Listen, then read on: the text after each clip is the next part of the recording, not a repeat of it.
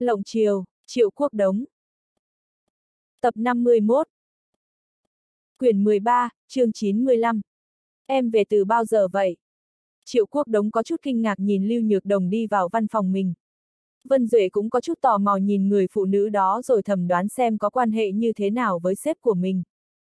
Anh sao có vẻ mặt này, em đến chỗ anh là bình thường mà. Lưu Nhược Đồng cười nói. Dù sao em cũng không thể không biết hoàn cảnh làm việc của anh mà. Triệu Quốc Đống nhìn Vân Duệ ở bên rồi cười nói. Đây là vợ tôi, Lưu Nhược Đồng, Nhược Đồng, đây là Vân Duệ, thư ký của anh. Vân Duệ có chút kinh ngạc rồi vội vàng đi rót chè nóng cho Lưu Nhược Đồng, sau đó biết ý đi ra ngoài. Thư ký của anh đúng là rất tận tụy với công việc.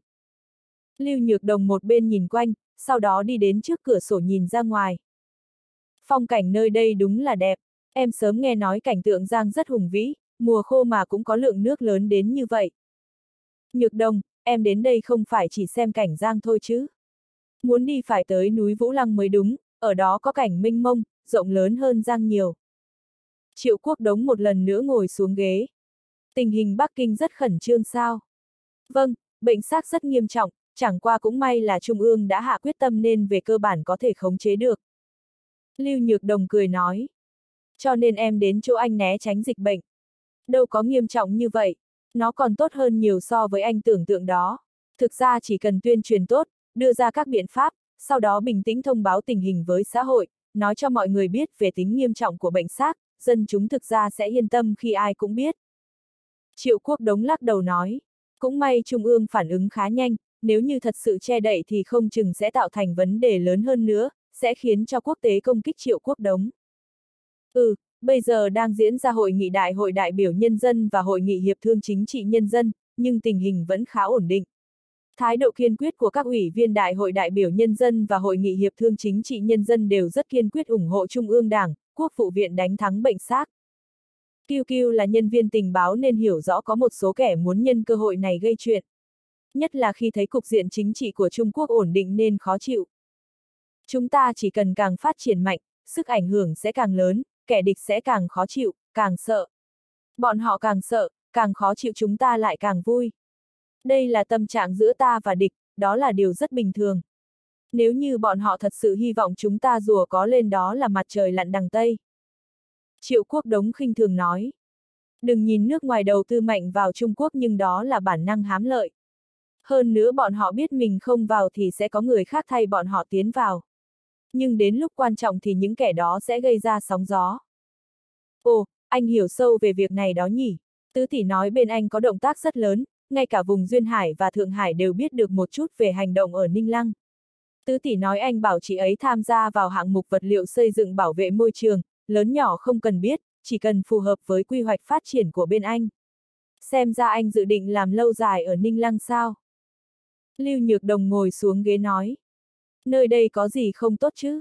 Mặc dù điều kiện kém một chút nhưng đó là sân khấu của anh. Hơn nữa anh tin mình có thể tạo ra sân khấu rực sáng. Triệu Quốc Đống rất tự tin nói. Mà bây giờ anh đã có một sự mở màn khá tốt. Vậy mọi người chờ xem anh biểu diễn. Lưu Nhược Đồng khẽ thở dài nói. Em vốn nghĩ anh ở tầm cao sẽ phát huy tác dụng lớn hơn nữa.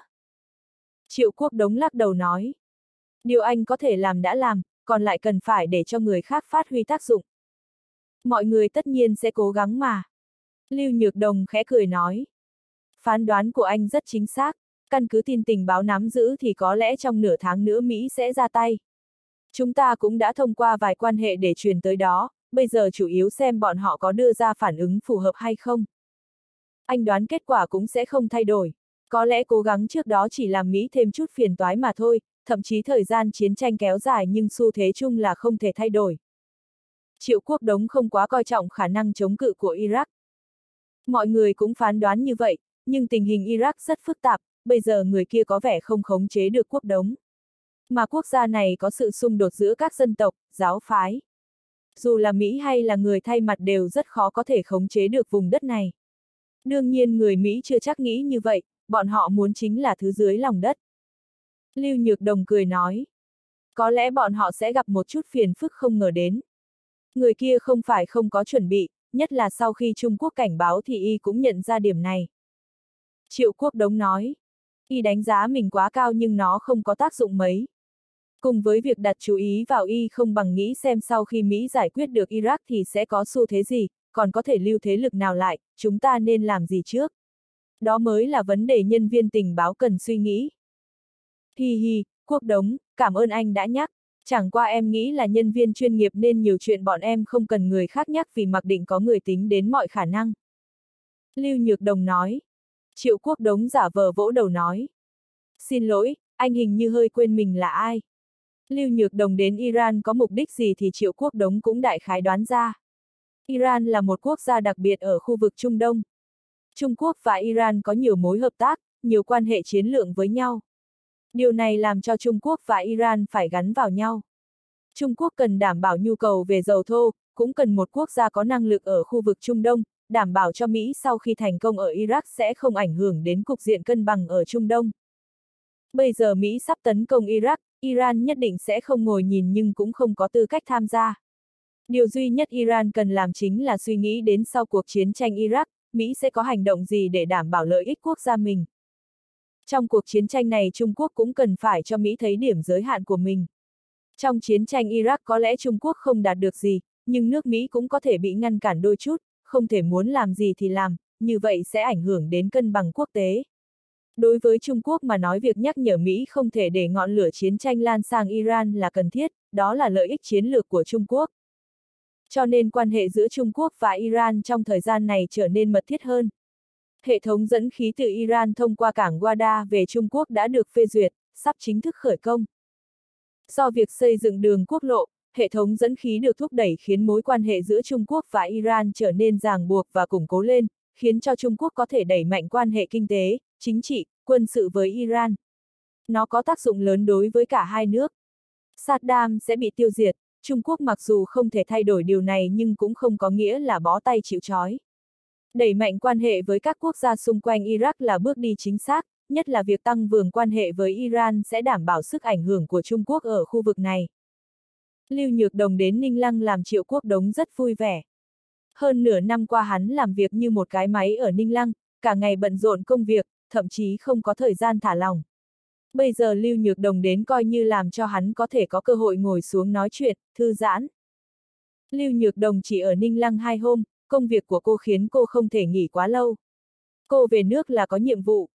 Làm cho Triệu Quốc Đống vui là ý kiến của hắn đã loáng thoáng có chút tác dụng. Ít nhất khiến cho lực lượng sau lưng Lưu Nhược Đồng cùng Trần Đông Chiêu có thể tìm được phương hướng. Rất nhiều thứ chỉ cần có phương hướng là dễ làm hơn rất nhiều. Theo thời gian trôi đi những thứ này sẽ rõ ràng hơn, nhưng trước trận chiến thường khó phân biệt. Hắn đã phát huy được đôi chút tác dụng, để cho bọn họ không phải phân tích một cách vô ích. Ví dụ như mấy hạng mục chiến lược với Pakistan được đẩy mạnh, làm ấm lên quan hệ với Iran. Tổng thống Iran, Khatami trong tháng 4 năm nay sẽ tới Trung Quốc nhằm đẩy mạnh quan hệ hai nước. Đây là tín hiệu rất đáng mừng. Quyển 13, chương 9-16 Triệu Quốc Đống rất chú ý xem TV tường thuật trực tiếp cuộc họp báo của Thủ tướng với truyền thông nước ngoài. Đây là một thông lệ sau khi hội nghị toàn quốc diễn ra. Tân Thủ tướng Văn Quốc Cơ dẫn theo mấy vị phó thủ tướng tiến hành trả lời phỏng vấn. Các phóng viên đều ở các tờ báo, kênh truyền hình nổi tiếng trên thế giới. Bọn họ đều muốn biết vị thủ tướng mới của Trung Quốc có quan điểm gì khác so với trước không.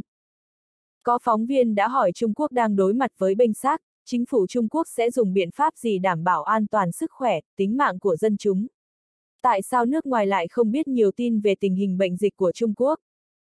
Thủ tướng Văn trả lời rất khéo léo, nói Trung ương Đảng, Quốc vụ viện Trung Quốc đã sớm thông báo, hơn nữa cũng duy trì việc thông báo tình hình dịch bệnh với nước ngoài hàng ngày. Các tỉnh, thành đều báo cáo lên Trung ương hàng ngày.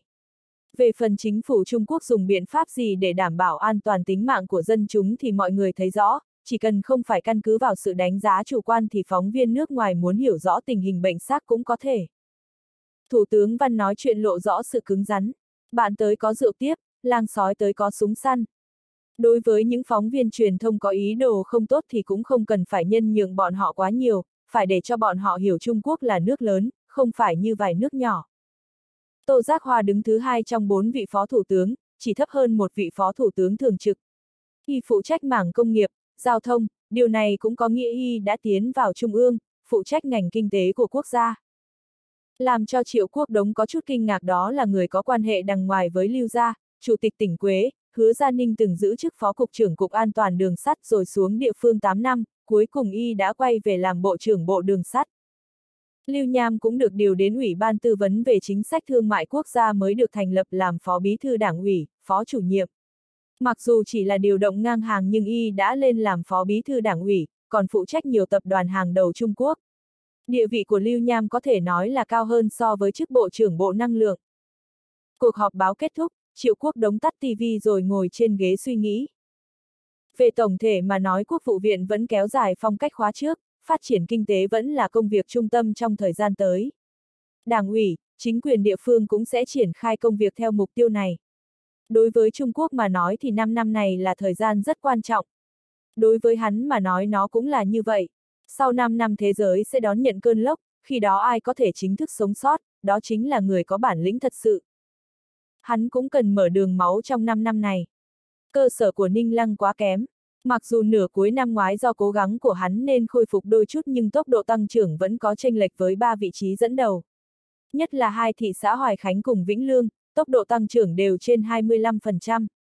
Hoài Khánh đạt kỷ lục 30%, mà Ninh Lăng mới miễn cưỡng đạt đến 22%, GDP đột phát tới 19,5 tỷ. Mà GDP của Hoài Khánh lại đạt đến 43,6 tỷ, chỉ còn kém Miên Châu đứng thứ tư 10 tỷ, thoáng cái kéo lại gần 5,8 tỷ. Mà thành phố Kiến Dương cũng có tốc độ tăng trưởng vượt qua Miên Châu, đạt được 53,8 tỷ. Mặc dù chỉ hơn Miên Châu 200 triệu nhưng cuối cùng cũng đã vượt qua Miên Châu. Chẳng qua điều này vẫn làm Kiến Dương có chút buồn bực vì họ mãi vẫn ngồi ở vị trí thứ ba. Tốc độ tăng trưởng của Vĩnh Lương đạt 26%, GDP đạt đến 55 tỷ, lần đầu tiên ngồi lên vị trí thứ hai. Hơn nữa theo xu thế phát triển hiện nay thì vị trí thứ hai của Vĩnh Lương ít nhất trong vài năm tới cũng sẽ không mất. Triệu quốc đống tính toán một chút, dù nửa năm nay có mấy hạng mục lớn lục tục xây dựng xong, GDP có lẽ đạt được 40%. Nhưng so sánh với Hoài Khánh và Vĩnh Lương vẫn phát triển nhanh chóng thì chỉ sợ không gây ấn tượng là mấy. Tranh lệch giữa Ninh Lăng và bọn họ càng lúc càng lớn. Triệu quốc đống cũng đã tính toán đôi chút, có lẽ phải sang năm tới mấy công ty lớn trong lĩnh vực năng lượng mặt trời mới phát huy tác dụng vốn có của nó, ít nhất trong năm nay còn chưa thấy nhiều. Nhưng thật ra mảng thiết bị ngành điện và tài liệu chế tạo do kinh tế khởi sắc khiến việc đầu tư điện lực bắt đầu xuất hiện thời kỳ tăng tốc. Chỉ riêng hạng mục cải tạo hệ thống đường điện nông thôn toàn quốc cũng đủ để kéo GDP Ninh Lăng tăng thêm 2%. Ngành công nghiệp thực phẩm cũng là một sản nghiệp trụ cột của Ninh Lăng. Sự phát triển của nó cũng khiến nó có tác dụng lớn đối với nền kinh tế Ninh Lăng. Mà ngành này tập trung chính vào ngành chế biến thịt, sữa, chè. Bây giờ thương hóa cũng đang tích cực học tập Hoa Lâm để phát triển ngành công nghiệp thực phẩm. Hơn nữa tập đoàn Dalit đã đầu tư vào thổ thành khiến ngành công nghiệp thực phẩm của Ninh Lăng về cơ bản đã có đủ quy mô. Giá trị sản lượng của ngành này sang năm có thể vượt quá 6 tỷ. Theo suy nghĩ của Triệu Quốc Đống thì còn cần đẩy mạnh phát triển ngành công nghiệp thực phẩm, nhất là hoa lâm, thương hóa, thổ thành còn phải tăng thêm mật độ, tăng thu hút đầu tư thành lập quy hoạch cụ thể và chi tiết. Đây không chỉ là vì phát triển công nghiệp thực phẩm, nó còn có tác dụng lớn để các hộ nông dân tăng thu nhập. Nếu hình thức công ty kết hợp với nông dân tiến hành tốt thì nó sẽ có tác dụng rất quan trọng đối với việc xóa nghèo. Mặc dù có mấy ngành này nhưng thực ra sản nghiệp Ninh Lăng vẫn còn thiếu nhiều, hơn nữa trong mỗi sản nghiệp đều chưa đạt được một hệ thống khép kín. Nhất là ở ngành thiết bị điện và tài liệu chế tạo thì vẫn chỉ có mấy sản phẩm chính như trước đây, không thể hình thành một hệ thống sản phẩm bao quát cả ngành điện. Nói tóm lại theo Triệu Quốc Đống thấy ngành công nghiệp Ninh Lăng còn cần phải chú ý đầu tư phát triển thêm nữa. Lý Đại Phú là một người khá thành thật, tính cách tốt, công việc giao cho y làm sẽ không có chuyện gì. Nhưng y thiếu tính sáng tạo và nhạy cảm trong công việc, cho nên Triệu Quốc Đống không yên tâm khi y phụ trách mảng thu hút đầu tư. Vưu Liên Hương là phó thị trưởng thường trực nên rất bận, hơn nữa vẫn còn có công việc bên đảng ủy. Bây giờ Ninh Lăng đang cần có đột phá nên muốn có người có năng lực mạnh phụ trách việc thu hút đầu tư. Ở điểm này cả Trung Dược Quân và Triệu Quốc Đống đều có chung quan điểm. Phó thị trường Văn Xuyên đầu năm nay đã kết thúc đợt biệt phái mà về tập đoàn An Cương, đảm nhiệm chức phó chủ tịch kiêm phó tổng giám đốc tập đoàn An Cương. Thị ủy, ủy ban Ninh Lăng cũng tổ chức nghi thức long trọng tiện y. Nếu người này không đi, Triệu Quốc Đống thật ra hy vọng y có thể phụ trách mảng thu hút đầu tư. Nhưng đối phương là lên cao, nghe nói sang năm rất có thể thành tổng giám đốc tập đoàn An Cương. Hơn nữa thêm lỗ năng từ phó thị trưởng chuyển sang làm trưởng ban tuyên giáo thị ủy nên bây giờ Ninh Lăng thiếu đi hai phó thị trưởng. Đáng lẽ nên đợi đến cuối năm trước sẽ tuyển cử một người, nhưng Triệu Quốc Đống lấy lý do thị ủy chưa thống nhất nên đề nghị ban tổ chức cán bộ tỉnh ủy tạm thời gác lại, đợi sang năm mới sẽ chọn người. Cũng may Hàn Độ đã đồng ý. Triệu Quốc Đống vẫn tìm kiếm người vào chức phó thị trưởng nhưng mãi vẫn không thấy ai thích hợp. Bí thư huyện ủy Khuê Dương, Tăng Khả Phàm có thành tích khá tốt trong công việc nhưng Triệu Quốc Đống thấy người này thiếu sự sông sáo, nhiệt tình trong công việc. Chủ nhiệm ủy ban kinh tế thị xã, Triệu Thu Lập khá thích hợp nhưng Triệu Quốc Đống lại thấy đối phương quá mềm yếu, thiếu chủ kiến và quyết đoán. Có lẽ mình nên thử việc công khai tuyển chọn phó thị trưởng hoặc trợ lý thị trưởng ở Ninh Lăng này, để người đó chuyên môn phụ trách công tác thu hút đầu tư. Chẳng qua việc này có chút mạo hiểm, hắn muốn làm sao cho phù hợp quy định tuyển chọn nhân tài của tỉnh, cũng phải thỏa mãn nhu cầu phát triển kinh tế của Ninh Lăng. Quyển 13, chương 9-17 Đứng trên bờ đê đã được gia cố lại, Triệu Quốc Đống và Trung Dược Quân đều có xúc động. Giai đoạn 1 của gói đầu tư 60 triệu gia cố hệ thống đê điều đã hoàn thành, giai đoạn 2 phải chờ đến tháng 11 năm nay mới bắt đầu khởi công. Đây là khoản đầu tư phòng chống lụt bão lớn nhất từ trước đến giờ của Ninh Lăng. Vưu Liên Hương cũng có chút bản lĩnh, cuối cùng cũng lấy được 5 triệu từ Sở Tài chính và Sở Thủy Lợi. Mặc dù chỉ chiếm phần nhỏ trong tổng số vốn đầu tư nhưng vẫn tiết kiệm được tài chính cho thị xã. Xây dựng khu Giang Đông có hai điều kiện bắt buộc, một là cầu Ô Giang, hai là gia cố hệ thống đê điều hai bên bờ Ô Giang, đảm bảo cho hai bờ sông nội thành Ninh Lăng dù gặp phải trận đại hồng thủy trăm năm cũng có thể vượt vua. Nếu không khu Giang Đông mà vỡ đi sẽ thành một vùng thảm họa. Giai đoạn một kết thúc khiến cho việc xây dựng khu Giang Đông càng thêm chắc chắn, khó tránh khỏi làm người ta si mê. Dược quân, cầu sang năm sẽ khánh thành, nhưng việc khai thác khu Giang Đông phải khởi động trước, không chỉ là xây dựng công việc, tôi chỉ chính là việc thu hút đầu tư vào khu Giang Đông. Triệu Quốc Đống nhìn mặt sông đầy nước, bây giờ mặc dù là màu khô nhưng lượng nước của dòng ô Giang vẫn rất lớn. Tôi vẫn đang suy nghĩ chuyện này. Theo xác định ban đầu của thị xã thì khu Giang Đông ngoài việc là trung tâm chính trị, văn hóa nghệ thuật ra, còn là trung tâm tài chính, tin tức, nghiên cứu khoa học, bất động sản, giải trí, phải biến khu Giang Đông thành nơi cung cấp đủ các dịch vụ. Trung Dược Quân có chút hưng phấn nói. Điều này cần phải đẩy nhanh tiến độ xây dựng, như vậy mới có thể hấp dẫn các ngành khác tới đây. Tốc độ cơ sở vật chất mặc dù quan trọng nhưng cũng cần có quy hoạch hợp lý, không nên vội vàng đuổi theo tiến độ mà quên đi bố cục và chất lượng công trình. Triệu Quốc Đống nhắc, Bí thư Triệu yên tâm, tôi xuất thân ngành này chẳng lẽ còn dám ngã ở vấn đề này sao? Trung Dược Quân cười ha hả nói. Chỉ là sợ thị xã thúc giục quá nhiều khiến các công ty thi công làm ẩu. Vì thế cứ vài hôm là tôi lại phải tới kiểm tra một chút, kiểm tra tiến độ, chất lượng. Điều này làm Văn Khôi cũng có ý kiến, cho rằng tôi không yên tâm với anh ta. Anh trông chặt như vậy là việc tốt, nếu thật sự có chuyện gì toàn lực trí lại như con nhím sù lông, dùng cái mũi đi đánh hơi khắp nơi. Nói thật tôi cũng có chút lo lắng lão Trúc không chịu được áp lực từ nhiều mặt. Anh phụ trách cũng là việc tốt. Trung dược quân hơi run lên, tên triệu quốc đống này nhìn như không hỏi việc xây dựng khu Giang Đông nhưng giống như cái gì cũng biết rõ. Lượng công trình xây dựng ở khu Giang Đông là rất lớn, một ít chính trị xây dựng cơ quan nhà nước thị xã cũng lục tục bắt đầu. Ngoài mấy công ty xây dựng của thị xã ra, cũng có nhiều công ty xây dựng và vật liệu xây dựng từ ngoài tiến vào Ninh Lăng. Trúc Văn Khôi sớm kêu khổ, nói làm việc mệt không sợ, chỉ sợ quan hệ tìm tới làm y không chống đỡ nổi. Đừng nói là Trúc Văn Khôi, dù là bản thân Trung Dược Quân cũng tự nhận mình cũng được đủ người chào hỏi. Đây là việc tốt, cũng là việc xấu, phải xem anh nắm bắt như thế nào. Trung Dược Quân làm nhiều năm trong ngành xây dựng nên biết chừng mực, biết điểm giới hạn. Vượt qua giới hạn tôi sẽ không làm, trong giới hạn có thể châm trước. Không chỉ dính tới việc xây dựng khu Giang Đông, rất nhiều công ty lớn đầu tư vào khu khai phát cũng khiến việc xây dựng diễn ra rầm rộ, hấp dẫn không ít người chú ý. Đây đáng lẽ vốn là do các công ty tự quyết định đơn vị thi công nhưng do bọn họ không quen thuộc tình hình địa phương, hơn nữa cũng muốn tạo quan hệ tốt nên chỉ cần công ty xây dựng do chính quyền đề cử thường sẽ không từ chối. Chỉ cần trong điều kiện cho phép, bọn họ sẽ vui vẻ giao cho công ty mà chính quyền đề cử làm, như vậy cũng dễ dàng được chính quyền ủng hộ trong quá trình xây dựng. Bí thư triệu, đây là việc khó giải quyết. Lão Trúc mấy lần tìm tới tôi kêu khổ. Mặc dù chúng ta đã kiên trì chế độ đấu thầu nhưng có nhiều hạng mục cụ thể cần chiếu cố tình hình thực tế của địa phương cho nên không thể không châm trước. Trung Dược Quân thở dài một tiếng. Chỉ sợ có người lấy lý do ở việc này rồi bám mãi không buông. Có một số việc chỉ cần không vượt quá nguyên tắc thì anh có thể giao cho lão Trúc xử lý. Chỉ cần anh ta trong sạch là đủ. Toàn lực trí là chủ nhiệm ủy ban kỷ luật đương nhiên muốn đạt thành tích ở điểm này. Triệu quốc đống hừ một tiếng. Tôi đã mấy lần nói chuyện với toàn lực trí. Ý của tôi là cùng với việc anh suốt ngày nhìn chằm chằm vào mấy việc này còn không bằng ủy ban kỷ luật và thanh tra thị xã phái người tới tham gia hạng mục, có thể kiểm tra bất cứ lúc nào.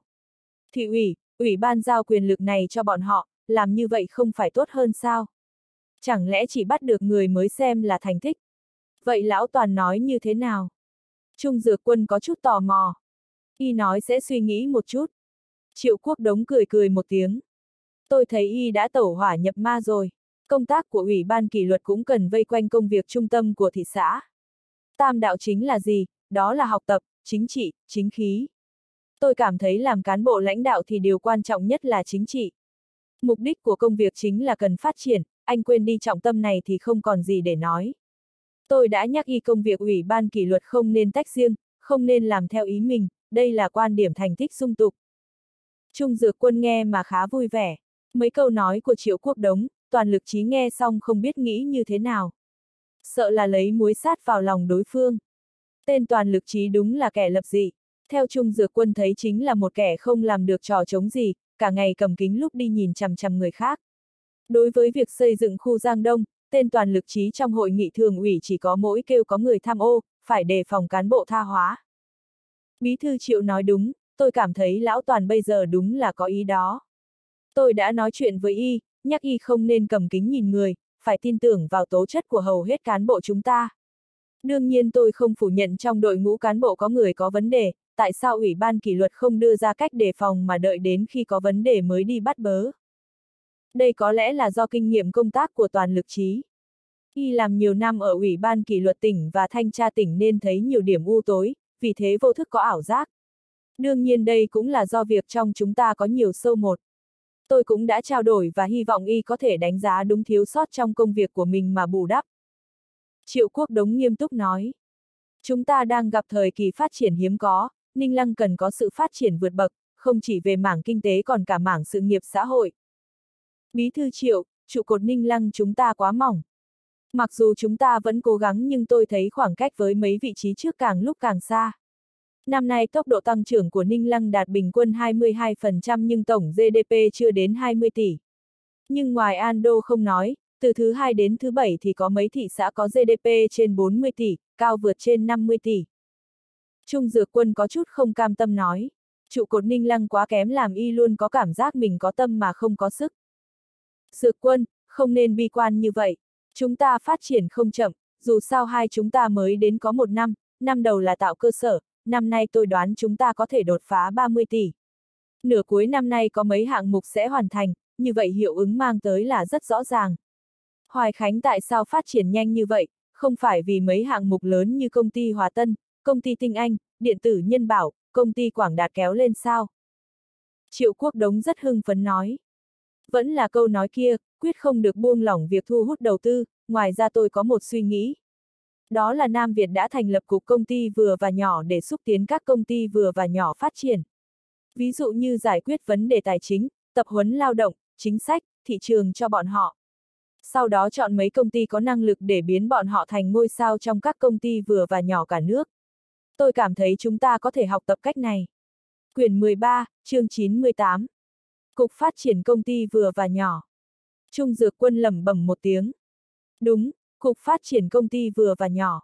Bây giờ rất nhiều cán bộ trong nước có thói quen đó là khi thu hút đầu tư đều thu hút hạng mục lớn, tốt nhất là hạng mục vài chục triệu, trăm triệu, như vậy có thể thoáng cái kéo GDP lên, thu thuế cũng lập tức thấy hiệu quả. Nhưng chúng ta phải đánh giá ba tỉnh Nam Việt, Giang Đông cùng Giang Nam, thực ra chính thức thúc đẩy bọn họ phát triển là hàng trăm ngàn công ty công ty vừa và nhỏ, sau đó xuất hiện những ngôi sao sáng. Triệu Quốc Đống đứng trên đê vung tay nói, điều này làm Trung Dược Quân cảm thấy mình bị đánh mạnh về thị giác. Mà đối với các nơi lạc hậu ở Trung Quốc chúng ta thì điểm càng quan trọng đó chính là phát triển các công ty vừa và nhỏ và công ty tư nhân, nó sẽ tiêu hóa sức lao động còn thừa ở nông thôn, tránh cho người lao động của chúng ta phải chuyển sang khu vực duyên hải, cũng có thể giảm bớt tình trạng áp lực xã hội lớn ở nông thôn. Còn có thể tăng thu nhập cho người lao động, sáng tạo việc tiêu dùng trong địa phương. Trung Dược Quân chú ý đến một từ trong câu nói của Triệu Quốc Đống. Đó là công ty tư nhân, xem ra ý của đối phương là xếp công ty vừa và nhỏ và công ty tư nhân vào con đường phát triển. Trung Dược Quân vẫn cố gắng làm cho mình đứng ở góc độ đối phương mà suy nghĩ. Nhưng y phát hiện quan điểm của đối phương luôn đi trước mình. Lâu như vậy điều duy nhất mình có thể đi trước là việc quy hoạch và xây dựng đô thị. Nhưng đây là do mình tới Ninh Lăng trước hắn, cho nên không thể nói mình có ý tưởng hơn hắn. Mà các phương diện khác dù là xác định sản nghiệp trụ cột phát triển kinh tế, hay là phát triển ngành dịch vụ, mình luôn cảm thấy đi sau đối phương. Thường khi đối phương đưa ra một quan điểm, mình luôn phải suy nghĩ rất lâu, thậm chí phải một thời gian sau mới hiểu nội dung của nó. Trung Dược Quân cảm thấy không phải một mình mình có suy nghĩ như vậy, mà là rất nhiều người trong bộ máy thị ủy, ủy ban Ninh Lăng đều có thể cảm nhận như vậy. Ngay cả toàn lực trí trước mặt triệu quốc đống mà còn không làm được gì. Trung Dược Quân không tin toàn lực trí chịu sỉ nhục lớn như vậy mà không phản ánh vấn đề lên tỉnh. Nhưng sự thật chứng minh toàn lực trí đã phải thu mình lại nhiều trước mặt triệu quốc đống. Đương nhiên theo trước mắt thì Ninh Lăng chúng ta cần một số hạng mục lớn, nhất là chúng ta muốn cố gắng đuổi theo các đô thị phát triển nhanh trong tỉnh thì việc sáng tạo việc làm, tăng giá trị sản lượng và thu thuế là điều không thể thiếu. Nhiều vẫn tốt mà, nhưng số hạng mục lớn có hạn, các khu vực khác cũng cạnh tranh cho nên chúng ta cần dựa vào hạng mục lớn để tạo sản nghiệp trụ cột, đồng thời cũng thu hút các công ty vừa và nhỏ trong lĩnh vực đó tiến vào. Bí thư triệu, suy nghĩ này sợ là anh đã tính tới từ rất lâu. Trung dược quân trầm ngâm một chút rồi nói. Ừ, đã nhiều ngày. Chính xác mà nó từ khi biết được ngành thiết bị điện và tài liệu chế tạo của Ninh Lăng không phát triển tốt như ý mình, tôi đã có ý này. Triệu Quốc Đống và Trung Dược Quân đi chậm xuống chỗ đỗ xe. Thực tế mà nói lúc đầu tôi tốn nhiều tâm trí để giành giật hạng mục trụ sở thiết bị ngành điện đến chính là mong khu khai phát bay vọt. Nhưng tôi đi hơn 3 năm, về mặc dù có biến hóa nhưng không nhiều như tôi nghĩ. Công ty nòng cốt chỉ có mấy nhà đó, quy mô có biến hóa nhưng sản phẩm không đổi mới mấy. Tôi thậm chí đã nói chuyện với giám đốc công ty dây cáp điện Trường Liên, nếu bọn họ không bắt được thời cơ thay đổi mẫu mã sản phẩm thì có lẽ sắp tới bọn họ sẽ bị đào thải. Triệu Quốc Đống nói, mà các công ty trong khu khai phát quá hỗn tạp, cho nên tôi rất lo lắng về tình hình phát triển của khu khai phát. Trung Dược Quân gật đầu. Trong sự phát triển của khu khai phát thì do lúc đầu quá theo đuổi số công ty và giá trị sản lượng nên lựa chọn không rõ ràng, định vị có vài thành kiến. Mà việc thu hút đầu tư lại không phân biệt tốt xấu, chỉ cần có công ty đến là tìm cách đưa vào. Vì việc này Triệu Quốc Đống đã phê bình Lưu Như Hoài và Lô Miễn Dương. Bây giờ khu khai phát đang cố gắng sửa chữa lại, chủ yếu tập trung ở sản nghiệp trụ cột của Ninh Lăng. Ví dụ như ngành thiết bị điện, tài liệu chế tạo, năng lượng mới, tài liệu mới. Mặc dù số hạng mục không nhiều nhưng chất lượng hạng mục đã tăng lên mấy bậc. Bí thư Triệu, tôi cảm thấy công tác thu hút đầu tư trong thời gian dài tới vẫn là rất quan trọng đối với Ninh Lăng chúng ta. Dù là hạng mục lớn tiến vào hay là phát triển công ty vừa và nhỏ, công ty tư nhân thì tôi thấy đều có tác dụng quyết định đối với sự phát triển kinh tế của Ninh Lăng chúng ta. Anh nếu muốn cân nhắc việc thành lập cục công ty vừa và nhỏ, đứng ở góc độ toàn thị xã thì khi cục chiêu thương và khu khai phát không hợp nhất thì cũng nên chính thức tách ra. Trung Dược Quân cũng đưa ra quan điểm của bản thân làm Triệu Quốc Đống khá hài lòng. Tôi đồng ý với quan điểm của anh, phó chủ nhiệm khu khai phát không nên kiêm chức cục trưởng cục chiêu thương nữa. Hai đơn vị này phải tách hẳn. Các quận, huyện đều không hài lòng với công tác của cục chiêu thương, cho rằng cục chiêu thương không phát huy tác dụng phục vụ sự phát triển kinh tế của thị xã. Triệu Quốc Đống gật đầu nói. Cho nên kết hợp với việc thành lập cục phát triển công ty vừa và nhỏ, cục chiêu thương phải cải tổ. Tôi nghĩ có thể xác minh rõ chức năng hai cục này, phải phát huy tác dụng vốn có của nó. Bí thư triệu, lãnh đạo hai cục này không dễ chọn. Trung Dược Quân thuận miệng nói. Đúng thế, chính xác mà nói thị xã chúng ta không tìm được người có thể làm tốt công việc ở hai cục này. Cho nên tôi suy nghĩ có nên làm theo cách mới đó là tuyển chọn trong cả nước. Nếu như chưa đủ sức hấp dẫn nhân tài trong nước thì tôi cảm thấy có thể để cục trưởng cục chiêu thương kiêm chức trợ lý thị trưởng cũng được. Triệu quốc đống nói ra làm trung dược quân há hốc mồm. Một lúc lâu y mới có thể nói.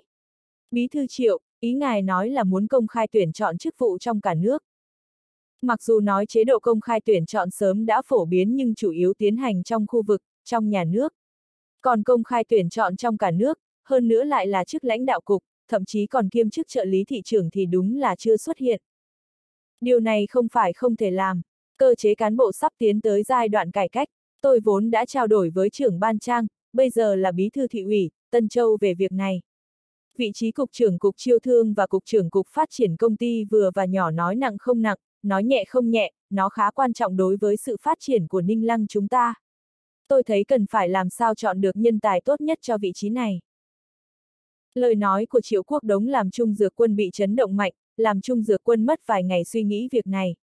Triệu Quốc Đống nói chuyện thì về cơ bản xác định hắn quyết tâm làm.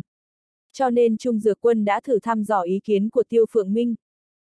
Tiêu Phượng Minh cũng rất thẳng thắn nói ban đầu y cũng có chút mâu thuẫn nhưng sau khi được Triệu Quốc Đống thuyết phục, hơn nữa cũng đưa ra các điều kiện lựa chọn cho hai vị trí kia, cuối cùng Tiêu Phượng Minh đã đồng ý. Công tác thu hút đầu tư và công tác phục vụ phát triển công ty vừa và nhỏ, một liên quan đến việc đưa các hạng mục vào Ninh Lăng nên cần một nhân vật có quan hệ rộng rãi đi làm. Công việc còn lại thì Ninh Lăng không có kinh nghiệm gì, mặc dù có thể căn cứ tên ngành mà hiểu được chức năng nhưng triển khai công việc cụ thể như thế nào, làm sao làm tốt công việc thì không ai có đầu mối. Hai vị trí này không phải ai cũng có thể ngồi vào. Nhất là khi bí thư thị ủy rất chú trọng hai công việc này. Anh nếu không làm tốt, không đạt được thành tích thì nhất định không thể ăn nói được. Trung Dược Quân lại trao đổi với Lục Kiếm Dân. Triệu Quốc Đống cũng đã sớm nói chuyện với Lục Kiếm Dân, Lục Kiếm Dân cũng tỏ thái độ ủng hộ. Y cho rằng hai vị trí này đều là quan trọng, công khai tuyển chọn là tốt. Đương nhiên thị ủy cũng cần đưa ra yêu cầu cụ thể đối với ứng viên. Trung Dược Quân lúc này mới cảm thấy Triệu Quốc Đống đều đã tính kỹ rồi mới hành động. Quyển 13, chương 9-19 Triệu Quốc Đống sớm đoán tháng 3 là tháng không bình thường, nhưng không ngờ nó lại náo nhiệt đến vậy. Chiến tranh Iraq đã diễn ra, liên quân Anh Mỹ từ hai hướng Bắc Nam phát động hình thức gọng kìm tiến hành đổ bộ vào Iraq. Cục diện rất nhanh bắt đầu có lợi cho liên quân Anh Mỹ. Đây không phải chuyện liên quan đến Triệu Quốc Đống, nhưng là một người mê tin tức quốc tế nên hắn cũng chú ý đến tình hình Iraq. Quân đội Iraq sau khi trực diện chiến đấu gặp thất bại liền nhanh chóng tổ chức thành lực lượng đánh du kích, hơn nữa còn cả phái Sunni cùng phái Shia tham gia cùng. Ít nhất từ thông tin tình báo có thể thấy mỗi ngày liên quân Anh Mỹ đều bị các loại vũ khí hiện đại nhắm bắn phá hỏng nhiều xe tăng, máy bay trực thăng, con số thương vong vượt xa những gì triệu quốc đống đã biết. Đương nhiên điều này không thể thay đổi cục diện chiến tranh. Saddam không còn quân chính quy nên nhất định sẽ thất bại, cục diện vẫn diễn ra có lợi cho liên quân Anh Mỹ. Theo các chuyên gia quân sự phân tích thì có lẽ trong tháng 3 chiến tranh sẽ kết thúc. Triệu quốc đống có thể tưởng tượng được các nước như Trung Quốc, Nga, Iran đều xuất hiện trong cuộc chiến Iraq, chỉ là không biết tin tức hắn thông báo có bao tác dụng. Mà trong nước bệnh xác vẫn rất nghiêm trọng, nhất là ở các khu vực như Bắc Kinh, Nam Việt, Tam Tấn, tình hình bệnh dịch là khá nghiêm trọng. An Nguyên cũng thuộc về tỉnh có bệnh xác ảnh hưởng nặng. Ngoài Ninh Lăng khống chế khá tốt ra thì các khu vực khác liên tục có người bị bệnh. Triệu Quốc Đống nhận được thông báo khẩn cấp của văn phòng tỉnh ủy thì hắn đang ở công trường. Nhà máy sản xuất của công ty kỹ thuật Thần Phong đã chuyên chở các thiết bị lớn từ cảng rồi chuyển đến công trường, nhanh chóng được lắp ráp. Vì thế công ty Thần Phong cũng cử hành một nghi thức lắp đặt thiết bị nhỏ, Triệu Quốc Đống nhận lời mời tham gia. Một vị phó tránh văn phòng tỉnh ủy yêu cầu hắn và Trung Dược Quân trực tiếp lên tỉnh. Nhưng Trung Dược Quân có hai cuộc gặp nên Triệu Quốc Đống và Trung Dược Quân bàn với nhau và cảm thấy nên bàn với tỉnh, xem có thể do một người lên tỉnh hay không. Hai cuộc gặp này khá quan trọng, là cơ hội lớn đối với Ninh Lăng. Một là Phó Tổng Giám đốc Công ty Camin của nước Mỹ, một là Tổng Giám đốc Công ty ô tô Fukuda đến. Bọn họ đều muốn khảo sát hoàn cảnh đầu tư của Ninh Lăng. Công ty Camin đến là do Triệu Quốc Đống thông qua Lưu Kiều mời tới. Trước đó vị phó tổng giám đốc này đã tới Chiết Giang khảo sát, mà công ty ô tô Fukuda còn lại là do Trung Dược Quân thông qua quan hệ với một vị cục trưởng ở Ủy ban Kế hoạch Phát triển Quốc gia mời tới. Lúc đầu công ty Fukuda cũng không hứng thú mấy với Ninh Lăng. Đến nửa năm trước khi công ty chất bán dẫn Liên Hoa, tập đoàn Nam Pha, công ty đa tinh thể Silicon tiến vào Ninh Lăng mới tạo ra chấn động mạnh. Hơn nữa công ty thần phong phát triển điện từ năng lượng gió cũng tiến vào Ninh Lăng, làm cho hoàn cảnh đầu tư ở Ninh Lăng trở nên phát triển hơn, mới khiến công ty Fukuda hứng thú với Ninh Lăng. Triệu Quốc Đống gọi cho Dương Kính Quang, nói qua tình hình. Dương Kính Quang không nói gì chỉ là thông báo bọn họ lập tức lên tỉnh ủy, bí thư ứng có công việc cần giao phó. Nhưng sau khi nghe Triệu Quốc Đống phản ánh, y cũng đồng ý để một mình Triệu Quốc Đống lên Ando. Triệu Quốc Đống đến phòng tiếp khách của ứng đông lưu thì phát hiện mình là người tới cùng đến. Trong phòng có ứng đông lưu, Tần Hạo Nghiên, Tôn Liên Bình, Nhâm Vi Phong, Dương Kính Quang, Trần Anh Lộc, sáu vị lãnh đạo tỉnh, còn có cả Diêu Văn Chí và Vương Chí Hòa. Vừa thấy Trần Anh Lộc và Vương Chí Hòa ở đây, Triệu Quốc Đống cũng mơ hồ đoán ra. Đầu năm nay trong hội nghị đại hội đại biểu nhân dân tỉnh, Trần Anh Lộc đã được bầu làm phó chủ tịch tỉnh phụ trách văn hóa, giáo dục, y tế, thay cho Cam Bình. Cam Bình không lên hội nghị hiệp thương chính trị nhân dân toàn quốc như cô nói, mà lên làm phó bộ trưởng bộ văn hóa. Chuyện rất đơn giản nhưng cũng rất quan trọng. Ủy viên trưởng đại hội đại biểu nhân dân, Ủy viên thường trực bộ chính trị Lục Kiến Bang hai hôm tới sẽ đến An Nguyên. Việc này vốn không quan hệ tới Ninh Lăng, Lục Kiến Bang chủ yếu kiểm tra bốn nơi là An Đô, Hoài Khánh, Kiến Dương, Miên Châu. Nhưng do tình hình bệnh xác khá nghiêm trọng nên tạm thời thêm muốn kiểm tra công việc phòng chống dịch bệnh ở An Nguyên. Điều này làm tỉnh ủy, Ủy ban Nhân dân tỉnh An Nguyên trở nên luống cuống tay chân. Đến khảo sát ở An Nguyên thì nhất định phải xem An Đô, nhưng không thể chọn một mình An Đô. Nhưng nếu muốn xem công tác chống bệnh xác, mọi người liền lập tức nghĩ đến Ninh Lăng. Nhưng đến Ninh Lăng chỉ để xem bệnh viện truyền nhiễm thì hơi ít. Cho nên tỉnh ủy tạm thời quyết định khi ủy viên trưởng đến kiểm tra Miên Châu liền thêm một Ninh Lăng, cho nên vội vàng thông báo Triệu Quốc Đống tới, cũng muốn giao cho hắn bố trí tốt bên bệnh viện truyền nhiễm Ninh Lăng, về phần khác cũng phải có báo cáo tốt về công tác phòng chống dịch bệnh, còn phải chuẩn bị mấy địa điểm để ủy viên trưởng đi thăm. Về phần bố trí công tác chống bệnh xác, tỉnh ủy giao nhiệm vụ khá đơn giản. Chính là đi thăm bệnh viện truyền nhiễm Ninh Lăng, muốn do Ninh Lăng giới thiệu công tác chống bệnh xác trong thời gian qua, tư tưởng cán bộ quần chúng như thế nào. Cuộc gặp phân công công việc chỉ có nửa tiếng là kết thúc, mọi người rời đi và chỉ còn Triệu Quốc Đống ở lại đây. Chủ tịch Phi Phong, không nên hại người như vậy chứ. Chỉ chuyện này mà còn gọi cả tôi và thị trưởng chung lên tỉnh, bây giờ bố trí xong liền vỗ mông đi làm việc của mình, để tôi lại đây một mình. Đây không phải hại tôi sao? Triệu Quốc Đống xua tay nói. Bốn tiếng ngồi xe, chiều còn có cuộc gặp quan trọng, chuyện này chỉ gọi điện thông báo là được mà. Hừ, tôi thấy cậu mà có tâm trạng như vậy thì nhất định sẽ có chuyện. Nhâm Vi Phong tức giận nói. Bí thư Đông Lưu cùng Chủ tịch Hạo Nhiên Triều cũng có cuộc tiếp kiến quan trọng, cậu cho rằng ai là không việc đầy như núi. Bí thư Đông Lưu cùng Chủ tịch Hạo Nhiên chuyên môn bảo tôi dặn cậu. Ủy viên trưởng lần này đến kiểm tra công tác chống bệnh xác, sợ rằng cũng sẽ đến xem vài điểm ở Ninh Lăng, điểm này cậu phải chuẩn bị tư tưởng. Qua lại đã mất 7-8 tiếng, ủy viên trưởng đâu còn thời gian xem cái khác. Triệu Quốc Đống không cho là đúng. Cậu đừng nói linh tinh, mai sẽ xác định thời gian và gửi tới văn phòng tỉnh ủy và văn phòng ủy ban nhân dân, lịch trình và điểm tham quan đều phải bố trí tốt. Sẽ có cảnh sát của Sở Công an phối hợp với Cục Công an Ninh Lăng, nhất định phải đảm bảo an toàn và đúng giờ, tranh thủ có thể để ủy viên trưởng xem thêm một hai điểm. Ý của tôi cậu hiểu chứ? Nhâm Vi Phong chừng mắt nói. Triệu Quốc Đống cười khổ nói.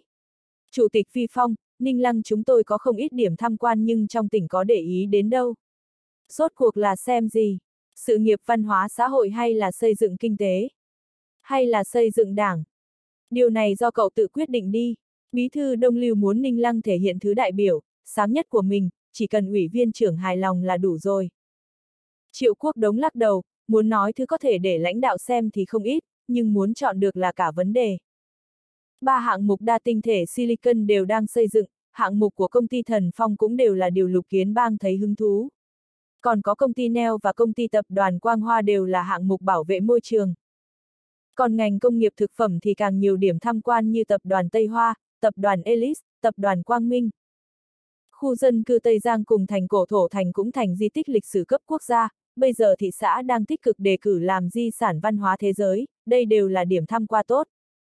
Quyển 13, chương 100 Triệu Quốc Đống một bên suy nghĩ xem lãnh đạo và thủ trưởng muốn đi đâu, một bên hắn lại nghĩ theo bình thường thì đi xem đâu do lãnh đạo nói, thủ trưởng xuống không phải nghe theo bố trí của lãnh đạo sao.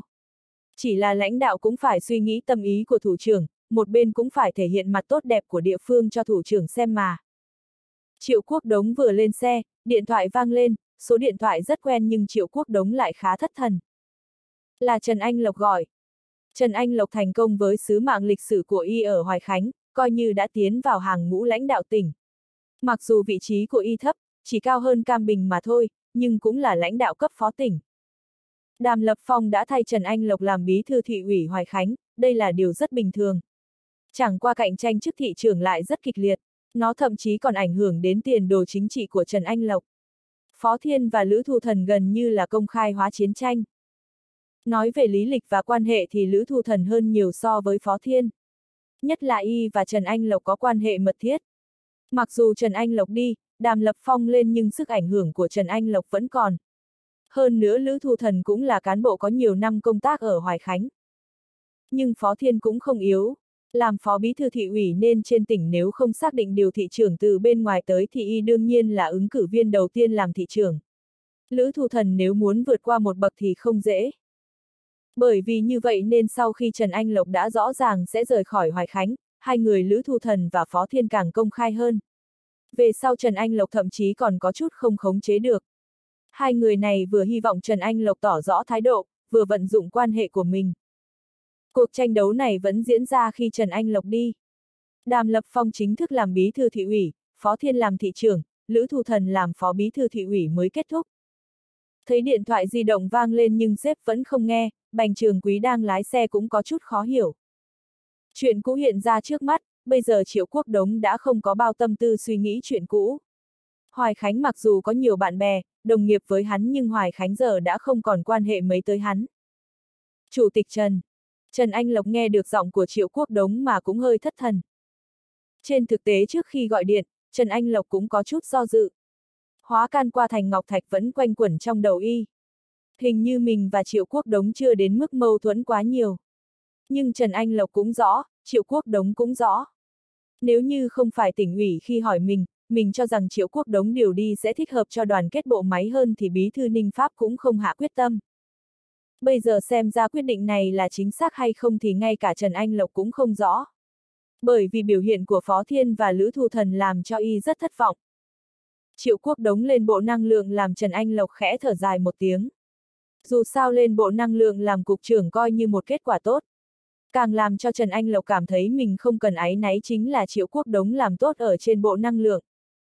Trần Anh Lộc không ngờ Triệu Quốc Đống nhanh như vậy đã về yêu, hơn nữa còn làm bí thư thị ủy Ninh Lăng. Y không biết mục đích chính khi Triệu Quốc Đống nhận chức này, Y thậm chí còn nghi ngờ có phải là vì Triệu Quốc Đống không cam tâm cứ như vậy rời khỏi yêu, nên muốn về chứng minh mình không? Chứng minh mình thì không cần dùng cách này. Đây là suy nghĩ của Trần Anh Lộc.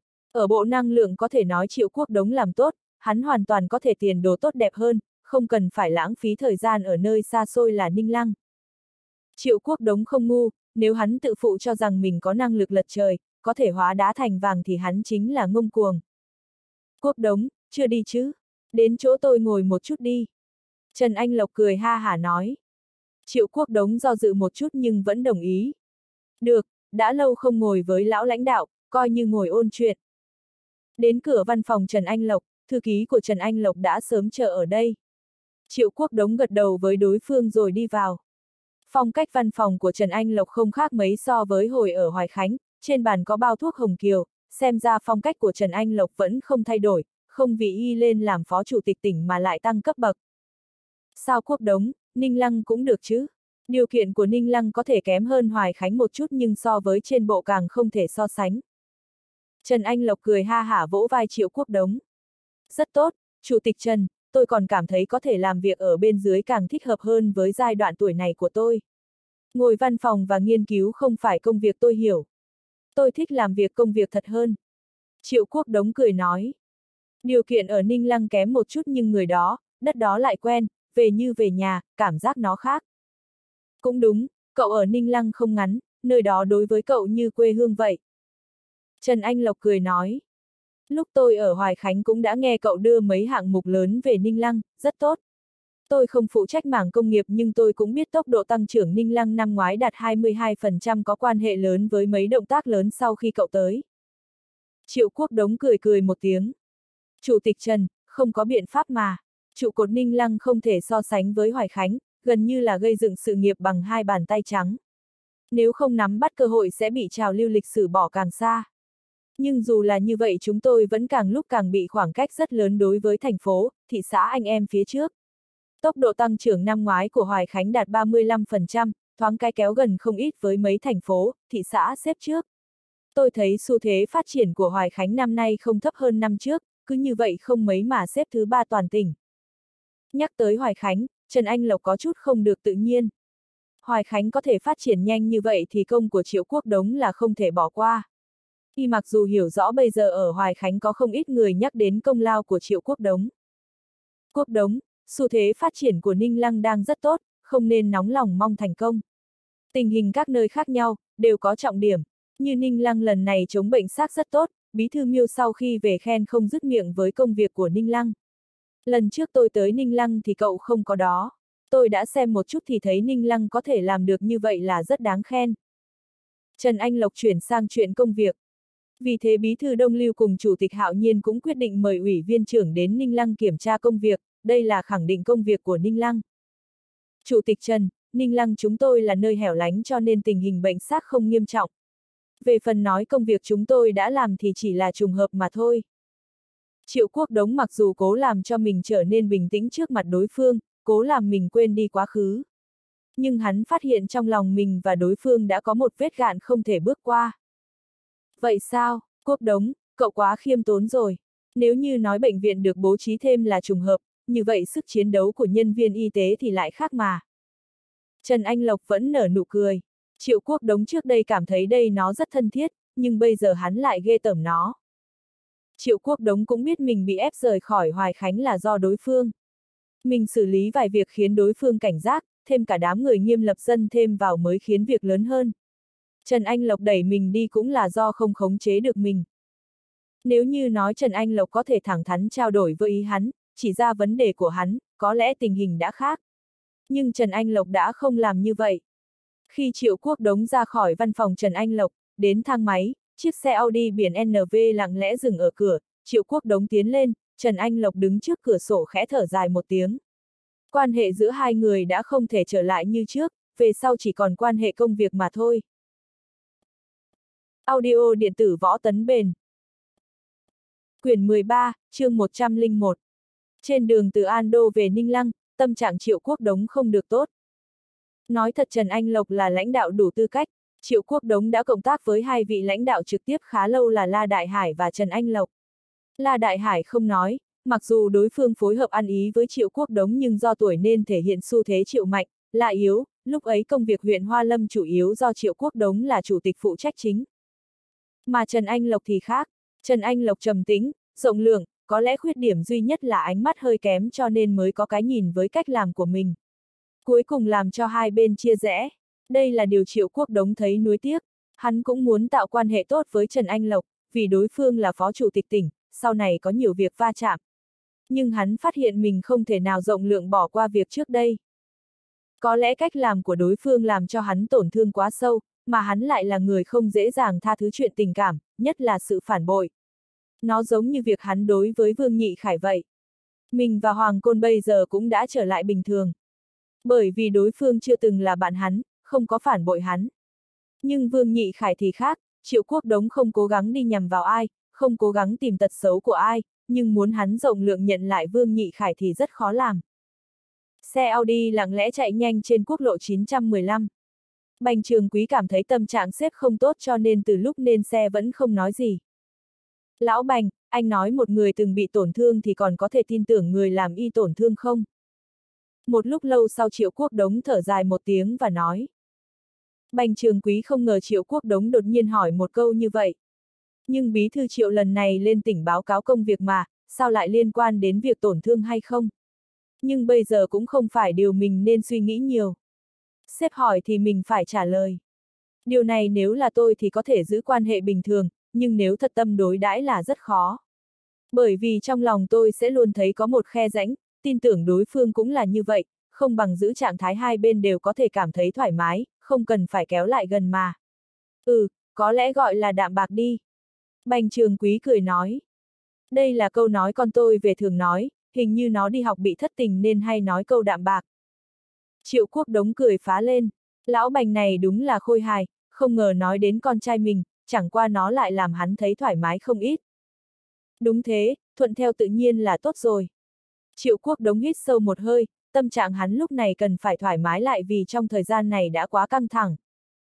Từ khi bệnh xác bắt đầu bùng nổ, hắn đã dồn hết tâm trí vào công việc, nói khó nghe một chút là quên đi hết mọi chuyện. Bảo sao ai cũng nói đàn ông đặt sự nghiệp lên đầu, nhưng thích hợp điều chỉnh một chút cũng là điều cần thiết, nếu không hắn sẽ không đột nhiên có nhiều suy nghĩ nôn nóng, bất an như vậy. Bí thư triệu, ngài còn chưa có con phải không? Tôi thấy ngài cả ngày bận rộn làm việc, có đôi khi khó tránh khỏi có tâm trạng không tốt. Nếu có con thì có thể làm ngài vui vẻ, hạnh phúc đôi chút, sẽ làm tâm trạng của ngài tốt hơn. Bành trường quý một bên lái xe rồi cười ha hả nói. Có đôi khi con người phấn đấu cả đời không phải vì tạo trụ cột tốt cho con cái sao. Đã biết đời mình không được, còn không hy vọng con cái mình có tương lai tốt hay sao. Triệu quốc đống hơi động tâm, thoáng cái con hắn đã được 6 tháng tuổi. Hắn nghe cù vận bạch nói con đặt tên là cù thanh đào, nghe giống như con trai vậy. Triệu quốc đống hỏi cô tại sao đặt như vậy, cù vận bạch bảo hắn đoán một chút, triệu quốc đống nghĩ mãi không ra. Sau đó cù vận bạch nhắc hắn rằng đó là nơi phát triển tình cảm của cả hai, hắn mới hiểu. Hắn và cù vận bạch chính thức yêu nhau ở Hồ Thanh Ngoã, sau đó có quan hệ ở trên Vân Đào Quan. Có lẽ vì thế mà con gái hắn mới có tên như vậy. Con, cũng nên có con mới phải. Triệu quốc đống cười cười. Đúng thế, bây giờ chỉ cho sinh một người con. Chúng tôi trước đây ở nông thôn đều có 4 năm người con, một nhà luôn vui vẻ, náo nhiệt. Nhưng bây giờ thì khác, chỉ được sinh một con nên coi như bảo bối, kết quả lại thiếu đi tình thương. Bành trường quý thở dài nói. Mấy người con, triệu quốc đống khẽ nở nụ cười. Mình sợ là có chút phiền phức, cổ trí thường không ngờ gọi điện đến hỏi mình, điều này làm triệu quốc đống có chút kinh ngạc. Hắn và Tiểu Âu mặc dù vẫn có quan hệ nhưng trước kia cổ trí thường không hỏi mấy mà, sao bây giờ lại lấy lý do bệnh xác mà quan tâm tới mình. Điều này làm triệu quốc đống cảnh giác. Sau đó Tiểu Âu gọi tới nói bố cô hỏi, cô đã nói sẽ không kết hôn, nhưng không định sống cô đơn cả đời. Vợ chồng cổ trí thường hỏi cô muốn làm gì, cô nói lúc thấy thích hợp sẽ sinh con cho quốc đống ca, còn tự mình nuôi. Điều này làm vợ chồng cổ trí thường há hốc mồm. Phiền phức rồi, rất nhiều có thể làm người ta hạnh phúc, cũng có thể làm người ta phiền phức, phúc và họa đan xen nhau. Vào phòng hội nghị thị ủy làm Lý Đại Phú có chút kích động. Làm một người tiến dần từng bước ở Ninh Lăng, y thấy rõ biến hóa trong một năm qua của Ninh Lăng, khát vọng một ngày nào đó Ninh Lăng chính thức bước ra khỏi thân phận nghèo, tiến vào hàng ngũ đô thị giàu có. Bí thư triệu, khách của công ty Camin đã đi khảo sát khu lâm cảng cùng khu khai phát, cũng đã thăm hai công ty. Tôi cảm thấy bọn họ rất hứng thú, mặc dù không tỏ thái độ nhưng tôi có thể khẳng định bọn họ động tâm. Đại Phú, người Mỹ rất khôn khéo, bọn họ đi đâu cũng tỏ vẻ hứng thú, muốn làm cho anh tỏ ra nóng lòng, làm anh mắc câu. Tôi nghĩ bọn họ khảo sát mấy nơi trước cũng có biểu hiện như vậy. Triệu Quốc Đống là người đầu tiên tới phòng hội nghị, trên đường hắn đã thông báo tăng lệnh thuần, bảo đối phương thông báo họp nghiên cứu cuộc tiếp đón hai ngày sau. Ủy viên trưởng trên danh nghĩa là lãnh đạo thứ hai của quốc gia. Không, Bí thư Triệu, lần này thì khác. Tôi cảm thấy người Mỹ rất hứng thú với vị trí của khu lâm cảng, nhất là khi công ty Neo đã hoạt động ở đây vài năm. Bọn họ đã trao đổi với Neo, tôi hỏi phiên dịch thì nghe họ nói người Mỹ có lẽ rất hứng thú với hoàn cảnh đầu tư ở Ninh Lăng chúng ta. Lý Đại Phú lắc đầu không đồng ý quan điểm của Triệu Quốc Đống. Ồ, bọn họ nói như thế nào? Thấy thông báo họp mà chưa đến đông đủ, chỉ có Lam Quang và Phú Quyên tới, ngay cả Tăng Lệnh Thuần cũng chưa tới, Triệu Quốc Đống vừa cười vừa ra hiệu mọi người ngồi xuống. Bí thư Triệu, người Mỹ rất hứng thú việc công ty Neo đã dùng vật liệu xây dựng từ tre để xây nhà xưởng mới. Bọn họ hỏi Neo là có chuyện gì, chúng tôi cũng giải thích làm bọn họ rất kinh ngạc. Lý Đại Phú đã uống hai chén rượu, vừa từ bàn ăn về nên nói chuyện khá nhiều. Công ty Neo lại giới thiệu cho bọn họ biết thị xã mới thành lập một câu lạc bộ giao lưu ba tầng, nếu bọn họ có hứng thú có thể tới đó thăm. Câu lạc bộ giao lưu này do Triệu Quốc Đống đề nghị Ủy ban Kinh tế, Cục Chiêu Thương, Ủy ban Kế hoạch Phát triển, Ủy ban Văn hóa dẫn đầu thành lập, trong đó có thư viện quy mô vừa, phòng chiếu phim, phòng âm nhạc, nơi uống trà, quầy bar, chủ yếu là một nơi để nhân viên các công ty vào đó giải trí. Bởi vì công viên Trúc ở nội thành có hoàn cảnh trang nhã, gần khu trung tâm nên khi vừa khai trương liền yêu cầu các công ty ở khu khai phát, khu lâm cảng cùng khu Hà Nam đến cổ vũ, cũng gửi thiếp mời cho bọn họ, chào đón nhân viên quản lý và nhân viên kỹ thuật các công ty đến câu lạc bộ làm khách quý. Vì thế chỉ trong 2-3 tháng đây đã là nơi mà mọi người thường đến. Ngay cả nhân viên công ty Neo cũng thích tới đây. Quyển 13, chương 102. Ồ, người Mỹ có đến câu lạc bộ không? Triệu quốc đống hơi động tâm. Câu lạc bộ giao lưu này có thể nhanh chóng vận hành như vậy cũng là nơi tốt để nhân viên các công ty tiến hành trao đổi với nhanh. Trung tâm văn hóa, giải trí của Ninh Lăng không thể so sánh với các Ando, thậm chí là Miên Châu cùng Lam Sơn.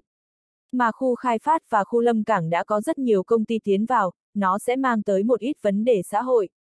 Ví dụ như nhà ở cho công nhân, nơi giải trí. Còn nhân viên kỹ thuật và nhân viên quản lý lại càng có nhiều nhu cầu hơn nữa, đó đều là những vấn đề cần giải quyết. Lý thuyết thì chính quyền không cần quản mấy việc này vì nó là của chính bản thân của công ty. Nhưng Triệu Quốc Đống biết nếu muốn biến Ninh Lăng thành đô thị hấp dẫn thì phải không ngừng hấp dẫn các công ty đến Ninh Lăng, không chỉ tiến tới việc giám đốc các công ty đạt lợi nhuận mà thôi, phải suy nghĩ cho sự phát triển của các công ty. Nếu anh có thể cung cấp một nơi để nhân viên, công nhân các công ty giao lưu trao đổi, làm bọn họ coi Ninh Lăng là nhà thì anh mới có thể thực sự thành công.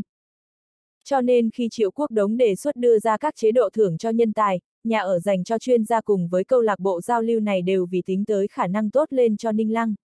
Ninh Lăng có nhiều điều kiện khác những nơi khác, anh muốn Ninh Lăng tăng tính cạnh tranh thì phải suy nghĩ càng chu đáo hơn. Đi, có thể không đi sao? Người Mỹ đề xuất, chúng tôi có thể không đi cùng sao? Kết quả ngài biết bọn họ nghĩ như thế nào không? Bọn họ gặp mấy sinh viên khoa tiếng Anh trường sư phạm Ninh Lăng, mấy sinh viên này nói chuyện khá vui vẻ với người Mỹ. Người Mỹ cũng vui và cảm thấy Ninh Lăng không ngờ có thể cung cấp câu lạc bộ giao lưu cho nhân viên các công ty, đây là điều khó có thể tin tưởng. Người Mỹ nói bọn họ đi khảo sát các nơi khác cũng chưa từng thấy nơi nào suy nghĩ chu đáo cho các công ty như vậy. Lý Đại Phú có chút hưng phấn nói. Tôi nói đây là do Ninh Lăng chúng ta thật lòng chào đón các công ty đến Ninh Lăng lâu dài, cũng không phải chỉ nhìn đến lợi ích trước mắt. Cho nên ngành phục vụ của Ninh Lăng càng lúc càng chu đáo hơn, làm cho các công ty có thể yên tâm phát triển lớn mạnh. Lý Đại Phú nói làm cho Lam Quang và Phú Quyên đều vui vẻ. Bọn họ đều biết khách người Mỹ đến quan trọng như thế nào. Đây đều là đến khảo sát hoàn cảnh đầu tư của Ninh Lăng, kết quả không ngờ lại trùng hợp gặp được chuyện này. Người Mỹ nói như thế nào? Triệu Quốc Đống cười ha hả nói. Người Mỹ không nói gì nhưng tôi có thể cảm nhận bọn họ rất hài lòng. Mà phiên dịch cũng nói là người Mỹ rất hứng thú với cách làm của Ninh Lăng chúng ta. Cảm thấy cách làm của chính quyền Ninh Lăng khác với các nơi khác. Tôi cũng đã bảo phiên dịch giới thiệu việc Ninh Lăng chúng ta có chế độ thưởng nhiệm vụ, nhà chuyên gia cho nhân viên các công ty. Bọn họ hy vọng Ninh Lăng chúng ta có thể hình thành một hệ thống mấy chuyện này, sau đó gửi văn bản cho bọn họ, đương nhiên đây là do phiên dịch nói cho chúng ta. Lý Đại Phú có chút đắc ý nói. Tôi đã lập tức yêu cầu văn phòng ủy ban chuẩn bị việc này, phải làm xong trong ngày mai để giao cho người Mỹ trước khi bọn họ đi. Làm hai bản, không phải thị trưởng Chung vẫn đang tiếp khách của tập đoàn Fukuda sao? Cũng gửi cho khách của Fukuda một bản. Xem ra tác phong làm việc và lực độ làm việc của Cục Chiêu Thương làm không tốt, chỉ giới thiệu phương diện cứng, ưu đãi thuế, đảm bảo ung ứng điện mà thôi, nhưng quên phần quan trọng nhất đó là phần mềm. Triệu Quốc Đống thở dài nói. Đúng rồi đại phú, bảo văn phòng ủy ban thêm cả mảng bồi dưỡng người lao động vào nữa. Phải để cho khách thấy chúng ta có thể cung cấp công nhân được tập huấn đầy đủ cho bọn họ, Mai cũng yêu cầu công ty quảng cáo kết hợp mấy thứ này lại, có lẽ ngày kia cũng sẽ dùng tới đó. Bí thư triệu, ngày kia có chuyện gì? Lam Quang quan tâm nói, đã muộn như vậy còn thông báo họp khẩn cấp nhất định có việc lớn. Trung Dược Quân và Lý Đại Phú đều đang tiếp khách mà đều được thông báo về cơ mà. Ừ, mọi người chắc đều biết tối nay ủy viên trưởng đến Ando, mai khảo sát Ando, ngày kia đến Ninh Lăng chúng ta. Triệu quốc đống nâu. Hả? Mọi người cùng kêu lên. Ủy viên trưởng đến Ninh Lăng chúng ta. Ừ, có lẽ 11 giờ sáng ngày kia đến Ninh Lăng, ăn trưa hoặc là không. Bây giờ tỉnh chưa xác định điều này, nói tóm lại là đến Ninh Lăng chúng ta thị sát công việc. Triệu quốc đống xua tay nói. Mọi người cũng không nên khẩn trương. Chúng ta đây là đánh ngã Miên Châu mới được ủy viên trưởng tới đó, chủ yếu là thị sát công việc chống bệnh xác, chú trọng là xem bệnh viện truyền nhiễm. Thị trưởng Phù, ngày mai anh đến bệnh viện truyền nhiễm kiểm tra một lần. Ủy viên trưởng đến Ninh Lăng chúng ta chỉ để xem bệnh viện truyền nhiễm sao? Lý Đại Phú có chút khó hiểu nói. Vốn không đến lượt chúng ta nhưng do bây giờ bệnh xác lan tràn cả nước nên ủy viên trưởng xuống đương nhiên sẽ muốn xem công việc này. Nhưng tỉnh suy nghĩ thì thấy ngoài An Đô thì chỉ có Ninh Lăng chúng ta có thành tích trong chống bệnh xác, cho nên cũng chỉ có thể chọn Ninh Lăng ta. Nếu không anh cho rằng lãnh đạo ngồi xe hơn 4 tiếng từ tỉnh xuống Ninh Lăng làm gì? Triệu quốc đống nở nụ cười.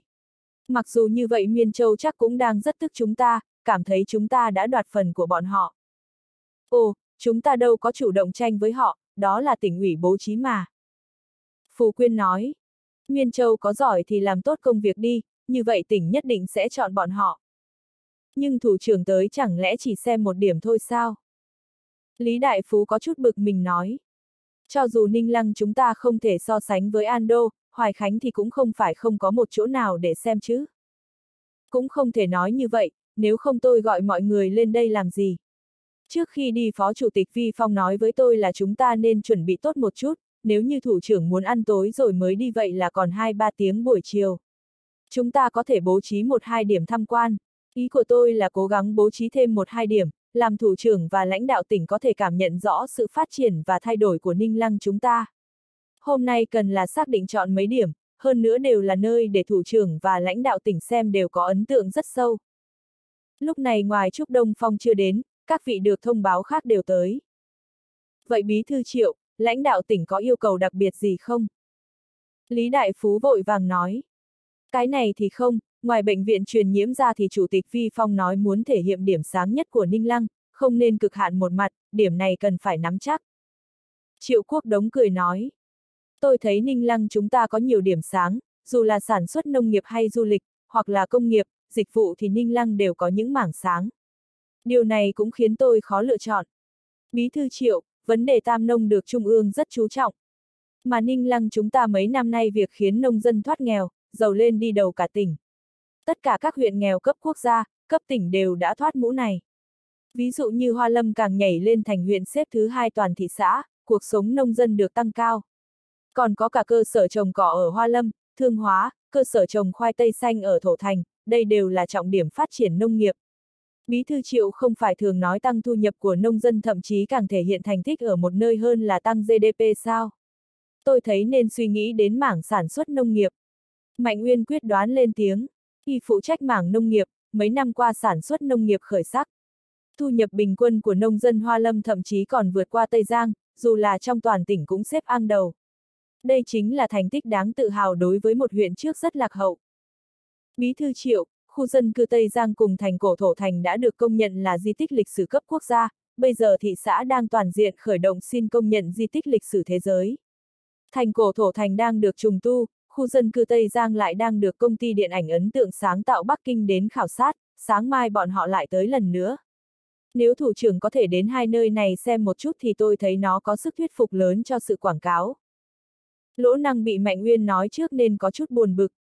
Chẳng qua điều này cũng khó trách, ai chẳng muốn thể hiện công việc do mình phụ trách với lãnh đạo trung ương cơ chứ. Quyển 13, chương 103 Bí thư triệu, bây giờ điều trực quan nhất thể hiện bộ mặt của một đô thị không phải là xây dựng đô thị sao. Trúc Văn Khôi không để ý tới ánh mắt bất mãn của mấy vị thường vụ thị ủy với mình. Y biết mình nói câu này nhất định sẽ làm người khác không vui, nhưng không sao, chỉ cần bí thư triệu thích nghe là được. Hơn nữa thị trưởng chung cũng rất chú trọng mảng xây dựng đô thị, y tin mảng này sẽ là nơi tốt để xem. Xây dựng khu Giang Đông, cầu Ô Giang, thủ trưởng chỉ cần đứng trên đầu cầu là có thể nhìn thấy quang cảnh toàn Ninh Lăng, không khí phát triển nhanh chóng của Ninh Lăng chúng ta cũng có thể làm thủ trưởng thấy rõ. Lý Đại Phú lúc này cũng đã dần tỉnh táo lại, chút hơi men đã tan đi. Mọi người đều hy vọng thủ trưởng có thể tới xem làm việc họ quản lý, nhưng nếu nói đến điểm tham quan thì ai có thể quên đi ngành sản xuất công nghiệp đang chống đỡ cho Ninh Lăng. Không có sản xuất công nghiệp phát triển nhanh thì tất cả đều vô ích. Mà cơ hội như thế này, Lý Đại Phú không tin Triệu Quốc Đống sẽ gác mấy hạng mục lớn của khu khai phát cùng khu lâm cảng sang bên, nhất là khóa trước ủy viên trưởng Lục Kiến Bang còn là phó thủ tướng phụ trách công nghiệp. Đại Phú, còn anh thì sao? Triệu Quốc Đống có chút buồn cười. Vừa vào chủ đề chính mọi người liền tranh cãi, đều tự khen mảng của mình. Bí thư Triệu, các vị lãnh đạo khác đều đã nói, muốn nói mảng của tôi phụ trách cũng có không ít điểm đáng xem. Nhưng vấn đề nằm ở chỗ thủ trưởng ở Ninh Lăng chúng ta quá ngắn, nếu xem hết thì chỉ sợ khó có thể lưu lại ấn tượng tốt trong mắt thủ trưởng. Ủy viên trưởng trước là phó thủ tướng phụ trách công nghiệp, có tình cảm sâu với sản xuất công nghiệp, mà công nghiệp lại là mệnh mạch kinh tế của quốc gia. Ninh Lăng chúng ta từ thị xã nông nghiệp chuyển mạnh sang công nghiệp, tôi cảm thấy phải để thủ trưởng và lãnh đạo tỉnh hiểu rõ thành tích của Ninh Lăng chúng ta trong sản xuất công nghiệp. Triệu Quốc Đống có chút kinh ngạc vì lời nói của Lý Đại Phú. Đây chính là một điều đặc biệt nhưng các vị lãnh đạo thị xã khác đều có chút buồn bực khi Lý Đại Phú muốn dùng cách này để được Triệu Quốc Đống ủng hộ. Được đó Đại Phú, lời này của anh mà để lãnh đạo tỉnh nghe được thì không chừng sẽ ở lại Ninh Lăng chúng ta thêm vài ngày. Triệu Quốc Đống cười ha hả nói. Đáng tiếc thủ trưởng không còn phụ trách công nghiệp nữa, ngài là ủy viên trưởng nên phải chú ý mọi mặt.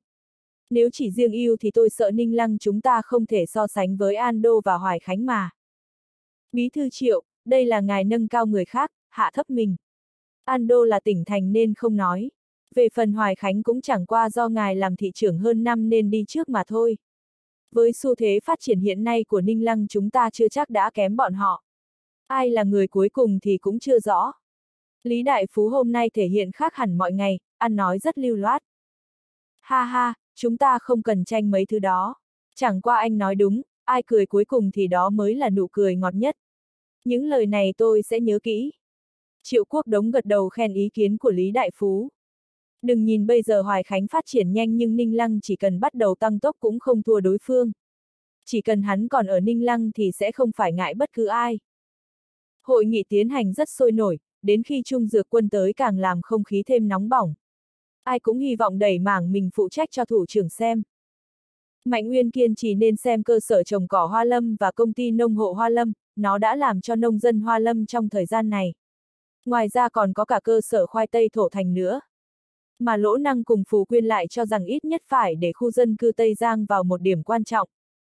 Lý Đại Phú lại đẩy ra bốn điểm tham quan gồm chất bán dẫn liên hoa, công ty Thần Phong, công ty Neo, công ty vật liệu xây dựng tre Phong Đình, đây đại biểu phương hướng phát triển kinh tế chính của Ninh Lăng. Hai cái đang xây dựng, hai cái đã sản xuất, vừa lúc phù hợp ý đồ của thủ trưởng.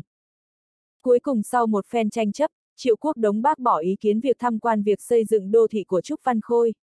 Hắn cho rằng nếu thời gian thích hợp thì đầu tiên xem khu dân cư Tây Giang, sau đó xem chất bán dẫn liên hoa, công ty vật liệu xây dựng tre phong đình, cuối cùng là đến trụ sở trồng cỏ hoa lâm.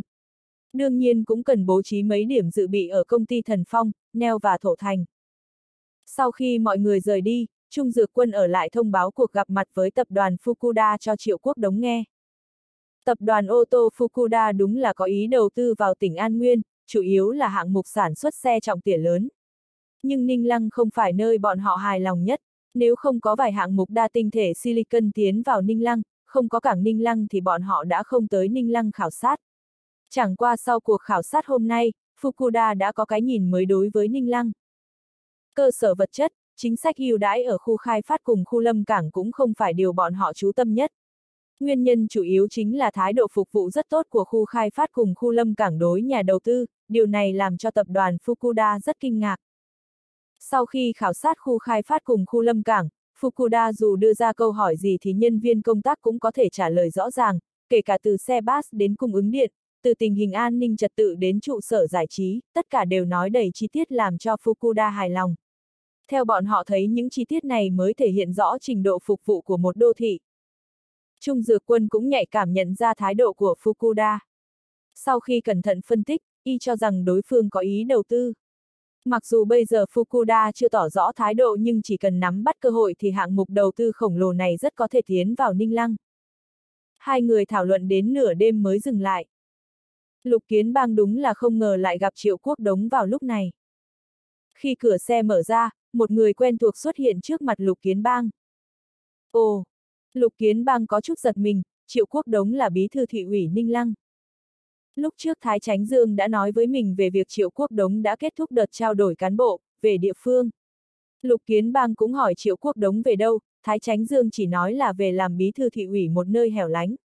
Lục Kiến Bang lúc ấy còn có chút nuối tiếc, không ngờ chạm thứ hai khi mình khảo sát tỉnh An Nguyên lại là nơi mà Triệu Quốc Đống làm bí thư thị ủy. Ủy viên trưởng, đây là bí thư thị ủy Ninh Lăng, Triệu Quốc Đống. Ứng Đông Lưu đang định giới thiệu đã bị Lục Kiến Bang cắt ngang. Đông Lưu, không cần giới thiệu, tôi rất quen Tiểu Triệu. Năm ngoái Tiểu Triệu còn cùng tôi sang năm nước Nam Á, không ngờ Tiểu Triệu lại ở đây. Tiểu Triệu, cậu về Ninh Lăng làm bí thư thị ủy. Đúng thế thưa ủy viên, tôi tháng 5 năm ngoái về tỉnh An Nguyên làm bí thư thị ủy Ninh Lăng. Triệu quốc đống cúi người lên xe. Ha ha, tốt, về cơ sở rèn luyện là tốt. Ngồi đi, ừ, cậu ngồi đây. Lục Kiến Bang chỉ vào vị trí gần mình. Đông Lưu, tôi và Tiểu Triệu là quen từ trước. Lúc ấy khi Tiểu Triệu còn công tác ở Bộ Năng lượng đã phát biểu rất hay trong cuộc thảo luận về phát triển an toàn năng lượng, quan điểm của Tiểu Triệu làm tôi rất giật mình. Ủy viên trưởng, ngài không phải muốn hại tôi đó sao? Tôi đây chỉ là suy nghĩ cá nhân của tôi mà thôi. Triệu quốc đống đổ mồ hôi. Trước mặt bí thư tỉnh ủy, chủ tịch tỉnh mà được lãnh đạo trung ương nói như vậy không biết là phúc hay họa nữa. Tiểu triệu, suy nghĩ cá nhân cũng có cái hay của nó. Lục kiến bang cười ha hả nói. Điều này làm mấy người bên cạnh cũng có chút ngạc nhiên. Triệu quốc đống không biết nên đáp lời lục kiến bang như thế nào. Đó chính là lãnh đạo trung ương, một lời sẽ quyết định tiền đồ chính trị của hắn. Mặc dù mấy lần tiếp xúc trước Lục Kiến Bang có ấn tượng tốt đối với hắn, nhưng bây giờ lại khác. Vị trí của Lục Kiến Bang là ủy viên trưởng Đại hội đại biểu nhân dân toàn quốc, hắn là bí thư thị ủy Ninh Lăng. Ha ha, cậu đừng câu nệ như vậy, tôi cảm thấy cậu là người phóng khoáng, sao xuống làm bí thư thị ủy lại không còn sự tự nhiên như trước nữa vậy. Lục Kiến Bang cười nói. Quyển 13, chương 104. Đàm Lập Phong nhận được điện từ tỉnh mà có chút buồn bực. Y không thể tưởng tượng nổi tại sao ủy viên trưởng đến Ninh Lăng lại ở thêm một ngày. Ngày mai đáng lẽ tới Hoài Khánh nhưng tỉnh nói ủy viên trưởng ngày kia mới sang Hoài Khánh. Chuyện này hiếm khi xảy ra trừ khi có gì bất ngờ. Có lẽ do Ninh Lăng xa, Đàm Lập Phong nghĩ cũng đi, đi qua đi lại cũng mất 7-8 tiếng, đi có ngày rồi về đúng là mệt. Không biết tỉnh sao lại bố trí để ủy viên trưởng tới thăm Ninh Lăng. Chẳng lẽ nói chỉ Ninh Lăng có hiệu quả trong chống bệnh xác? Đàm Lập Phong có chút không cho là đúng. Chẳng qua Đàm Lập Phong luôn thấy khó chịu. Đáng lẽ điểm khảo sát không có Ninh Lăng nhưng cuối cùng lại thay Miên Châu bằng Ninh Lăng, rốt cuộc có phải vì muốn điển hình trong việc chống bệnh xác hay không thì không ai có thể nói rõ. Nhưng có thể khẳng định Ninh Lăng đang cố gắng, chỉ riêng tốc độ tăng trưởng quý một năm nay của Ninh Lăng là thấy rõ. Đàm Lập Phong ngồi trên ghế mà suy nghĩ một chút, tình hình phát triển của Hoài Khánh vẫn tốt, quý một vẫn đứng đầu tỉnh, thậm chí ném Ninh Lăng ở phía xa nhưng Ninh Lăng trở lại đứng thứ hai toàn tỉnh về tốc độ tăng trưởng làm y cảm thấy áp lực. Áp lực này không chỉ đến từ Ninh Lăng mà còn đến từ Triệu Quốc Đống. Làm Đàm Lập Phong cảm thấy buồn phiền còn vì nguyên nhân khác. Thị trưởng Phó Thiên và Phó Bí thư thị ủy Lữ Thu Thần như không đội trời chung, trên hội nghị thường ủy luôn châm chọc nhau. Vì dẹp yên mâu thuẫn giữa hai người, y không thể không tự mình ngồi xuống nói chuyện với hai người bọn họ, nhưng hiệu quả không tốt. Theo Đàm Lập Phong thấy Trần Anh Lộc ngồi ở vị trí bí thư thị ủy rất tốt mà, sao mình ở trên vị trí này lại mệt đến thế? Bí thư Ninh cùng bí thư Yến cũng đi, thay vào đó là bí thư ứng và bí thư miêu. Ứng đông lưu thì Đàm Lập Phong không có bao qua lại, còn miêu Trấn trung thì coi như cũng được. Khi y làm phó trưởng ban thư ký tỉnh ủy mặc dù không qua lại nhiều với miêu Trấn trung nhưng cũng đã ngồi với nhau một số lần. Làm đàm lập phong cảm thấy miêu chấn trung có vẻ khó đối xử hơn Yến Nhiên Thiên nhiều, yêu cầu công việc nghiêm túc, cẩn thận hơn, có chút sai lầm lập tức phê bình ngay. Chẳng qua miêu chấn trung này là người ân oán phân minh, anh làm tốt công việc của mình thì sẽ không sợ vì quan hệ xa lạ với đối phương mà bị đối xử không tốt. Nhưng quan hệ giữa y và miêu chấn trung không thể đạt đến trình độ như với Yến Nhiên Thiên. Đây là điều làm đàm lập phong phiền lòng nhất. Trước có Yến Nhiên Thiên ủng hộ, thêm cả việc y có quan hệ tốt với Trần Anh Lộc nên ngồi ở chức thị trưởng Hoài Khánh coi như thuận lợi, có cảm giác như cá gặp nước. Nhưng khi lên chức bí thư thị ủy, Đàm Lập Phong lại thấy mình gặp cản trở rất nhiều. Kinh tế Hoài Khánh đang tiến vào thời kỳ phát triển tăng tốc. Đàm Lập Phong tự tin nếu tình hình thuận lợi thì năm nay có thể vượt Miên Châu cùng Kiến Dương, xông vào top 3. Nhưng hai người Phó Thiên cùng Lữ Thu Thần có xung đột quá lớn sẽ dễ gây loạn. Đàm Lập Phong biết tách hẳn hai người này là tốt nhất, nhưng như vậy sẽ khiến tỉnh ủy nghi ngờ y không khống chế được cục diện. Xem triệu quốc đống mà coi, mới 32 đã khống chế được toàn bộ thị ủy Ninh Lăng trong tay. Mình nếu đưa đề nghị với tỉnh ủy về việc điều chỉnh thị trường và phó bí thư thì rõ ràng nói mình không khống chế được tình hình. Đây là điều đàm lập phong không muốn thấy. Trước đây khi còn Trần Anh Lộc làm bí thư thị ủy thì hai người kia hòa thuận mà, sao đến mình lại không được vậy? Chẳng lẽ mình không làm được sao? Đàm lập phong lắc đầu, không thể, quyết không thể. Triệu quốc đống vừa từ trên bàn ăn xuống, tâm trạng hắn khá vui vẻ. Nửa lít rượu trắng không vấn đề gì với hắn. Chủ yếu làm hôm nay ủy viên trưởng khá hăng hái nhận đề nghị của hắn là không uống mao đài, ngũ lương dịch hoặc tam nguyên hồng mà uống rượu đặc sản của Ninh Lăng, rượu bích ngọc nhũ. Lỗ năng đi sát theo phía sau triệu quốc đống. Hôm nay khu dân cư Tây Giang được lộ mặt với ủy viên trưởng làm y có chút đắc ý. Ủy viên trưởng và lãnh đạo tỉnh chẳng những đi bộ hơn 10 phút trong khu dân cư, còn vào ngồi hai nhà nghỉ của người dân, nói chuyện với chủ nhà, không khí khá tốt. Mà đoàn làm phim, tiểu trạch môn, cũng được ủy viên trưởng tiếp kiến. Ủy viên trưởng thậm chí còn đứng trên cầu thân thiết bắt tay, nói chuyện với người của công ty nghệ thuật ấn tượng sáng tạo Bắc Kinh, cổ vũ bọn họ tìm đột phá mới trong ngành văn hóa. Có thể nói hôm nay ủy viên trưởng có ấn tượng tốt trong lĩnh vực văn hóa. Triệu Quốc Đống và Lỗ Năng đều cảm thấy ủy viên trưởng cùng bí thư ứng, Chủ tịch Tần rất hứng thú với khu dân cư Tây Giang. Lão Lỗ, anh có chú ý mấy người Bắc Kinh sau khi được ủy viên trưởng khen làm bọn họ rất nhiệt tình không? Triệu Quốc Đống ưỡn lưng và nói, nửa cân rượu trắng chủ yếu do hắn uống nhiều với trưởng ban thư ký tỉnh ủy, Dương Kính Quang. Triệu Quốc Đống chú ý thấy Dương Kính Quang rất thích rượu bích ngọc nhũ. Ha ha, bí thư Triệu, vậy phải xem là ai mới được.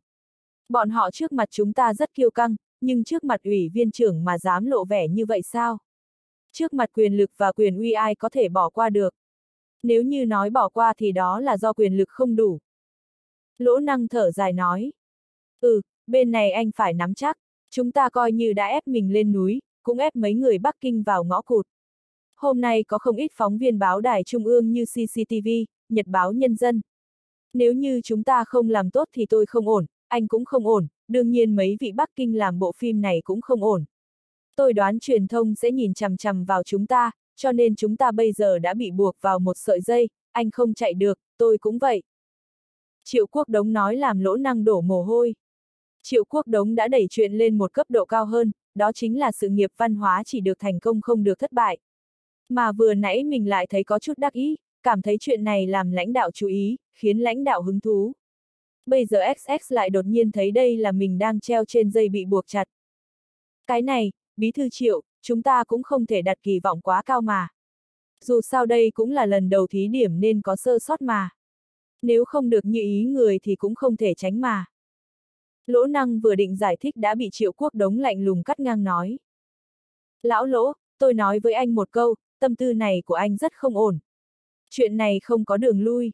Trưởng ban thư ký Dương vừa nói với tôi, nói là bí thư ứng và y đều rất hứng thú với bộ phim này. Ý này anh hiểu chứ? Lần đầu công chiếu lãnh đạo tỉnh ủy sẽ tới xem. XX lau mồ hôi chán, nuốt nước bọt ực một tiếng. Tâm trạng vui vẻ vừa nãy đã biến mất sạch, đây không phải mua dây buộc mình sao? Chuyện đã đến nước này thì nhất định phải thành công. Anh không nghe câu nói của ủy viên trưởng sao? Đây là hành động sáng tạo trong sự nghiệp văn hóa, là chứng minh sự hợp tác giữa hoạt động nghệ thuật và kinh tế. Anh nói chuyện này có thể thất bại không? Triệu quốc đống thở dài một tiếng. Anh cảm thấy chúng ta có thể kéo dài việc này đến khi bí thư ứng và trưởng ban thư ký Dương đi khỏi tỉnh An Nguyên sao? Lỗ năng không biết nói gì, một lúc lâu sau mới nói. Nhưng bí thư triệu, vấn đề kinh phí đám người Bắc Kinh kia đòi ghía không thấp. Vấn đề kinh phí sẽ có nhiều con đường, tôi sẽ nghĩ biện pháp. Yên tâm, không có tài chính thì tôi cũng phải mở được đường máu. Chẳng lẽ chúng ta không hấp dẫn được ai tới đầu tư sao? Thấy tâm trạng lỗ năng kém đi, triệu quốc đống cười cười an ủi. Chỉ hy vọng là như vậy. Bí thư triệu, sao tôi cảm thấy chúng ta hôm nay tự chui đầu vào dọ vậy? Lỗ năng cười khổ nói. Ha ha, tự tăng áp lực cho mình là việc tốt mà. Áp lực sẽ thành động lực, công việc chúng ta mới có thể tiến thêm được. Triệu quốc đống cười cười tự diễu. Quyển 13, chương 105. Ủy viên trưởng đột nhiên thay đổi lịch trình muốn ở lại Ninh Lăng làm cả tỉnh bận bịu, nhất là một loạt người bên dưới đều thầm than lãnh đạo nói một câu là anh chạy gãy chân. Ngay cả ứng Đông Lưu và Tần Hạo Nghiên cũng khó xử. Nhưng thủ trưởng đưa ra đề nghị này, bọn họ có thể phản đối sao? Làm ứng Đông Lưu và Tần Hạo Nghiên yên tâm đó là tình hình an ninh trật tự ở Ninh Lăng rất ổn định. Đảng ủy chính pháp tỉnh ủy và sở công an cũng đã phái tổ công tác đến Ninh Lăng phối hợp, tránh xảy ra tình hình bất ngờ. Một vài chuyện trong mắt thủ trưởng thực ra không đáng gì nhưng người bên dưới lại phóng đại nó lên mấy chục lần, tất cả mạo hiểm phải bài trừ hết. Chẳng qua hai người ứng đông lưu, Tần Hạo Nghiên cũng khá vui vì thủ trưởng lần này khá hài lòng khi xem tình hình Ninh Lăng, nhất chiều qua khi đến khu dân cư Tây Giang. Bộ phim Tiểu Trạch Môn quay ở Tây Giang, thủ trưởng tới hiện trường xem và gặp người của công ty nghệ thuật ấn tượng sáng tạo Bắc Kinh. Mọi việc trông như tự nhiên, tỏ vẻ lơ đãng để thủ trưởng thấy được suy nghĩ mới và sáng tạo của Ninh Lăng trong việc kết hợp phát triển du lịch và sự nghiệp văn hóa. Hai người phải thầm khen đầu óc triệu quốc đống rất đáng dùng. Nhìn thủ trưởng còn rất hưng phấn muốn tiếp tục xem Ninh Lăng nữa, đây là do mấy năm trước Ninh Lăng xếp cuối cùng của tỉnh đến giờ thay đổi nhiều làm thủ trưởng hứng thú. BS lớn như vậy làm cho thủ trưởng muốn xâm nhập tìm hiểu kỹ. Ứng Đông Lưu và Tần Hạo Nghiên vừa mừng vừa lo ở việc này. Mừng là Ninh Lăng đã chuẩn bị đầy đủ. Hơn nữa bọn họ cũng phải thừa nhận triệu quốc đống tới Ninh Lăng gần năm đã mang tới không ít biến hóa. Cho nên Ninh Lăng coi như có thể mang ra vài thứ gì đó. Ứng Đông Lưu, Tần Hạo Nghiên đã gặp mặt Triệu Quốc Đống và Trung Dược Quân để bàn về lịch trình ngày mai. Công ty chất bán dẫn Liên Hoa, công ty Thần Phong, công ty máy hút bụi neo, công ty vật liệu xây dựng Phong Đình, mấy điểm tham quan này có lẽ là phù hợp sở thích của thủ trưởng. Mà ngành du lịch và chăn nuôi gia súc ở Hoa Lâm cũng làm thủ trưởng hứng thú. Chiều nay khi tới Thổ Thành thăm khu trồng khoai tây 30.000 mẫu và công trường xây dựng nhà máy của tập đoàn Dalit, ứng Đông Lưu có thể cảm thấy rõ thủ trưởng hứng thú với vấn đề nông nghiệp. Lựa chọn điểm tham quan cũng cần có tri thức, ngoài việc phải làm rõ mục đích đến khảo sát công việc của thủ trưởng, cũng phải lựa chọn những nơi mà thủ trưởng có hứng thú. Chị nói gì? Triệu quốc đống mặt mày tái mét lại nói. Phú Quyên và Mâu Kim Á cũng biết chuyện này sợ là rất phiền phức, nhưng bọn họ không dám không báo lên. Bây giờ từ trung ương đến địa phương đều giám sát chặt, vậy mà còn xuất hiện vấn đề ngay lúc này. Bí thư Triệu, là do Vân Lĩnh vừa báo cáo lên, chúng tôi không dám giấu nên lập tức báo cáo với ngài. Phù Quyên cố lấy bình tĩnh. Hai vợ chồng này vừa từ Bắc Kinh về, có lẽ về nhà hai ngày. Bọn họ về nhà đến hôm thứ hai thì sốt, bây giờ huyện đã cách ly người nhà bọn họ để quan sát, không phát hiện phản ứng lạ, phải nói xử lý khá tốt. Chẳng qua cặp vợ chồng này hiệu quả lúc đang quan sát đã từ bệnh viện chạy ra, nghe nói đến mừng thọ bạn. Người bạn kia ở quận nội thành nhưng không biết địa điểm cụ thể. Phù Quyên nói. Xử lý quyết đoán, Phù Quyên, chị đây là nói giúp đám người lang thế quần hả? Không quan tâm vợ chồng này có bị bệnh hay không, hôm qua bỏ chạy, hôm nay mới báo lên, vân lĩnh bọn họ có chế độ chứng thực trách nhiệm là như vậy sao? Bệnh viện làm ăn như thế nào, không phải bố trí cảnh vệ rồi sao? Triệu quốc đống lạnh lùng nói. Bây giờ thì hay rồi, còn chạy lên nội thành. Phù Quyên, vừa nãy bí thư ứng nói với tôi ủy viên trưởng muốn đi dạo trong nội thành. Tôi hỏi chị chúng ta nên làm gì bây giờ? Phù Quyên và Mâu Kim Á nhìn nhau, ủy viên trưởng muốn đi dọa ở nội thành Ninh Lăng. Muốn ngăn cản nhưng có lý do gì? An toàn hay vấn đề gì khác? Nếu nói cho ủy viên trưởng biết là có hai người bị sốt đang ở quận, không biết bọn họ ở đâu sao? Triệu Quốc Đống suy nghĩ thật nhanh. Hắn vừa nhận được thông báo từ Dương Kính Quang nói ủy viên trưởng muốn đi dạo ở nội thành, xem một chút bây giờ thì hay rồi, nếu hai vợ chồng kia cũng đi dạo thì đúng là tát vào mặt công tác chống bệnh xác của Ninh Lăng. Nếu lãnh đạo tỉnh biết thì sẽ nghĩ như thế nào? Vậy bí thư triệu, chúng ta nên làm như thế nào? Phù Quyên có chút lo lắng. Người vân lĩnh đã tới chưa? Triệu quốc đống cố làm mình bình tĩnh lại. Có 10 người từ vân lĩnh lên, đều chuẩn bị tìm người ở nội thành. Bọn họ chỉ biết tên nhưng không biết họ về đôi bạn vợ chồng kia, cho nên. Phù Quyên có chút khó xử nói.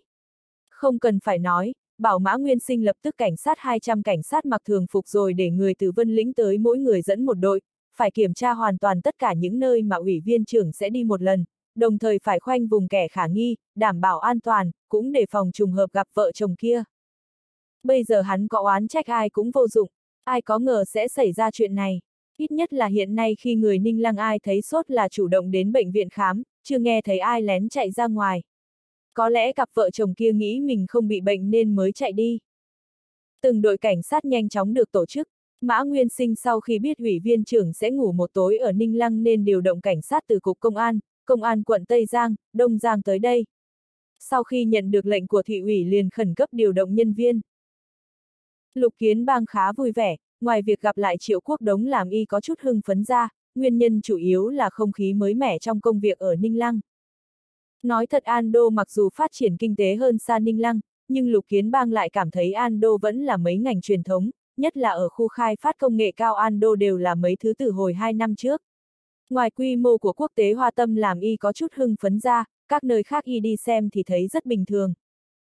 Làm y có ấn tượng sâu sắc ở Ninh Lăng là những điều mắt thấy tai nghe ở khu dân cư Tây Giang. Ninh Lăng đã khôn khéo kết hợp sự nghiệp văn hóa với phát triển du lịch, tâm tư này không dễ. Vừa có thể hiệu quả bảo vệ di sản văn hóa, lại có thể lợi dụng tài nguyên di sản văn hóa tăng lên ngành du lịch. Nếu có thể thành công thì đó là sự sáng tạo hoàn hảo. Nói chuyện với mấy người của công ty ấn tượng sáng tạo Bắc Kinh, Lục Kiến Bang biết đây là do Ninh Lăng chủ động mời công ty kia đến khảo sát tài Ninh Lăng, có thể có ý thức ở điểm này là không đơn giản. Xem ra tên triệu quốc đống này về Ninh Lăng là muốn làm lớn một phen. Lục Kiến Bang vốn có chút nuối tiếc vì triệu quốc đống có đầu óc thông thoáng, nhìn nhận vấn đề ở góc độ sâu rộng mà về cơ sở có thể làm chậm trễ sự phát triển hay không. Nhưng bây giờ Lục Kiến Bang thấy mình đã quá lo lắng. Không khí mùa xuân Ninh Lăng rất đẹp, đám người Lục Kiến Bang cùng ứng đông lưu, Tần Hạo Nghiên vừa đi vừa nói chuyện. Mặc dù mặc quần áo bình thường nhưng nếu là dân chúng đều bị cách ra xa xa. Thấy đoàn người xuất hiện, nhiều người dân đi dạo cũng cảm thấy có lãnh đạo lớn nào xuống nên vòng tới xem. Triệu quốc đống cũng đang lo đến độ đổ mồ hôi. Ngoài lo cho an toàn của thủ trưởng, hắn còn lo cặp vợ chồng kia có đi dạo ở đây không? Bí thư triệu, có tin tốt. Mã Nguyên Sinh sau khi nhận được điện liền hưng phấn nói. Quyển 13, chương 106. Triệu quốc đống xoay người nghe Mã Nguyên Sinh trình bày. Lúc này hắn mới có thể thở phào nhẹ nhõm. Người vân lĩnh đến kết hợp với cục công an tìm kiếm, cuối cùng đã tìm ra nơi ở của bạn cặp vợ chồng kia.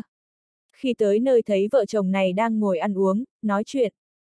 Giải quyết được chuyện này, Triệu Quốc Đống cảm thấy mình cũng dễ dàng hơn nhiều. Lão Mã, làm rất tốt, anh thay tôi cảm ơn các đồng chí cảnh sát. Sức chiến đấu của Cục Công an đã được kiểm chứng, đáng được khen ngợi. Ngoài ra cũng cần nhắc các đồng chí chú ý bảo vệ mình. Triệu quốc đống gật đầu vỗ tay Mã Nguyên Sinh cảm ơn. Mã Nguyên Sinh nghe xong mà có chút cảm động. Triệu quốc đống tới Ninh Lăng làm bí thư thị ủy là điều y không mong muốn. Mặc dù không phải e ngại gì nhưng dù sao mình và hắn còn có mâu thuẫn. Nhất là khi hắn làm chủ tịch huyện Hoa Lâm, một cử động của mình làm đối phương rất tức giận. Bây giờ đã đổi khác, đối phương nháy mắt thành kẻ có thể quyết định vận mệnh chính trị của mình. Chẳng qua sau mấy lần tiếp xúc làm Mã Nguyên Sinh có cái nhìn mới với Triệu Quốc Đống. Vị bí thư thị ủy này cũng không phải người có thù tất báo như mọi người vẫn nghĩ, ít nhất bản thân Mã Nguyên Sinh cảm thấy như vậy. Đối phương ngoài lúc đầu có cái nhìn với công việc của Cục Công an ra, nhưng đó là nói đúng thực tế.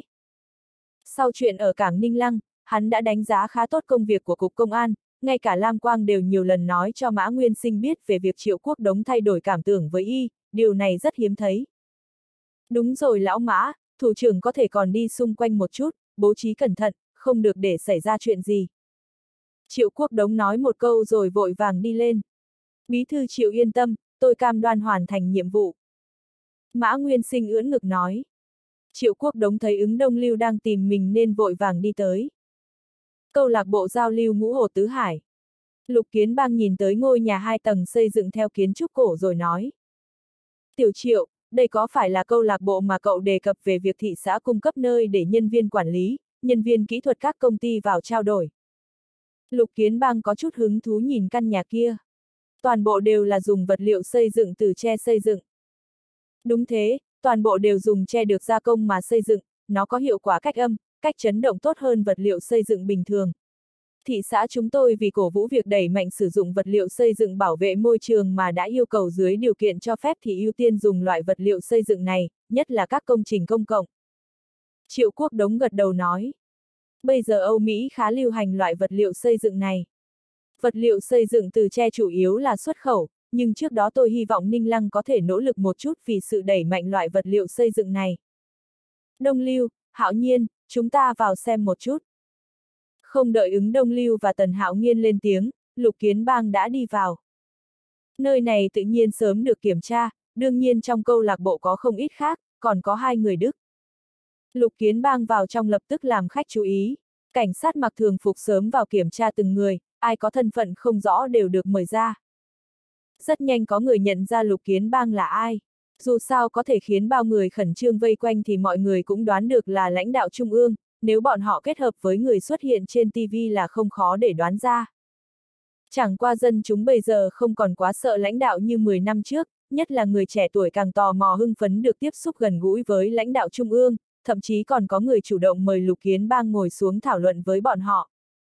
Lục Kiến Bang có thể cảm nhận được ở đây phần lớn là nhân viên của các công ty Ninh Lăng, nếu không cũng là cán bộ nhà nước. Bởi vì nơi đây dùng chế độ thẻ khách mời nên số lượng khách khá đơn thuần. Lục Kiến Bang cũng rất rộng rãi bảo ứng Đông Lưu và Tần Hạo Nghiên ngồi xuống, sau đó hỏi mấy người thanh niên bọn họ nói chuyện gì. Mấy người thanh niên cũng dần bình tĩnh lại, nhất là mấy người lục kiến bang dễ gần làm bọn họ không thấy sự uy nghiêm lớn như đã thấy trên TV. Triệu quốc đống lại đang có chút lo lắng, thực ra khi lục kiến bang đi về phía này, triệu quốc đống đã biết lục kiến bang sẽ vào câu lạc bộ.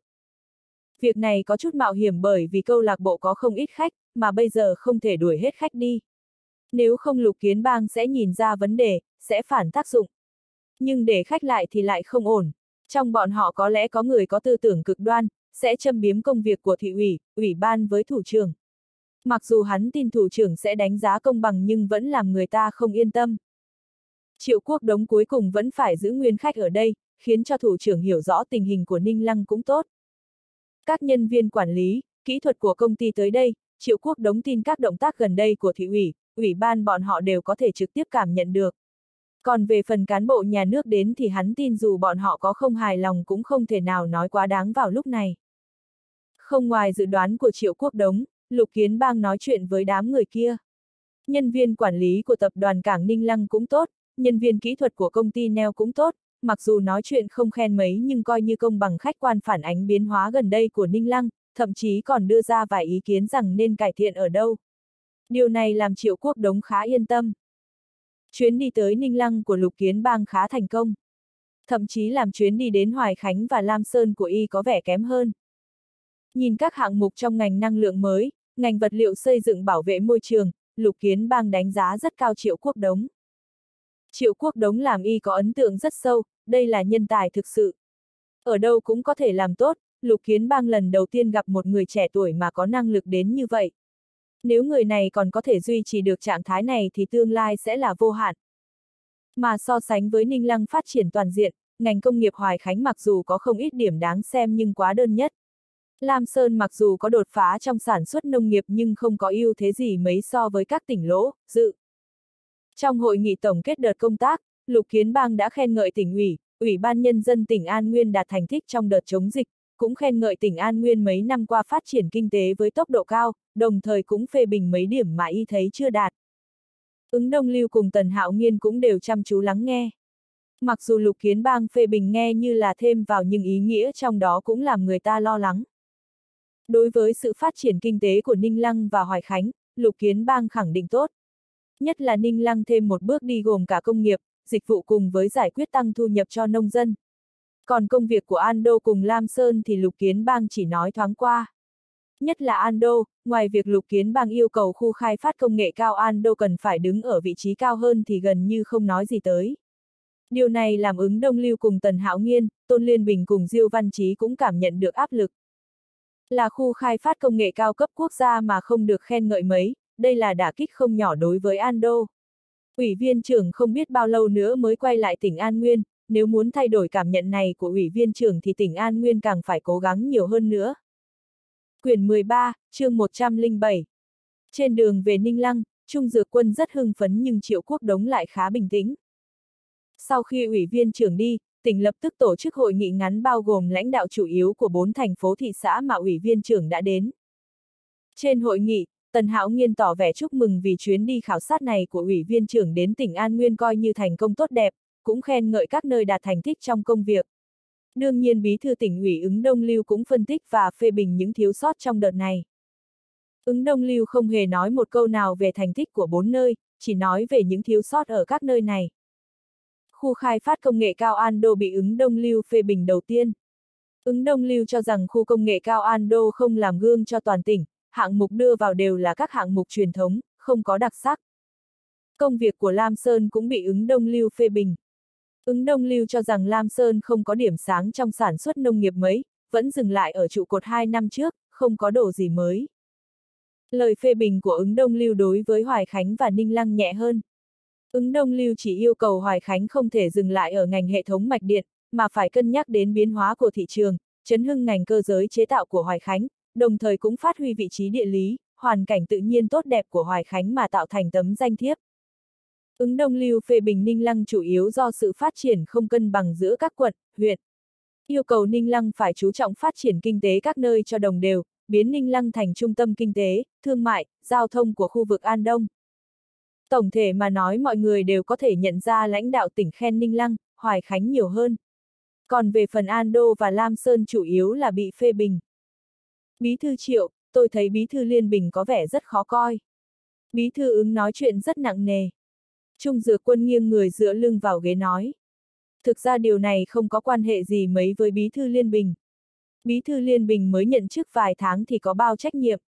Nhưng thật ra Diêu Văn Chí thì khác. Khu công nghệ cao Ando là khu khai phát cấp quốc gia, hơn nữa được xác định làm khu kiểu mẫu về ngành công nghệ cao của toàn khu vực đất liền, vậy mà bị đánh giá thế thì ai vui vẻ cho được. Triệu quốc đống cười cười một tiếng nói.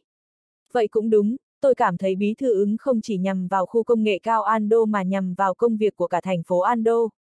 Tốc độ tăng trưởng kinh tế của Ando năm 2001 chỉ đạt 8,4%, thấp hơn toàn tỉnh 4%. Năm ngoái còn trượt xuống còn 7,5%, thấp hơn toàn tỉnh 8,8%. Ha ha, Ando có GDP chiếm trên 1 phần 3 toàn tỉnh, nó hắt hơi là làm kinh tế cả tỉnh ta chịu ảnh hưởng lớn.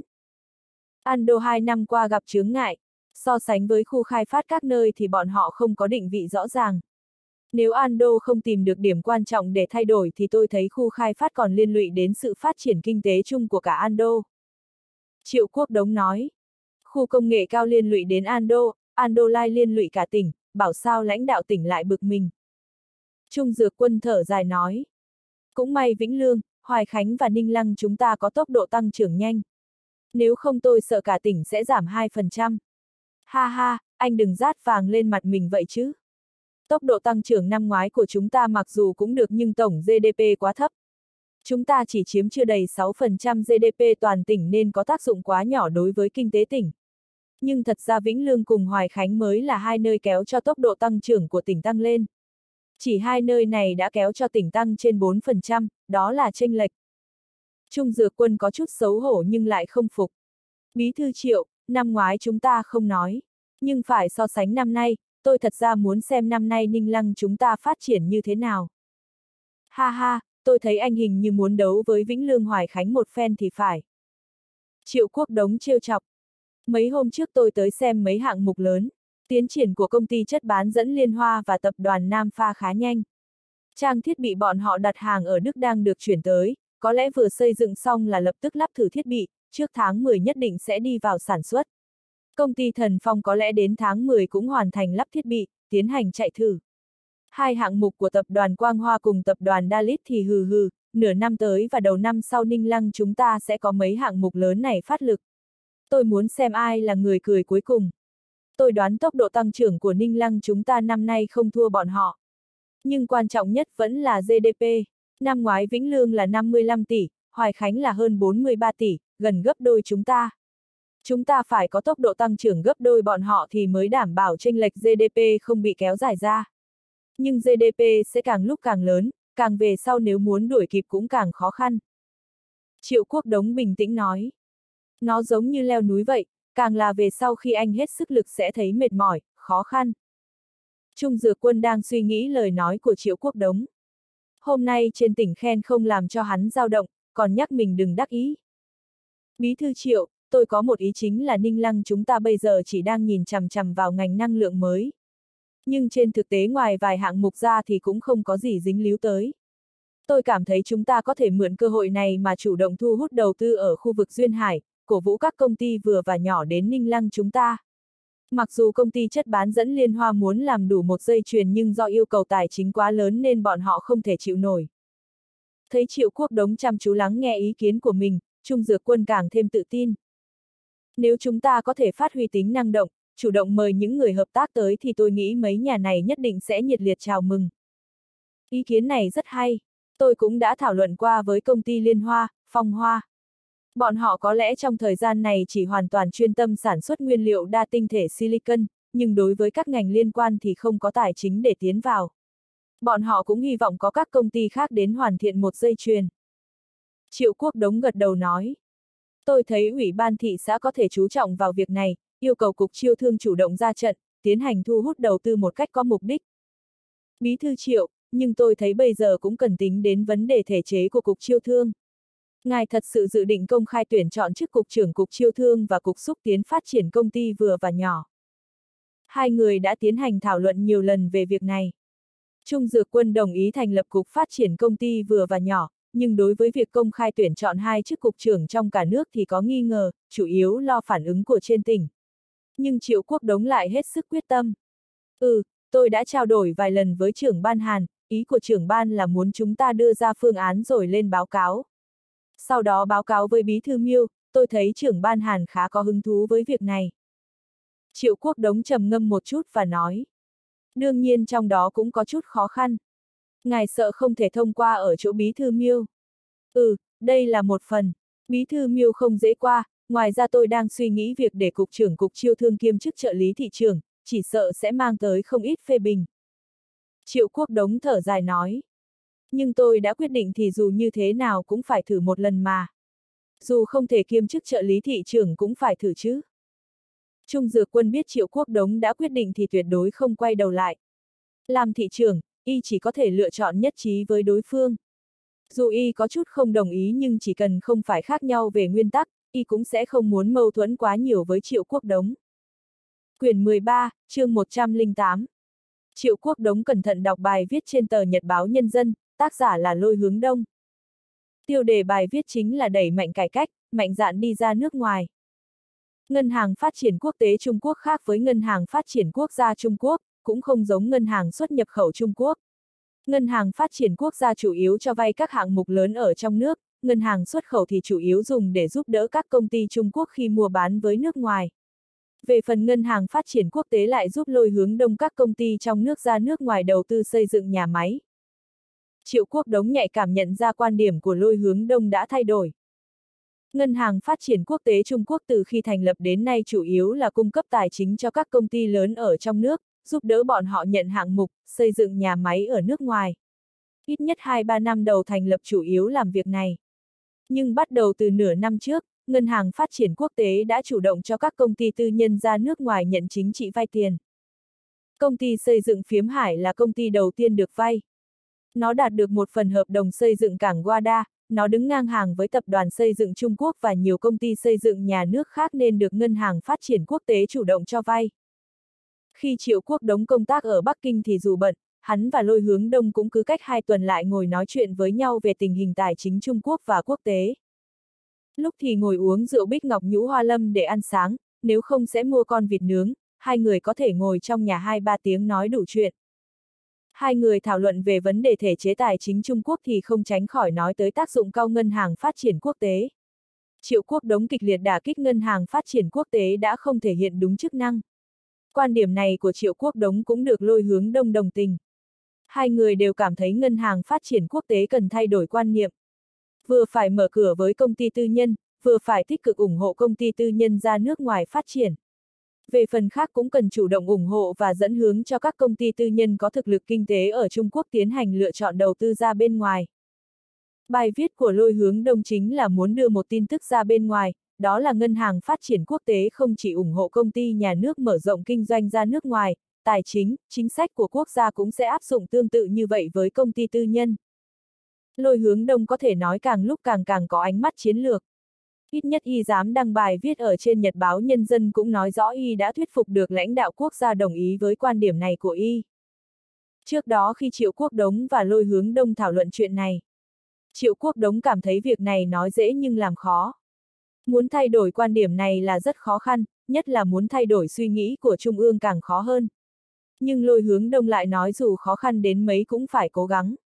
Theo nền kinh tế thị trường không ngừng mở ra, dự trữ ngoại hối sẽ tăng lên.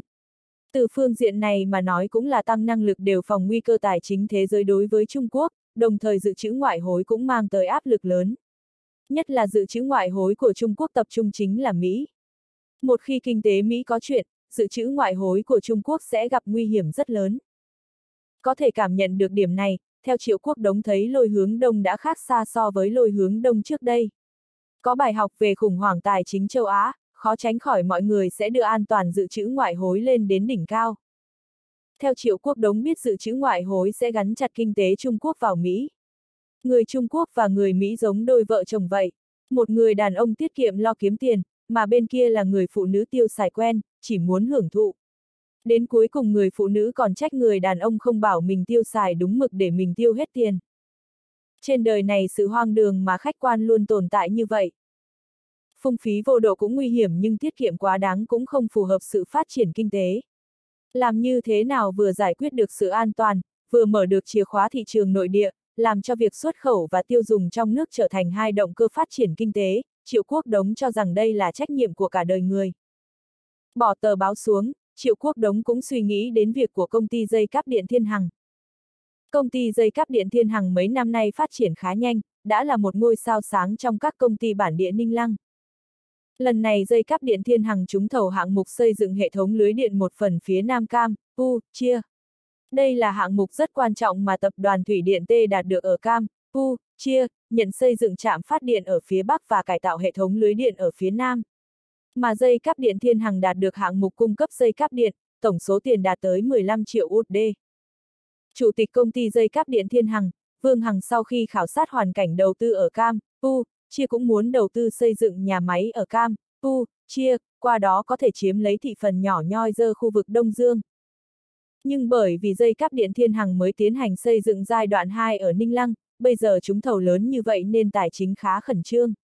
Cục phát triển công ty vừa và nhỏ mới thành lập đã gửi tin này cho Triệu Quốc Đống. Không thể không nói Cục trưởng Cục phát triển công ty vừa và nhỏ khá chuyên nghiệp, ít nhất ở vấn đề này đã nhanh chóng báo cáo tình hình với Triệu Quốc Đống. Triệu Quốc Đống là người đã nói là làm. Cục phát triển công ty vừa và nhỏ rất nhanh được xin tỉnh cho phép thành lập. Mặc dù hơi kẹt nhưng Triệu Quốc Đống không suy nghĩ nhiều, cho nên hắn nhanh chóng đăng tin công khai tuyển chọn hai vị trí cục trưởng trong cả nước đã tạo ra chấn động không nhỏ. Hàn Độ mặc dù trước đó đã nghe Triệu Quốc Đống báo cáo nhưng y không ngờ Triệu Quốc Đống lại làm nhanh như vậy. Chỉ trong hai tuần đã coi như xong hết. Theo ý của Triệu Quốc Đống thì tỉnh cũng nên có câu trả lời thuyết phục, anh không trả lời thuyết phục thì tôi cũng làm. Hàn Độ không thể không gọi Triệu Quốc Đống tới hỏi. Triệu Quốc Đống nói rất đơn giản, do tình hình phát triển nên cần thành lập cục phát triển công ty vừa và nhỏ, nhưng biên chế từ đâu mà có. Triệu Quốc Đống cũng nói rõ dự định rút lui cục công ty xã, thị trấn vì nó không còn bao tác dụng, điều chỉnh nhân viên, sau đó đổi sang thành cục phát triển công ty vừa và nhỏ, phụ trách việc xúc tiết phát triển công ty vừa và nhỏ. Đối với cách làm quyết đoán của Triệu Quốc Đống, Hàn Độ sau khi phê bình vài câu cũng phải chấp nhận. Nhưng sâu trong lòng y lại khen ngợi cách làm của Triệu Quốc Đống. Dù sao thời đại này không có nhiều cán bộ dám nói dám làm, chuyện gì cũng kéo dài nghiên cứu, chuyện vốn một tuần là xong lại kéo đến 3 tháng rồi tỏ vẻ khó khăn. Việc công khai tuyển chọn hai cán bộ cấp chính huyện ở Ninh Lăng đúng là đã gặp chút phiền phức ở chỗ Miêu Trấn Trung. Nhưng có lẽ Miêu Trấn Trung có ấn tượng tốt đối với Triệu Quốc Đống về việc chống bệnh xác, hoặc là bị miệng lưới của Triệu Quốc Đống thuyết phục. Cuối cùng Miêu Trấn Trung đã đồng ý để Ninh Lăng thí điểm, nhưng không đồng ý việc thêm chức trợ lý thị trường. Sau khi đăng tin trên Nhật báo Nhân dân, rất nhanh có rất nhiều cuộc điện tới hỏi và đăng ký, thậm chí có một bộ phận từ khu vực Duyên Hải và Hải ngoại. Tiếu Chiêu Quý lên làm phó trưởng ban thường trực, ban tổ chức cán bộ thị ủy không ngừng kêu khổ với Triệu Quốc Đống. Y nói không biết ai lộ số điện thoại di động của mình, làm y ngủ không ngon. Từ sáng đến tối không ngừng có người gọi hỏi về yêu cầu, điều kiện cho hai vị trí kia. Quyển 13, chương 109 Phải nói đợt công khai tuyển chọn này của Ninh Lăng tạo thành hiệu ứng chấn động cả nước.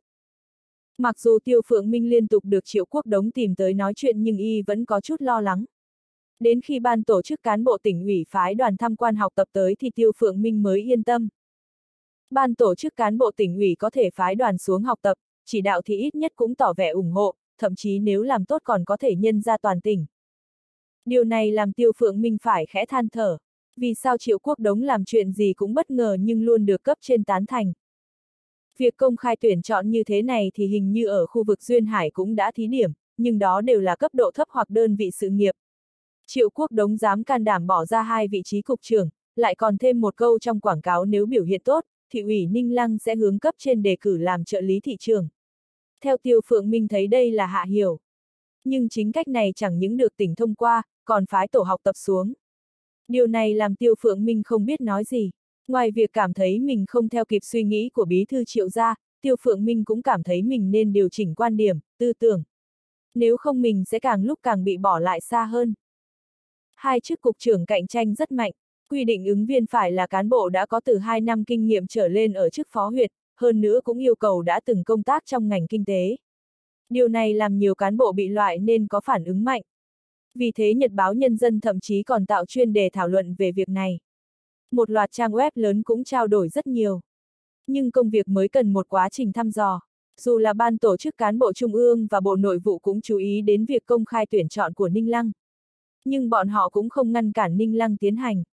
Hai người may mắn vượt qua mấy trăm người, thông qua lần viết bài và phỏng vấn, sau đó được hội nghị thường vụ Thụy ủy biểu quyết, cuối cùng đã ngồi vào chức cục trưởng.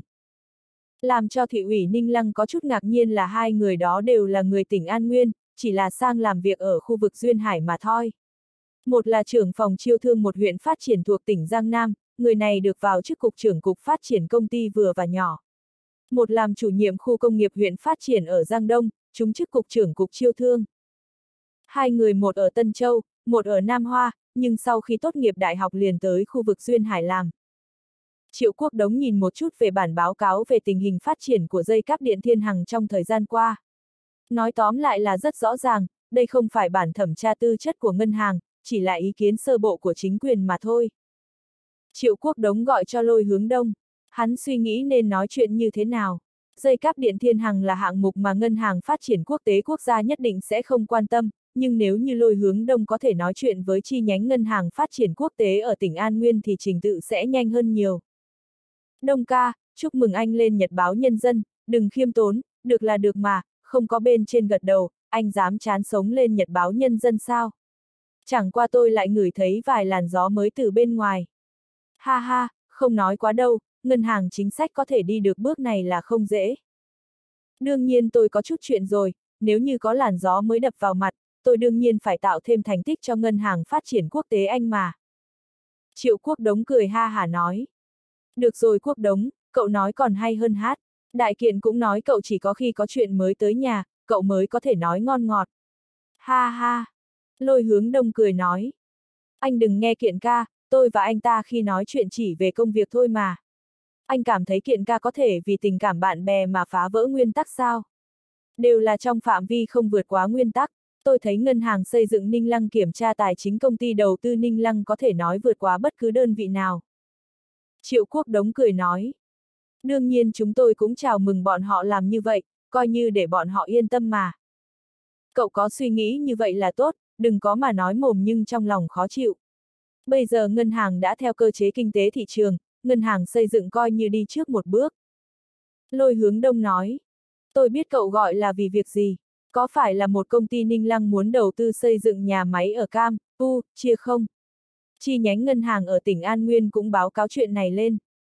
Vị cục trưởng cục phát triển công ty vừa và nhỏ của Ninh Lăng cũng dẫn theo chủ tịch công ty kia lên đến chi nhánh ngân hàng, nói đủ chuyện, còn nói đó là trong phạm vi kinh doanh của ngân hàng tôi mà tranh cãi với bộ phận nghiệp vụ của chúng tôi. Ồ, điểm này thì Triệu Quốc Đống không biết, không ngờ tên Chu Trọng kia đã đi đến bước này. Xem ra gặp khó khăn ở trên ngân hàng nên mới về báo cáo với mình. Sao, cậu là bí thư thị ủy còn không biết sao? Lôi hướng đông có chút kinh ngạc nói. Biết nhưng không rõ, anh cảm thấy tôi là bí thư thị ủy thì việc gì cũng phải biết hết sao? Triệu quốc đống có chút tức giận nói. Được rồi, cậu phụ trách thị xã mấy triệu dân, cậu là vua một cõi mà. Lôi hướng đông cười cười chế nhạo. Vậy còn tìm tôi làm gì? Tôi chỉ là muốn thảo luận một chút vấn đề với lãnh đạo ngân hàng phát triển quốc tế mà thôi, nhất là sau khi thấy bài viết kia của anh, tôi thấy ngân hàng anh nên tăng hiệu suất làm việc mới được. Nếu đã có ý kiến rõ ràng thì sao chi nhánh lại vẫn theo đường cũ, lâu như vậy không có động tính. Triệu Quốc Đống nói. Quốc Đống, sợ chuyện không đơn giản như vậy đâu. Nếu chuyện cứ vỗ đầu cái là quyết định thì ngân hàng có khác gì nhà cậu mở, như vậy là không có trách nhiệm. Cậu sao biết các đồng chí chi nhánh tỉnh An Nguyên không làm việc? Chẳng lẽ các cậu vừa gửi hồ sơ lên, chúng tôi lập tức vội vàng đến đưa tiền vào tay cậu sao? Lôi hướng đông nói. Đông ca, anh đừng nói như vậy, cũng đừng nói cho qua chuyện. Tôi dám cược với anh là chi nhánh An Nguyên căn bản không dự định cho dây cáp điện thiên hàng vay, vì thế gửi lên cấp trên, đợi cấp trên có chỉ thị. Triệu Quốc Đống khinh thường nói. Mặc dù ngân hàng phát triển quốc tế đã bắt đầu cho công ty tư nhân vay nhưng theo tôi thấy các anh đều chọn các công ty tư nhân lớn. Mà tôi muốn nói chính là có không ít công ty vừa và nhỏ cũng muốn đầu tư ra nước ngoài. Cho nên tôi phải nghi ngờ ngân hàng phát triển quốc tế Anh có phải là làm như vậy để hấp dẫn ánh mắt xã hội không? Lôi hướng đông một lúc lâu mới lên tiếng. Quốc đống, đây là sự thật tất nhiên. Ngân hàng phát triển quốc tế có thay đổi nhưng không thể không tuân theo nguyên tắc mạo hiểm. Nghiệp vụ ít mạo hiểm nhất sẽ được chọn đầu tiên. Đương nhiên chúng tôi sẽ từ từ mở rộng nghiệp vụ sang ủng hộ các công ty khác. Đông ca, tôi phải nhắc anh một câu đó là ngân hàng phát triển quốc tế không phải ngân hàng thương mại thuần túy mà là ngân hàng chính sách. Ngân hàng chính sách mặc dù cũng cần tuân theo nguyên tắc thị trường nhưng cũng không thể quên chức trách của các anh. Triệu Quốc Đống lạnh nhạt nói. Nhất là các công ty vừa và nhỏ của Trung Quốc muốn ra nước ngoài thì khó khăn lớn nhất chính là tài chính. Tôi cảm thấy ngân hàng phát triển quốc tế cần phải làm gương ở vấn đề này. Các anh đã đi được một bước, tôi cảm thấy các anh không thể lùi về phía sau, mà phải mạnh dạn đi tới. Ha ha ha, quốc đống, miệng lưỡi của cậu tôi đã được biết nhiều lần. Bảo sao đại kiện mỗi lần về đều nhăn nhó. Được, tôi nhớ kỹ đề nghị và nhắc nhở của cậu. Chúng tôi sẽ nhớ chức trách của mình. Tôi nghĩ ngân hàng phát triển quốc tế hình như không đi theo đường cũ mà. Chuyện công ty ở Ninh Lăng thì trụ sở đã chỉ thị cho chi nhánh An Nguyên, chỉ cần là trong phạm vi nghiệp vụ của ngân hàng phát triển quốc tế thì dù đó là công ty lớn hay nhỏ đều là khách hàng. Quyển 13, chương 110. Bỏ máy xuống, Triệu Quốc đống cười cười một tiếng. Xem ra ngân hàng phát triển quốc tế mặc dù bắt đầu bước một bước cung cấp tài chính cho công ty tư nhân nhưng vẫn rất cẩn thận. Trước đó ngân hàng phát triển quốc tế làm mấy động tác mặc dù không đến mức là lấy uy tín xã hội nhưng ít nhất cũng là kiếm danh tiếng. Tất cả đối tượng cho vay đều là công ty tư nhân có danh tiếng, giàu có. Cho các công ty tư nhân này vay tiền thì mạo hiểm nhỏ, lại được tiếng thì sao không làm. Nhưng khi có công ty vừa và nhỏ đến vay tiền, bọn họ lại lúng túng. Đương nhiên điều này cũng có thể hiểu. Khi chính sách còn chưa rõ ràng, bài báo của lôi hướng đông mặc dù được cấp trên cho phép nhưng cũng chỉ là thử mà thôi. Triệu quốc đống cảm thấy mình nên châm mồi lửa cho lôi hướng đông mới được. Vân Duệ, gọi điện mời cục trưởng Chu tới chỗ tôi một chuyến. Chu Trọng đến văn phòng Triệu Quốc Đống đã gần hết giờ làm. Chẳng qua bí thư thị ủy gọi, y dám không tới sao. Bây giờ đang là năm đầu thử việc, tuy trên danh nghĩa là lấy thành tích của cục mà chính thức ngồi vững trên vị trí cục trưởng cục phát triển công ty vừa và nhỏ nhưng tình hình Trung Quốc là như vậy, đừng nói là đất liền, dù là ở khu vực Duyên Hải thì không phải đều do bí thư thị ủy quyết định hết sao. Cục trưởng Chu tới, bí thư Triệu đang đợi anh. Vân Duệ đứng ngoài cửa mời Chu Trọng vào. Thư ký Vân, bí thư Triệu có nói là việc gì không? Bí thư Triệu không nói. Vân Duệ lắc đầu nói. Trong thời gian này Chu Trọng khá bận, y vừa nhận chức nên đưa ra kế hoạch cho mình.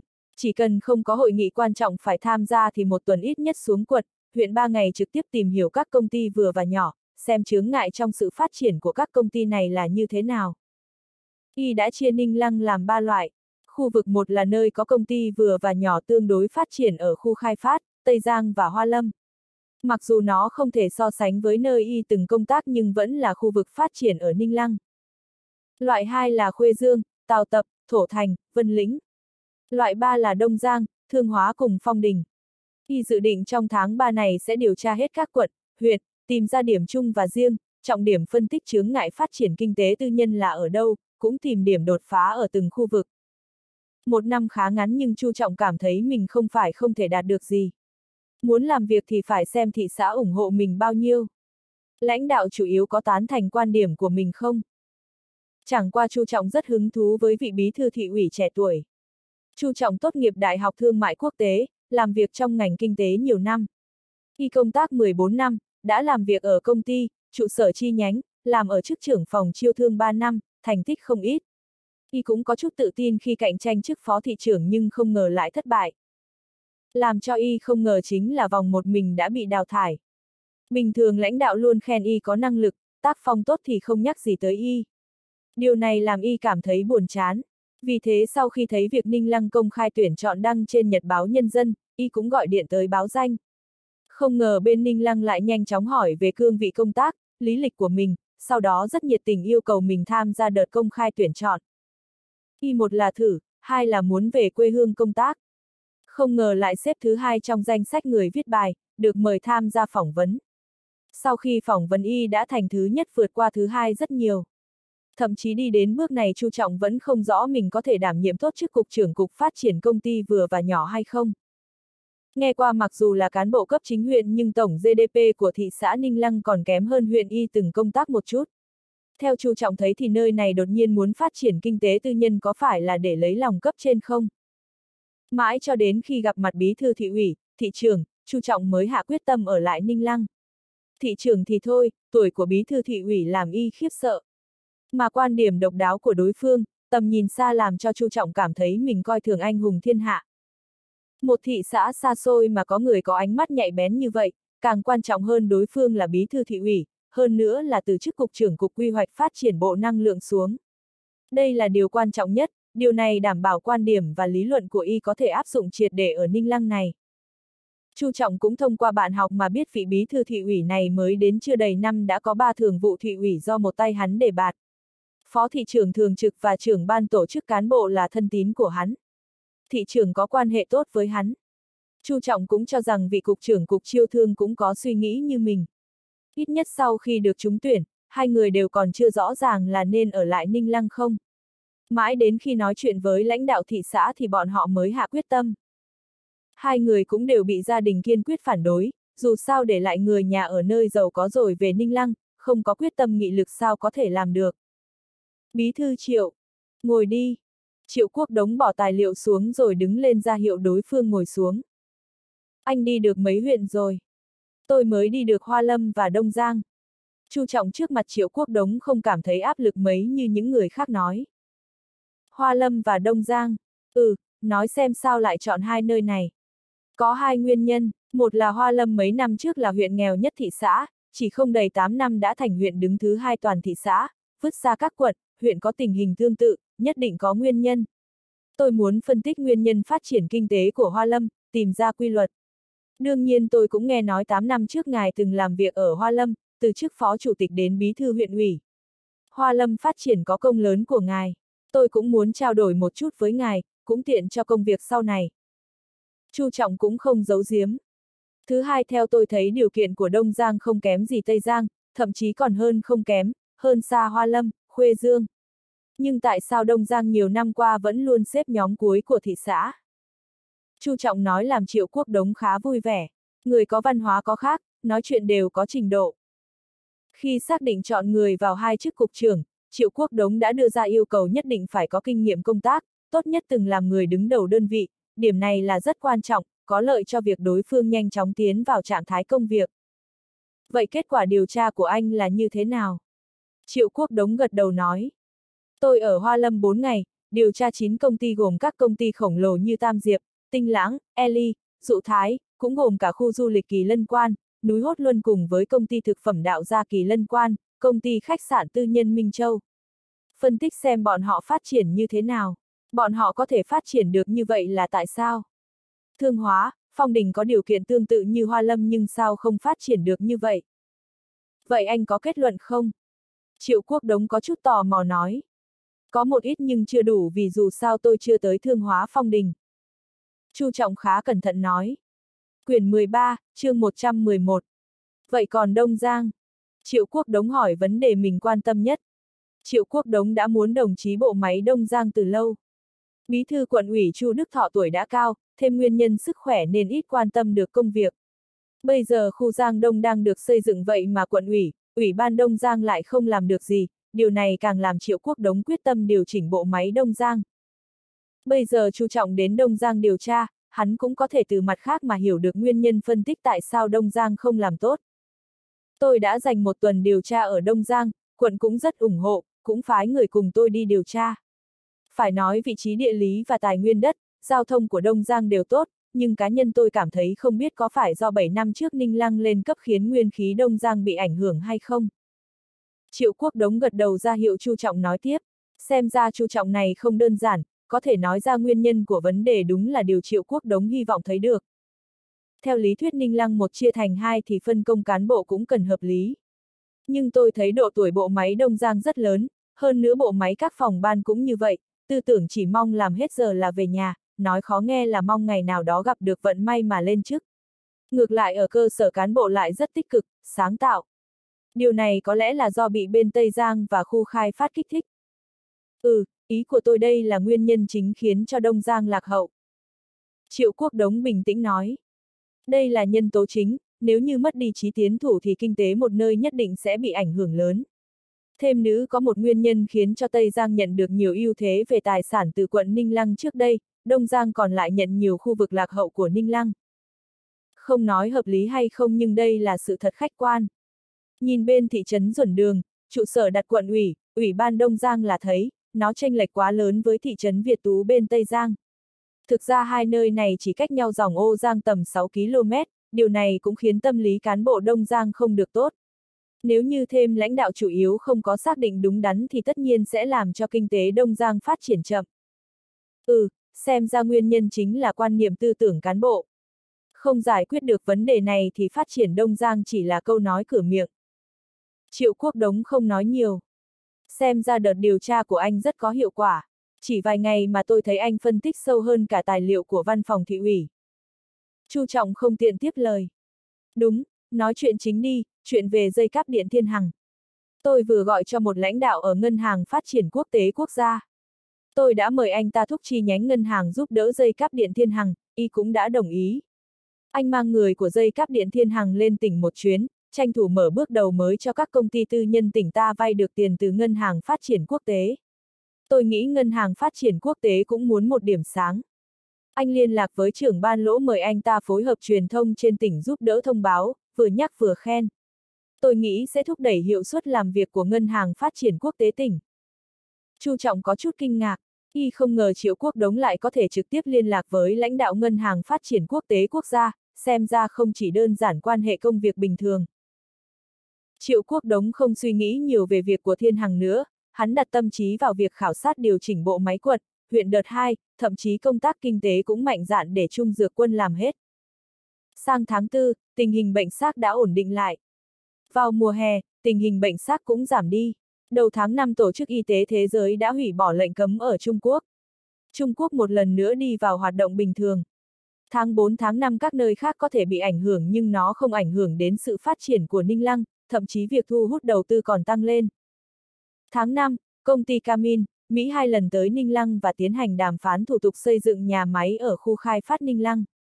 Ngày 28 tháng 5, công ty và chính quyền thị xã Ninh Lăng chính thức ký hiệp định, Camin sẽ đầu tư 150 triệu USD vào khu khai phát Ninh Lăng, thành lập công ty điện lực Camin Trung Quốc, chủ yếu sản xuất máy phát điện, cố gắng sang năm sẽ đi vào sản xuất, một năm sản xuất được 7.000 máy phát điện, 20.000 thiết bị, 15.000 hệ thống khống chế tự động hóa ATS, cố gắng biến Ninh Lăng thành nơi sản xuất máy phát điện từ dầu lớn nhất cả nước.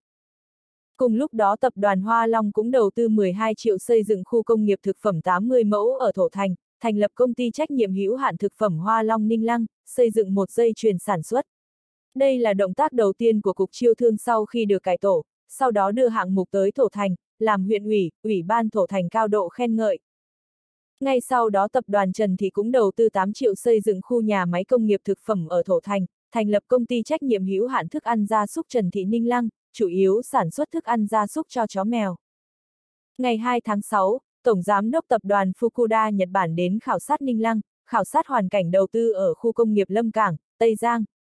Ngày 5 tháng 6, Tập đoàn Fukuda và thị xã Ninh Lăng, quận Tây Giang ký kết hạng mục đầu tư xây dựng nhà máy sản xuất xe tải. Phó Bí thư tỉnh ủy, Chủ tịch tỉnh Tần Hạo Nghiên tự mình tham gia lễ ký kết này.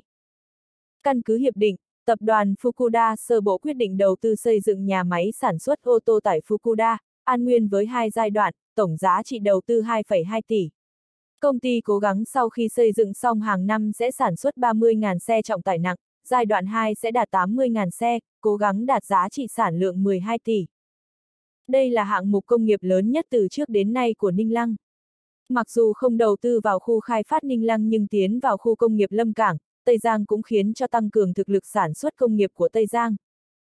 Cục Phát triển Công ty vừa và nhỏ cũng chủ động mời 12 nhà đầu tư tờ Chiết Giang trong làm việc điện lực, thiết bị điện tới khảo sát.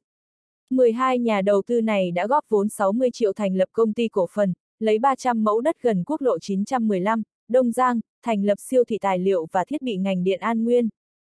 Quyền chủ tịch quận Đông Giang, Hoác Phân Đạt đã phát biểu rất sôi nổi trong lễ khởi công siêu thị này, chào mừng khách từ khắp các nơi đến Đông Giang đầu tư.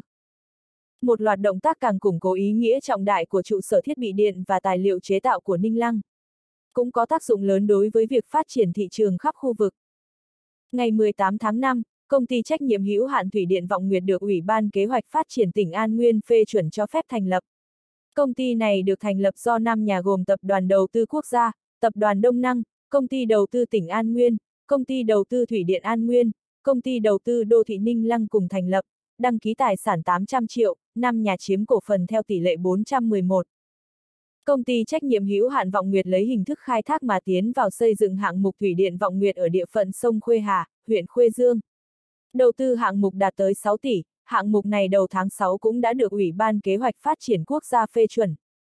Ba tháng nay Ninh Lăng chính là đất nóng trong việc thu hút đầu tư. Chẳng qua đối với Triệu Quốc Đống mà thấy nó là bình thường. Ngoài việc Tần Hạo Nghiên cùng Tề Hoa đến tham gia khởi công hai hạng mục, hắn cũng không tham gia các nghi thức khởi công nào khác, tất cả do Trung Dược Quân phụ trách tham gia. Theo Triệu Quốc Đống thấy quyết định sự phát triển kinh tế một nơi nhanh hay chậm có nhiều nhân tố. Nhưng Ninh Lăng ở trong hoàn cảnh này thì nguyên nhân quan trọng nhất chính là quan niệm cán bộ. Như vậy bộ máy cục chiêu thương và cục phát triển công ty vừa và nhỏ hiện nay đã thể hiện được năng lực của nó. Nếu nói tập đoàn Hoa Long đầu tư vào thổ thành là ngẫu nhiên, như vậy Cục Chiêu Thương và Cục Phát triển Công ty vừa và nhỏ đã chủ động hợp sức thu hút các nhà đầu tư chiết ga in để thành lập siêu thị thiết bị điện, đây là sáng kiến rất tốt. Quyển 13, chương 112 Triệu quốc đống giờ đồng hò Omega lên xem thời gian, Tiêu Phượng Minh cũng đã tiến vào. Một loạt điều chỉnh nhân sự sắp diễn ra. Trước đó Hoắc Vân đạt được điều tới làm phó bí thư, quyền chủ tịch Đông Giang. Mạc Vinh làm thường vụ quận ủy Tây Giang, đương nhiên đây chỉ là món ăn mở đầu mà thôi. Tiêu Phượng Minh biết khi tình hình kinh tế Ninh Lăng trở nên ổn định, uy tín của Triệu Quốc Đống tại Ninh Lăng càng thêm củng cố. Hắn tất nhiên điều chỉnh bộ máy các quận, huyện, nhất là trước Quốc Khánh Triệu Quốc Đống đã nói chuyện với y về việc điều tra toàn bộ bộ máy các ngành thuộc thị xã, đây là chuẩn bị cho việc điều chỉnh. Nếu không phải bị sắc ảnh hưởng thì Tiêu Phượng Minh tin đợt điều chỉnh này còn sớm hơn nữa. Phong Đình, Đông Giang là trọng điểm. Hoác Vân đạt điều tới Đông Giang là tín hiệu. Sự kiên nhẫn của Triệu Quốc Đống đối với sự phát triển trì trệ của mấy huyện kia đã đến giới hạn. Bí thư Triệu, tôi tới. Làm nhanh một chút, chiều tôi còn phải lên tỉnh ăn cơm. Tôi đã hẹn với trưởng ban Hàn báo cáo về biểu hiện của Chu Trọng và Thôi Tú Phu, ngoài ra bọn họ cũng muốn tìm hiểu ảnh hưởng từ việc bí thư thị ủy kiêm chức chủ nhiệm đại hội đại biểu nhân dân. Bí thư thị ủy kiêm chủ nhiệm đại hội đại biểu nhân dân thị xã mặc dù không có quy định rõ ràng nhưng Trung ương cũng tỏ vẻ làm như vậy có lợi cho việc chỉ đạo, dẫn hướng cho công việc của đại hội đại biểu nhân dân, dễ dàng áp dụng chính sách đảng vào trong việc lập pháp của đại hội đại biểu nhân dân, công việc giám sát càng thêm quan trọng. Vậy bí thư triệu, ngài xem một chút đây là. Tiêu Phượng Minh đưa một tập tài liệu tới. Lão Tiêu, vấn đề điều chỉnh nhân sự để sau tôi bây giờ muốn nghe một chút về công việc đã giao cho anh trước đây. Làm như thế nào để tăng cường biện pháp đánh giá đội ngũ cán bộ lãnh đạo, tôi nhớ lần trước tôi đã nhắc anh, ban tổ chức cán bộ vẫn đang tiến hành chuẩn bị mà. Triệu Quốc Đống lắc đầu đặt tập tài liệu lên bàn. Tiêu Phượng Minh không nghĩ ra Triệu Quốc Đống bây giờ lại có hứng thú với công việc kia, muốn nghe báo cáo về công việc kia trước tiên. Sao, không chuẩn bị xong ư? Vẻ mặt Triệu Quốc Đống có chút khó coi. Không, Bí thư triệu, công việc này đã được tiến hành từ mấy tháng trước. Chúng tôi tiến hành thí điểm ở mấy xã, thị trấn, phòng ban của huyện Hoa Lâm cùng huyện Thương Hóa. Nhưng ban còn đang tiến hành phân tích, tổng hợp tài liệu, cũng đang có tranh luận về độ tin cậy đối với tài liệu. Tiêu Phượng Minh bình tĩnh nói. Ồ, tranh luận về tài liệu đánh giá. Triệu Quốc Đống gật đầu nói. Ví dụ như từ việc lấy ý dân chúng mà đánh giá một bộ máy, ở điểm này chúng tôi chọn công an huyện Thương Hóa. Công an huyện cho rằng làm như vậy là không chính xác. Bởi vì cơ quan công an chủ yếu là bắt tội phạm, mà tội phạm đều có người thân, bạn bè nên tâm lý chống đối cơ quan công an là có, nhất là bây giờ các sự kiện quần thể khá nhiều. Đảng ủy, chính quyền động tí là đẩy công an huyện lên vị trí đầu, trở thành tâm điểm của mâu thuẫn. Vì thế công an huyện có làm tốt, được đảng ủy, chính quyền hài lòng nhưng lại khiến dân chúng không tán thành, thậm chí phản cảm nhiều hơn. Đây không phải là lý do.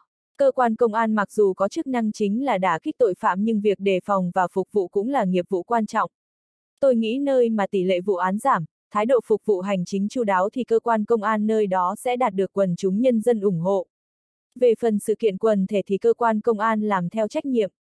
Làm như thế nào để vừa được đảng ủy, chính quyền hài lòng, có thể cố gắng không để cơ quan công an rơi vào tâm điểm mâu thuẫn cũng là vấn đề năng lực của người đứng đầu bộ máy. Triệu Quốc Đống lắc đầu nói. Mấy việc này nên là do ban tổ chức cán bộ thị ủy tiến hành chỉ đạo công việc cho các ban tổ chức cán bộ quận, huyện, không phải chức năng của ban tổ chức cán bộ thị ủy các anh. Tôi muốn hỏi ban tổ chức cán bộ thị ủy các anh đã có sáng tạo như thế nào đối với việc đánh giá bộ máy quận, huyện, các ban ngành thuộc thị xã. Bí thư Triệu, đối với việc đánh giá bộ máy quận, huyện và các ngành thuộc thị xã, tôi cảm thấy phải càng thêm thận trọng một chút.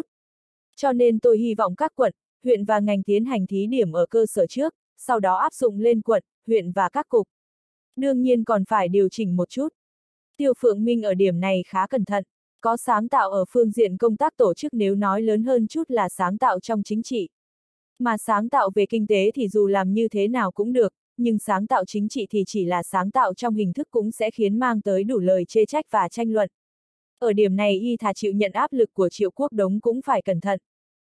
Triệu quốc đống nhíu mày nhưng hắn cũng biết sáng tạo ở mảng này khác so với bên kinh tế. Hơn nữa trong một lần ăn cơm thiếu chiêu quý cũng rõ ràng nói ban tổ chức cán bộ đối với bất cứ biến hóa gì đối với chế độ nhân sự đều phải đi một bước nhìn ba bước, tránh mang tới chấn động quá lớn, ảnh hưởng đến cục diện tốt đẹp. Xem ra ở điểm này thiếu Chiêu Quý và Tiêu Phượng Minh đã nhất trí. Vậy anh có ý gì? Triệu Quốc Đống nhấp ngụm trà rồi nói. Ý của tôi là việc khảo sát bộ máy chỉ cần về đức, năng, cần là đủ. Đức là về công đức và tư đức, công đức chính là biểu hiện về tố chất chính trị của anh trong công việc. Tư đức là phải cân nhắc tác dụng làm gương của anh ở gia đình, xã hội. Triệu Quốc Đống gật đầu, xem ra ban tổ chức cán bộ lần này cũng đưa ra được vài thứ mới. Về, năng, chúng tôi đang suy nghĩ làm như thế nào để thể hiện hết chữ này. Không phải chỉ cần năng lực riêng của anh Mạnh gọi là có năng lực, mà anh cần phải áp dụng năng lực của mình vào trong công việc, có thể đoàn kết hợp tác với các thành viên khác trong bộ máy. Tiêu Phượng Minh nói liền một mạch gần nửa tiếng. Mặc dù không chuẩn bị tài liệu nhưng y sớm thuộc mấy điều này, nói chuyện cũng rõ ràng. Y một mặt đưa ra xem mình định cải tiến ở mặt nào, đồng thời cũng đưa ra vài vấn đề khó giải quyết. Rất tốt, xem ra ban tổ chức cán bộ đã làm nhiều công việc. Tôi thấy như thế này, đã có quan điểm thì cần tạo thành văn bản, nếu như chưa đủ cần suy xét thì có thể tiến hành nghiên cứu thêm, thậm chí cục chiêu thương tiến hành thăm dò thí điểm trong một ngành, một khu vực. Nói tóm lại năm nay ban tổ chức cán bộ sẽ tiến hành thí điểm công việc này. Triệu Quốc Đống khá hài lòng, mặc dù tiến độ không nhanh như hắn mong muốn nhưng hắn cũng có thể hiểu, điều này nó dính tới tương lai chính trị của vô số người cơ mà.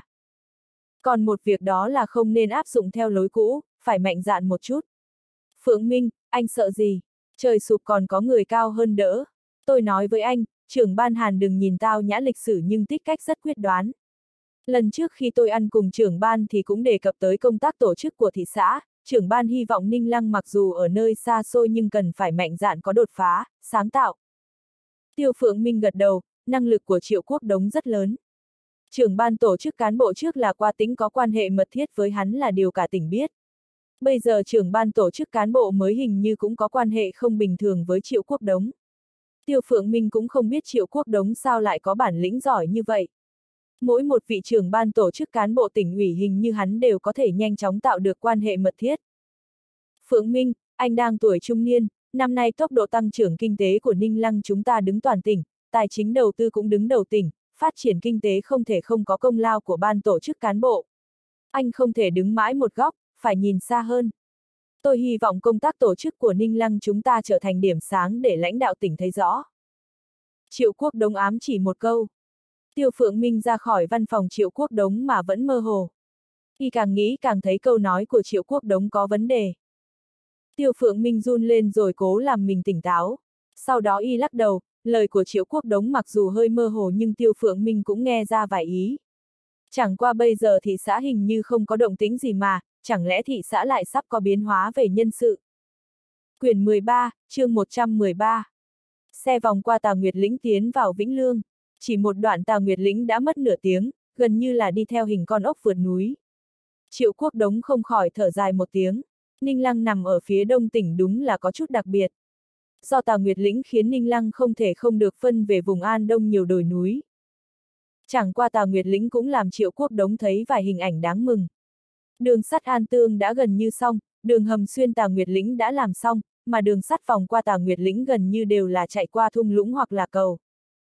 Cao tốc An Tương cũng đang được xây dựng nhanh chóng, Triệu Quốc Đống chú ý thấy phương thức xây dựng của cao tốc và đường sắt khá giống nhau. Đoạn qua Tà Nguyệt Lĩnh đều dùng cách kết hợp cầu và hầm xuyên núi, như vậy vừa có thể giảm đi việc phá vỡ Tà Nguyệt Lĩnh, cũng có thể đẩy nhanh tiến độ, đương nhiên số tiền đầu tư cũng tăng lên không ít. Cao tốc An Tương khởi công chậm hơn đường sắt An Tương một năm.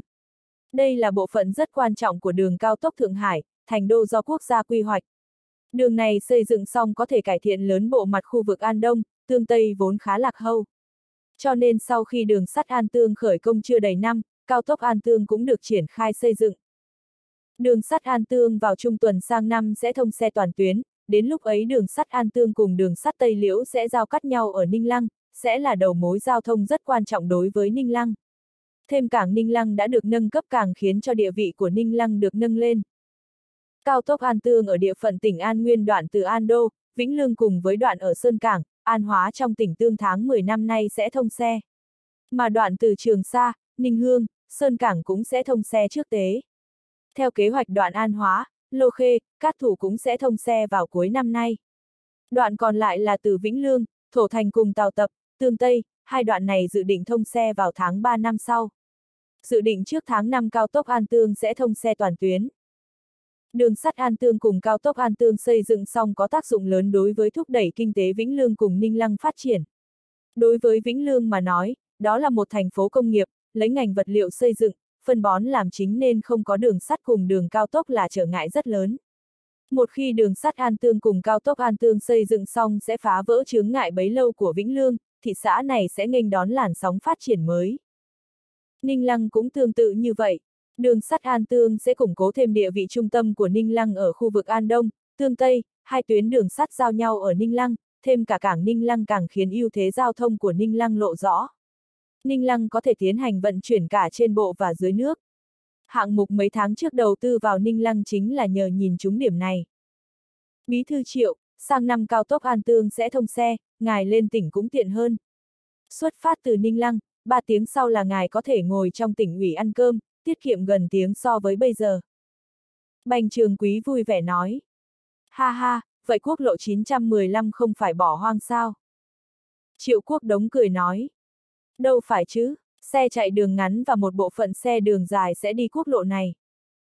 Bành trường quý lắc đầu nói. Đường cao tốc thu phí quá cao. Từ An Đô đến Ninh Lăng chỉ riêng tiếng vé chắc cũng 120 tệ. Xe tải chạy thì lái xe cũng phải tính toán, vừa đi một chuyến đã mất 240 tệ, đó là con số không nhỏ. Điều này thì đúng, chẳng qua đi đường cao tốc sẽ tiết kiệm nhiều thời gian, nó tiện cho người có việc gấp. Triệu Quốc Đống gật đầu nói. Quốc lộ 915 từ An Đô đến Ninh Lăng dài 320 km, bây giờ đường cao tốc chạy qua Tà Nguyệt Lĩnh kết hợp đường hầm và cầu nên ít nhất tiết kiệm 15 km. Đoạn từ Kim Lương đến Thổ Thành trước dài 60 km, bây giờ nghe nói rút xuống còn 45 km, thời gian tiết kiệm không ít, hơn nữa các đoạn khác cũng giảm đi. Bây giờ tôi nghe nói từ An Đô đến Ninh Lăng chỉ xuống còn chưa đầy 270 km, xe tốt chạy 100, 120 km h cũng không vấn đề gì. 3 tiếng đến An Đô là bình thường, đến lúc ấy bí thư triệu về An Đô cũng tiện hơn. Xem ra đường cao tốc ít nhất cũng có tác dụng giảm tải cho quốc lộ 915. Lúc này lưu lượng xe trên 915 càng lúc càng lớn, khiến quốc lộ 915 hay tắc đường. Tất nhiên, đường cao tốc vừa thông xe thì tôi đoán đường này hầu hết chỉ có xe tải, xe khách, xe còn ít đi đường này. Bành trường quý cảm thấy tần suất số lần mà bí thư triệu về An Đô trong gần năm qua giảm đi rất nhiều. Nó khác xa so với trước cứ hai tuần về An Đô lần. Khác với bây giờ chỉ tháng bí thư triệu may ra về An Đô lần, mà có lên An Đô họp cũng không ở lại mà trực tiếp về Ninh Lăng. Triệu quốc đống tới tỉnh ủy cũng đã gần 5 giờ. Hắn nghe được chút tin là nhân sự trên tỉnh có thể sẽ thay đổi. Nhà trang quyền bây giờ đã không còn trong ban tổ chức cán bộ. Triệu quốc đống liền thiếu đi một đường tin tức. Quan hệ giữa hắn và Hàn Độ mặc dù tốt nhưng đối phương là thường vụ tỉnh ủy, trưởng ban tổ chức cán bộ, là lãnh đạo cấp trên của hắn. Hàn Độ cũng không thể nào chủ động tiết lộ gì với hắn. Trong chiều có người làm quan sẽ tốt hơn. Ở tỉnh ủy, ủy ban nhân dân tỉnh nếu không có quan hệ tìm tin tức đúng là không tiện. Rất nhiều chuyện sau khi được xác định anh mới biết thì lúc ấy anh có ý đồ cũng vô ích. Hắn biết tin trên tỉnh thay đổi về nhân sự là do khi nói chuyện với Tương Uẩn Hoa, đối phương nói cho hắn biết. Nhưng Tương Uẩn Hoa chỉ là chủ tịch mặt trận Tổ quốc nên không được trực tiếp chạm vào tầm trung ương. Vì thế Triệu Quốc Đống sau khi nhận được tin liền quyết định lên tỉnh tìm hiểu thông tin. Hắn cũng không phải chạy gì cho mình, hắn mới làm bí thư thị ủy có một năm, trên tỉnh không thể điều chỉnh hắn. Trung Dược Quân cũng là như vậy, nhưng biến hóa nhân sự trên tỉnh cũng có nghĩa sẽ có vị trí bỏ trống. Quý một năm nay kinh tế Ninh Lăng có tốc độ tăng trưởng là 45%, quý 2 còn tháng nữa mới có số liệu nhưng theo xu thế phát triển thì ít nhất cũng là 60%. Nhất là mảng xây dựng đô thị và hạng mục công nghiệp toàn diện khởi công xây dựng sẽ khiến cho ngành xây dựng của Ninh Lăng phát triển mạnh. Chỉ bằng điểm này nếu như tỉnh muốn điều chỉnh bộ máy ở các thị xã khác, Triệu Quốc Đống cảm thấy thành viên bộ máy Ninh Lăng có đủ tư cách lọt vào tầm nhìn của lãnh đạo tỉnh. Đương nhiên trong đó còn có một điểm rất quan trọng là đầu tiên anh phải vận động được ở ban tổ chức cán bộ tỉnh ủy. Triệu Quốc Đống cho rằng làm bí thư thị ủy thì vừa phải lãnh đạo thành viên bộ máy khiến kinh tế Ninh Lăng phát triển nhanh chóng. Về phần khác hắn phải có nghĩa vụ đưa các cán bộ xuất sắc lên vị trí cao hơn, để bọn họ có cơ hội phát huy sở trường của mình nhiều hơn nữa. Hiện nay kinh tế Ninh Lăng phát triển rất nhanh chính là cơ hội tốt để cung cấp cho hắn một sân khấu. Mặc dù quan hệ giữa hắn và Hàn Độ còn kém so với trưởng ban qua tính, nhưng hắn đã tạo được quan hệ tốt với Hàn Độ từ khi đối phương còn ở ban tuyên giáo tỉnh ủy, hơn nữa còn có Hàn Đông đứng giữa, Triệu Quốc Đống cảm thấy mình có thể tranh thủ một chút. Chẳng qua Triệu Quốc Đống bây giờ lại cảm thấy so với lúc Trang Quyền còn ở ban tổ chức cán bộ, mình đúng là mất chút tay chân. Thiếu người giúp đỡ khiến nhiều việc khó thực hiện, thậm chí ngay cả tìm lý do cũng không dễ. Còn nếu trực tiếp nói bóng gió với Hàn Độ cũng không thích hợp. Triệu Quốc Đống thở dài một tiếng, chẳng lẽ mình không thể không đến nhờ Hàn Đông. Hắn rất không tình nguyện dính tới Hàn Đông, đây biện pháp đơn giản nhất, hiệu quả nhất nhưng cũng là nguy hiểm nhất. Hàn Độ coi Hàn Đông như con gái, quan hệ giữa hắn và Hàn Đông thì Hàn Độ cũng biết một chút. Hàn Độ nghĩ như thế nào, Triệu Quốc Đống không rõ. Quyển 13, chương 114 Chuyện Triệu Quốc Đống không muốn thấy nhất đã diễn ra. Chiếc xe màu trắng đỗ trong bãi đỗ xe của ban tổ chức cán bộ tỉnh ủy, Triệu Quốc Đống nhìn cái là nhận ra xe của ai. Biển số quen thuộc, con gấu quen thuộc, thêm cả màu xe, không phải Hàn Đông là ai. Bành trường quý không chú ý thấy xếp hơi đổi sắc, y thậm chí còn chủ động đỗ bên cạnh xe kia. Xe đỗ xong, bành trường quý mới thấy xếp không có ý xuống xe. Y có chút kinh ngạc, Sếp bảo mình tới ban tổ chức cán bộ, chẳng lẽ ban tổ chức cán bộ chuyển nhà sao? Hay xếp đột nhiên không muốn vào? Chẳng qua y cũng biết ý, xếp không xuống y cũng không nói chuyện, máy vẫn bật, điều hòa để 26 độ khá thích hợp. Triệu quốc đống có chút khó xử. Hàn Đông làm việc ở ban tuyên giáo An Đô, không thể nào đến ban tổ chức cán bộ tỉnh ủy báo cáo công việc, như vậy chỉ có một chính là lên tỉnh ủy làm việc rồi thuận tiện đến chỗ nhị thúc chơi, không chừng tối còn ăn cơm cùng. Triệu quốc đống gãi đầu lấy điện thoại di động ra. Xe đỗ ngay bên, hắn còn ra vẻ nếu để Hàn Đông biết thì sao? Có lẽ sẽ lập tức cắt đứt quan hệ với hắn mất. Tiểu Đông. Quốc đống, sao lại đột nhiên nhớ ra gọi cho em? Hàn Đông vui mừng nói. Cô không chú ý thấy Hàn Độ đang khẽ nhíu mày rồi thở dài một tiếng nhưng vẫn giả vờ như không biết. Ồ, em đang ở chỗ trưởng ban Hàn. Triệu Quốc Đống cố gắng nói hắn không biết đối phó tình hình này như thế nào nữa. Nếu như không gặp mặt là giải quyết được, Triệu Quốc Đống tuyệt đối chỉ gọi diện, nếu có thể nhắn tin hắn cũng sẽ không gọi. Triệu Quốc Đống đúng là hơi sợ Hàn Đông. Anh ở dưới lầu, sao không lên?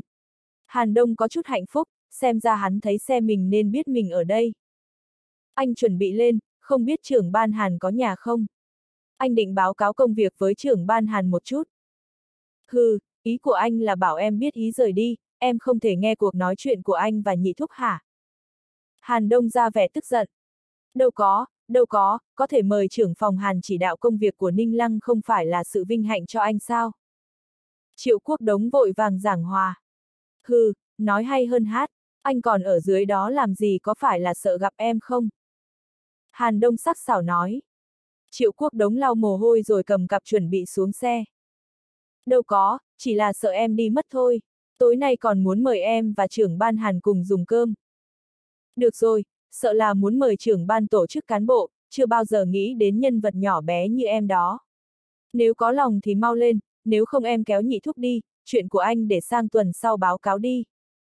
Hàn Đông cười nói. Lên ngay, lên ngay, anh không phải đang lên sao? Không khéo anh phải luyện thành thảo thượng phi để sớm được thấy em mất.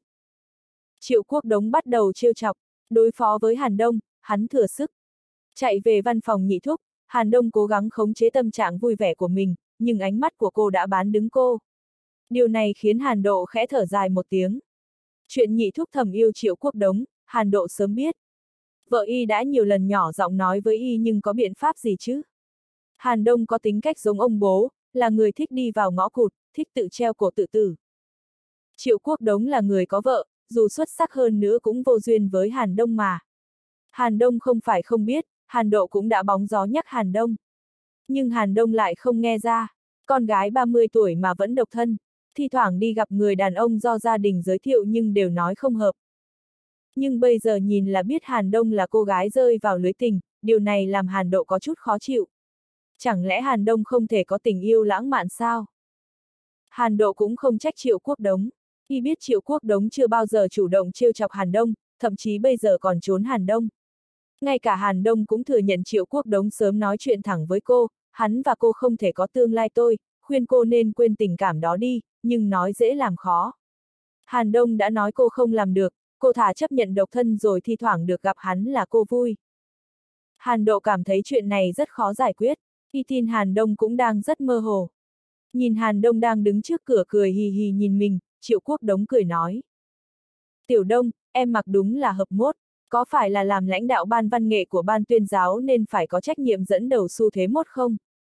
Anh nói xem. Hàn Đông chừng mắt nhìn Triệu Quốc Đống. Hừ, còn nói gì mà Thảo Thượng Phi, em thấy nếu anh không thấy xe của em thì sợ là đã sớm vào văn phòng nhị thúc em rồi đó. Có phải là ở dưới chạy vài vòng nhưng không thấy xe em rời đi nên mới không cam tâm gọi cho em? Ông trời chứng giám. Triệu quốc đống thể thốt mới qua được cửa Hàn Đông. Hàn Độ không dùng lại văn phòng của qua tính mà dùng một phòng khác ở trên tầng 2. Quốc đống, ngồi đi. Hàn Độ thấy Triệu Quốc đống vào liền gật đầu chỉ ghế. Cháu có cần rời đi không? Muốn giữ bí mật không nhị thúc? Hàn Đông có chút tinh nghịch nói. Hàn Độ trừng mắt nói. Cháu nói xem. Hàn Đông chu môi hậm hực cầm ví nói. Cháu sang phòng bên ngồi với Tiểu Vương, hai người nói chuyện. Đến khi Hàn Đông ra khỏi văn phòng, Hàn Độ mới thở phào nhẹ nhõm. Thấy Triệu Quốc Đống có vẻ không được tự nhiên, y phải nuốt câu nói bên miệng vào. Ừ, biểu hiện hai cán bộ kia thế nào? Hàn Đông đã ra trước cửa nhìn trộm vào trong hai lần nhưng thấy Nhị Thúc và Quốc Đống nói chuyện rất hợp, mặc dù không rõ hai người nói chuyện gì nhưng qua khe cửa cô thấy cả hai đều cười. Nhị Thúc cô thi thoảng còn vung tay lên, xem ra đang thảo luận đề tài gì đó. Ồ, chúng ta nói chuyện gần tiến rồi. Quốc Đống, cậu phải về nhà ăn cơm không? Hay là đến nhà tôi ăn cơm? Hàn Độ nhìn đồng hồ. Ha ha, vừa nãy Tiểu Đông nói muốn đòi tôi mời cơm, nếu không chê thì mời trưởng ban Hàn cùng đi. Triệu Quốc Đống cười nói. Được rồi, hai người là bạn cũ, tôi về nhà ăn cơm là được. Hàn Độ thấy Hàn Đông lại xuất hiện trước cửa nên vẫy tay ra hiệu đã nói chuyện xong. Nhị thúc cùng đi đi ạ, cô đi du lịch, chú về nhà còn có thể ăn gì? Không phải là tự nấu ăn đó chứ ạ? Hàn Đông không hề khách khí nói. Hàn Độ ra vẻ tức giận. Ý của cháu nói chú nấu khó ăn sao? Không, nhưng hôm nay đường đường bí thư thị ủy mời khác, cháu là khách chính, chú coi như đi cùng. Hàn Đông nói. Triệu Quốc Đống cũng cười nói. Trưởng ban Hàn, hôm nay tôi mời với tư cách cá nhân, coi như ngài đi xem dân tình. Tiểu Đông vừa nãy nói muốn ăn lẩu mới, không biết trưởng ban Hàn có thích không? Lẩu mới, loại nào vậy? Ẩm thực An Nguyên chịu ảnh hưởng lớn của phía Tây và phía Đông. Lẩu ở hai khu vực này mấy năm qua tiến vào tỉnh An Nguyên trên quy mô lớn. Mà phía Nam loại lẩu cay từ Kiềm Nam cũng tiến vào An Đô, rất được người An Đô ưa chuộng. Hàn Độ rất thích ăn lẩu nhưng vợ y là người phía Bắc nên không thích ăn cay. Vì thế khi vợ ở nhà không có cơ hội mấy. Hi hi, nhị thúc, đây là loại lẩu mới được truyền từ xuyên, du sang đây, dùng trúc sâm và các loại rau, tự mình bỏ nồi cho chín, lấy ra rồi đổ ớt lên, ăn ngon lắm ạ. À. Được rồi, vậy chú đi thử xem có ngon như cháu nói không? Hàn Độ do dự một chút rồi nói. Quyển 13, chương 115. Nhìn Hàn Độ ăn đến độ mặt đầy mồ hôi, Triệu Quốc Đống không thể tưởng tượng nổi đây là vị trưởng ban tổ chức cán bộ tỉnh ủy đầu nho nhã. Đĩa rau nhanh chóng được ăn hết, Hàn Độ lần đầu ăn loại lẩu này nên tự tìm loại rau thích ăn, bỏ vào nồi, gắp ra bát. Do thân phận của Hàn Độ nên Triệu Quốc Đống và Hàn Đông chọn nhà hàng trông khá vệ sinh và rộng rãi. Nơi này trước đây là một bến tàu nổi tiếng An Đô, nhưng bây giờ đã được biến thành khu phố ẩm thực. Bến tàu đã không còn tác dụng, nhưng đây lại là nơi khách du lịch nhất định sẽ tới. Ở đây vừa có thể thưởng thức các món ăn của tỉnh An Nguyên, cũng có thể thưởng thức các món ăn của khu vực lân cận. Nhị thúc, cháu nghe nói khu này sắp được giải tỏa. Hàn Đông vừa văn vừa nói. Hừ, nghe nói đây là ý kiến sơ bộ của thị ủy, ủy ban An Đô, muốn xây dựng khu phố này thành cái gì mà con đường ẩm thực. Khu phố này bây giờ đang phải rất tốt sao, có truyền thống lịch sử, không nên theo trào lưu. Xây dựng cái gì mà con đường ẩm thực an nguyên, nói gì mà đầu tư rất lớn. Nhưng sau khi xây dựng xong thì mấy nhà hàng này có chịu được tiền thuê không? Hàn Độ đánh giá không cao công việc gần đây của thành phố Ando. Triệu Quốc Đống im lặng không nói. Chuyện này hắn cũng nghe nói qua. Tôn Liên Bình sau khi làm phó bí thư tỉnh ủy kiêm bí thư thị ủy An Đô liền cảm thấy áp lực rất lớn. An 2 năm liền có tốc độ tăng trưởng thấp hơn bình quân của tỉnh, mà nửa năm nay càng chậm hơn. Nó khác hẳn so với các thành phố, thị xã lân cận. Nghe nói trong hội nghị thường vụ thị ủy An Tôn Liên Bình hiếm khi phê bình chính quyền thị xã thiếu sáng tạo trong công việc, không tìm được con đường mới, cũng quả quyết tiến hành điều chỉnh bộ máy khu công nghệ cao An Lô Vệ Hồng, nguyên bí thư đảng ủy, chủ nhiệm khu công nghệ cao An được điều làm thường vụ thị ủy, chủ tịch mặt trận Tổ quốc kiêm chủ tịch liên đoàn lao động thành phố.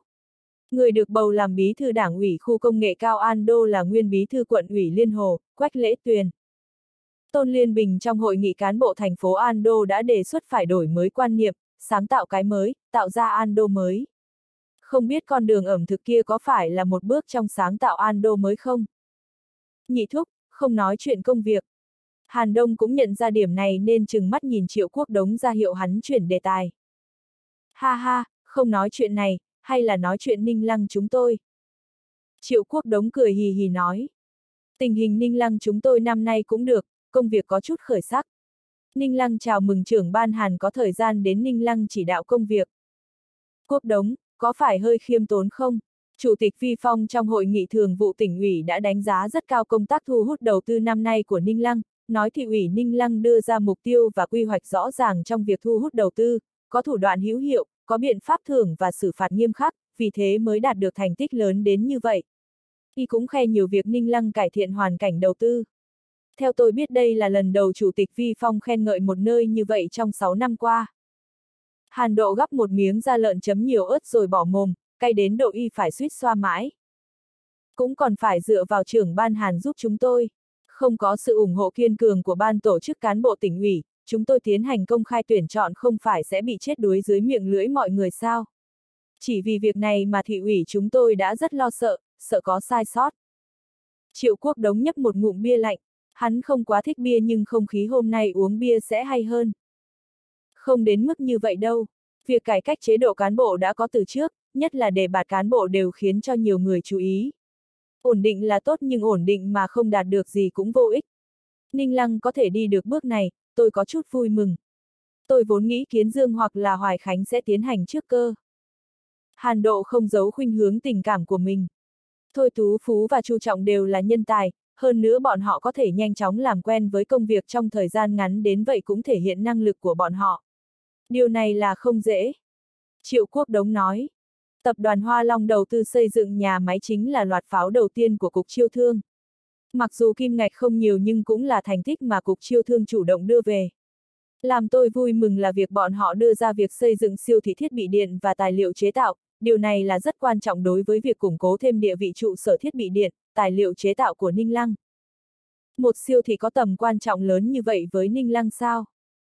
Hàn Đông nói xen vào, mũi cô lúc này lấm tấm mồ hôi, má đỏ ửng lên vì cay, nóng trông khá quyến rũ. Trước đó thị trường bán lẻ của Ninh Lăng không hoàn thiện, hơn nữa hàng quan trọng chính là không ai nghĩ việc thành lập một siêu thị quy mô lớn lại có tầm quan trọng như thế nào với một ngành sản xuất.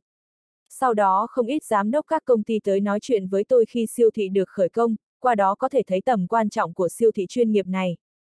Lấy một ví dụ đơn giản, công ty muốn gia công một loại sản phẩm, lắp đặt một bộ thiết bị hoặc chế tạo một thiết bị chuyên dùng thì thường phải mua mười mấy thậm chí vài chục loại nguyên liệu, khí tài. Mà ở thị trường Ninh Lăng trước đây khó mua hết nên phải tới Ando, Trường Sa, Vũ Hán mua. Nhưng bây giờ có siêu thị này thì các nhà cung cấp thiết bị sẽ chủ động tới. Bởi vì siêu thị có quy mô lớn thì sẽ dễ dàng hấp dẫn nhiều khách hàng, quy mô càng lớn sẽ có càng nhiều khách bên ngoài tới mua hàng. Ai cũng hy vọng mua một lần là đủ mà, cũng hy vọng có thể ở đây gặp được nhiều khách hàng. Triệu Quốc Đống giải thích. Mà thị trường bán lẻ trước đây ở Ninh Lăng khá hỗn loạn. Bây giờ thành lập công ty cổ phần nên có thể chỉnh lý lại thị trường, cố gắng biến thành thương hiệu kinh doanh chuyên nghiệp, làm cho sức ảnh hưởng của ngành thiết bị điện và tài liệu chế tạo của Ninh Lăng lan sang các tỉnh thành xung quanh. Hàn Đông và Hàn Độ đều chú ý nghe Triệu Quốc Đống nói chuyện. Hai người đều thấy sau một năm làm bí thư thị ủy, Triệu Quốc Đống nhìn nhận vấn đề đã ở cấp độ khác. Biến hóa này không rõ nhưng càng không rõ càng chứng tỏ hắn đang vô thức tăng năng lực của mình lên. Một siêu thị chuyên nghiệp mặc dù quan trọng nhưng tôi càng chú trọng biểu hiện của hai vị cục trưởng kia hơn. Một người phụ trách mời các nhà đầu tư chiết giang tới, một người lại kết hợp được các nhà kinh doanh ninh lăng góp cổ phần, biểu hiện có thể nói là hoàn hảo. Triệu quốc đống nở nụ cười. Trưởng ban hàn, chỉ sợ tôi còn phải nói chuyện giúp bọn họ mới được. Thời cơ đến thị ủy Ninh Lăng sẽ đề nghị tỉnh ủy tăng thêm chức trợ lý thị trưởng cho bọn họ. Hàn độ cười cười bỏ đũa xuống nói. Quốc đống, cậu vẫn chưa từ bỏ ý định sao? Cán bộ cấp huyện thì thị ủy, ủy ban Ninh Lăng có quyền quyết định. Nhưng trợ lý thị trưởng tuy không phải cán bộ cấp phó giám đốc sở chính thức nhưng cũng cần phải thông qua trong hội nghị ban tổ chức cán bộ tỉnh ủy, hơn nữa còn phải được bí thư miêu đồng ý. Cậu định đối đầu với bí thư miêu sao? Đâu có, trưởng ban hàn, ngài không nên chụp mũ to như vậy cho thị ủy chúng tôi chứ. Lần trước tôi lên báo cáo công việc với bí thư miêu, bí thư miêu chỉ nói để xem đã chứ không chặn hết đường. Triệu quốc đống vội vàng nói. Hừ, quốc đống, cậu thu lại một chút đi. Bởi vì công tác chống xác nên bí thư miêu có ấn tượng tốt tốt một chút với cậu, nhưng ở chuyện này y không quá đồng ý. Tôi nói trước, bên chỗ tôi không vấn đề gì nhưng nếu muốn thêm chức trợ lý thị trưởng cho hai người bọn họ thì thứ nhất phải chờ thử việc xong, thứ hai tốt nhất phải được bí thư miêu ủng hộ. Tôi không cần biết cậu dùng cách gì nhưng việc này phải làm được. Tôi đây là nghĩ tốt cho cậu. Hàn Độ trầm giọng nói. Triệu quốc đống hơi động tâm, quan hệ giữa Hàn Độ và Miêu Trấn Trung, hắn trong lúc nhất thời không nghĩ ra. Hai người làm việc chung không quá lâu, hơn nữa cũng không có dấu hiệu gì cho thấy cả hai thân thiết hay mâu thuẫn, giống như chỉ có quan hệ công việc. Nhưng trước đây Phó Bí Thư tỉnh ủy và trưởng ban tổ chức cán bộ của tỉnh An Nguyên đều hay có mâu thuẫn. Ở thời Quý Thành Công là Dương Thiên Minh với Phan Viên Chiêu. Thời Ninh Pháp là Yến Nhiên Thiên và Qua Tĩnh. Bây giờ đến lượt Miêu Trấn Trung và Hàn Độ, không biết ý trong lời nói của Hàn Độ là như thế nào. Quyển 13, chương 116 Triệu Quốc Đống không nói mà chỉ gật đầu hiểu ý, nhưng hắn vẫn suy nghĩ lời nhắc của Hàn Độ. Miêu Trấn Trung là người bảo thủ. Mặc dù Miêu Trấn Trung cũng không phản cảm gì với Triệu Quốc Đống, nhưng cũng không có nghĩa đối phương sẽ chấp nhận vài điều mà y cho rằng không chính xác. Người như thế thường tự cho mình rất cao, cảm thấy mình cần phải kiên trì quyết định bản thân, thậm chí ngay cả bí thư tỉnh ủy, chủ tịch tỉnh nói chuyện y cũng chưa chắc lể mặt. Dương Thiên Minh là như vậy, Yến Nhiên Thiên như vậy, Miêu Trấn Trung cũng là như vậy. Nếu phó bí thư phụ trách đảng đàn lúc nào cũng vâng dạ với bí thư tỉnh ủy, không có nguyên tắc của mình vậy anh không đủ tư cách. Chuyện này lại thành khó, ngay cả ý kiến của bí thư tỉnh ủy mà anh cũng dám đặt câu hỏi, vậy triệu quốc đống hắn lấy gì mà đả thông đối phương? Chỉ có thể đi một bước xem một bước. Hàn Đông rất biết ý chuyển đề tài, nói chuyện đến việc điều chỉnh nhân sự ở thành phố Lam Sơn. Kỳ Dư Hồng đã điều tới làm phó chủ tịch hội nghị hiệp thương chính trị nhân dân tỉnh. Thị trưởng thành phố Lam Sơn đang kiêm chức bí thư thị ủy. Triệu quốc đống hơi động tâm, Hàn Đông đúng là hiểu ý người. Trước khi tới cô hỏi hắn tìm nhị thúc có phải có công việc gì khác không, hắn cũng thẳng thắn nói muốn tìm hiểu xem tỉnh có phải định điều chỉnh nhân sự không. Hàn Đông nghe là biết ý của hắn ngay. Bí thư Dư Hồng đúng là cầu gì được đó, cuối cùng cũng thành cán bộ cấp phó tỉnh. Bây giờ thị trưởng lận đang kiêm chức bí thư, sao không thấy tỉnh ủy bố trí ai làm thị trưởng vậy ban tổ chức cán bộ. Triệu quốc đống cũng không vòng vo mà nói thẳng. Hàn độ trừng mắt nhìn triệu quốc đống. Tỉnh ủy vẫn chưa xác định vấn đề này. Lam Sơn một hai năm nay phát triển chỉ có thể miễn cưỡng nói là ổn định. Nhất là lần trước ủy viên trưởng đến thị sát, tôi nghe nói bí thư ứng có cái nhìn với công việc của Lam Sơn. Kỳ Dư Hồng có thể đến hội nghị hiệp thương chính trị nhân dân tỉnh coi như sự an ủi. Lận thải nho tuổi đã khá cao, lý lịch có đủ vì thế làm bí thư coi như hợp tình hợp lý. Chẳng qua tỉnh muốn một người giỏi làm kinh tế, có trí tiến thủ, sáng tạo làm thị trưởng Lam Sơn. Ha ha, không biết ban tổ chức cán bộ thấy sao về thị trưởng Liên Hương, Ninh Lăng chúng tôi. Triệu Quốc Đống cười cười xoa tay nói. Vưu Liên Hương. Hàn Độ lắc đầu nói. Cô ta hình như là cán bộ tự ủy ban kỷ luật đi ra thì phải. Có làm được kinh tế không? Từ phó thị trưởng thường trực thoáng cái nhảy lên làm thị trưởng, Quốc Đống, cán bộ Ninh Lăng có phải tự cho mình quá cao không? Thực tế mà nói kinh tế Ninh Lăng còn có tranh lệch không nhỏ so với Lam Sơn. Nếu là trước đây nếu phó thị trưởng thường trực Ninh Lăng muốn cạnh tranh trước thị trưởng thành phố Lam Sơn đúng là nằm mơ giữa ban ngày, ngay cả suy nghĩ cũng đừng nghĩ. Nhưng bây giờ lại khác, tốc độ tăng trưởng kinh tế của Ninh Lăng rất cao đó là sự tự tin lớn nhất. Số liệu kinh tế quý 2 mặc dù chưa có nhưng chỉ dựa vào các hạng mục và tài chính thực tế có thể thấy Ninh Lăng năm nay khác hẳn trước đây. Ngay cả số tiền thu hút đầu tư ở Ninh Lăng, Ando cũng không dám so sánh. Hàn Độ mặc dù không làm công tác kinh tế nhưng là thường vụ tỉnh ủy, trưởng ban tổ chức cán bộ nên cũng phải tìm hiểu tình hình phát triển kinh tế trong toàn tỉnh. Triệu Quốc Đống dám nói thì tất nhiên là có chỗ dựa. Ninh Lăng năm nay phát triển rất nhanh, có lẽ nửa cuối năm càng tốt hơn.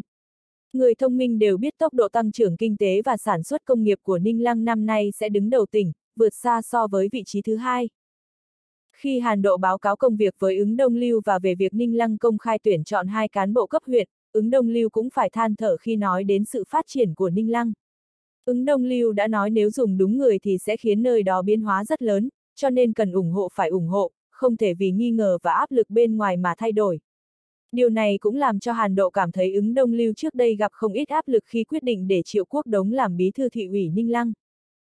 Ban tổ chức cán bộ, có phải là ngài cảm thấy kinh tế Lam Sơn tốt hơn Ninh Lăng một chút, phó thị trưởng thường trực Ninh Lăng làm thị trưởng thành phố Lam Sơn là quá cao không? Triệu Quốc Đống cười hì hì nói.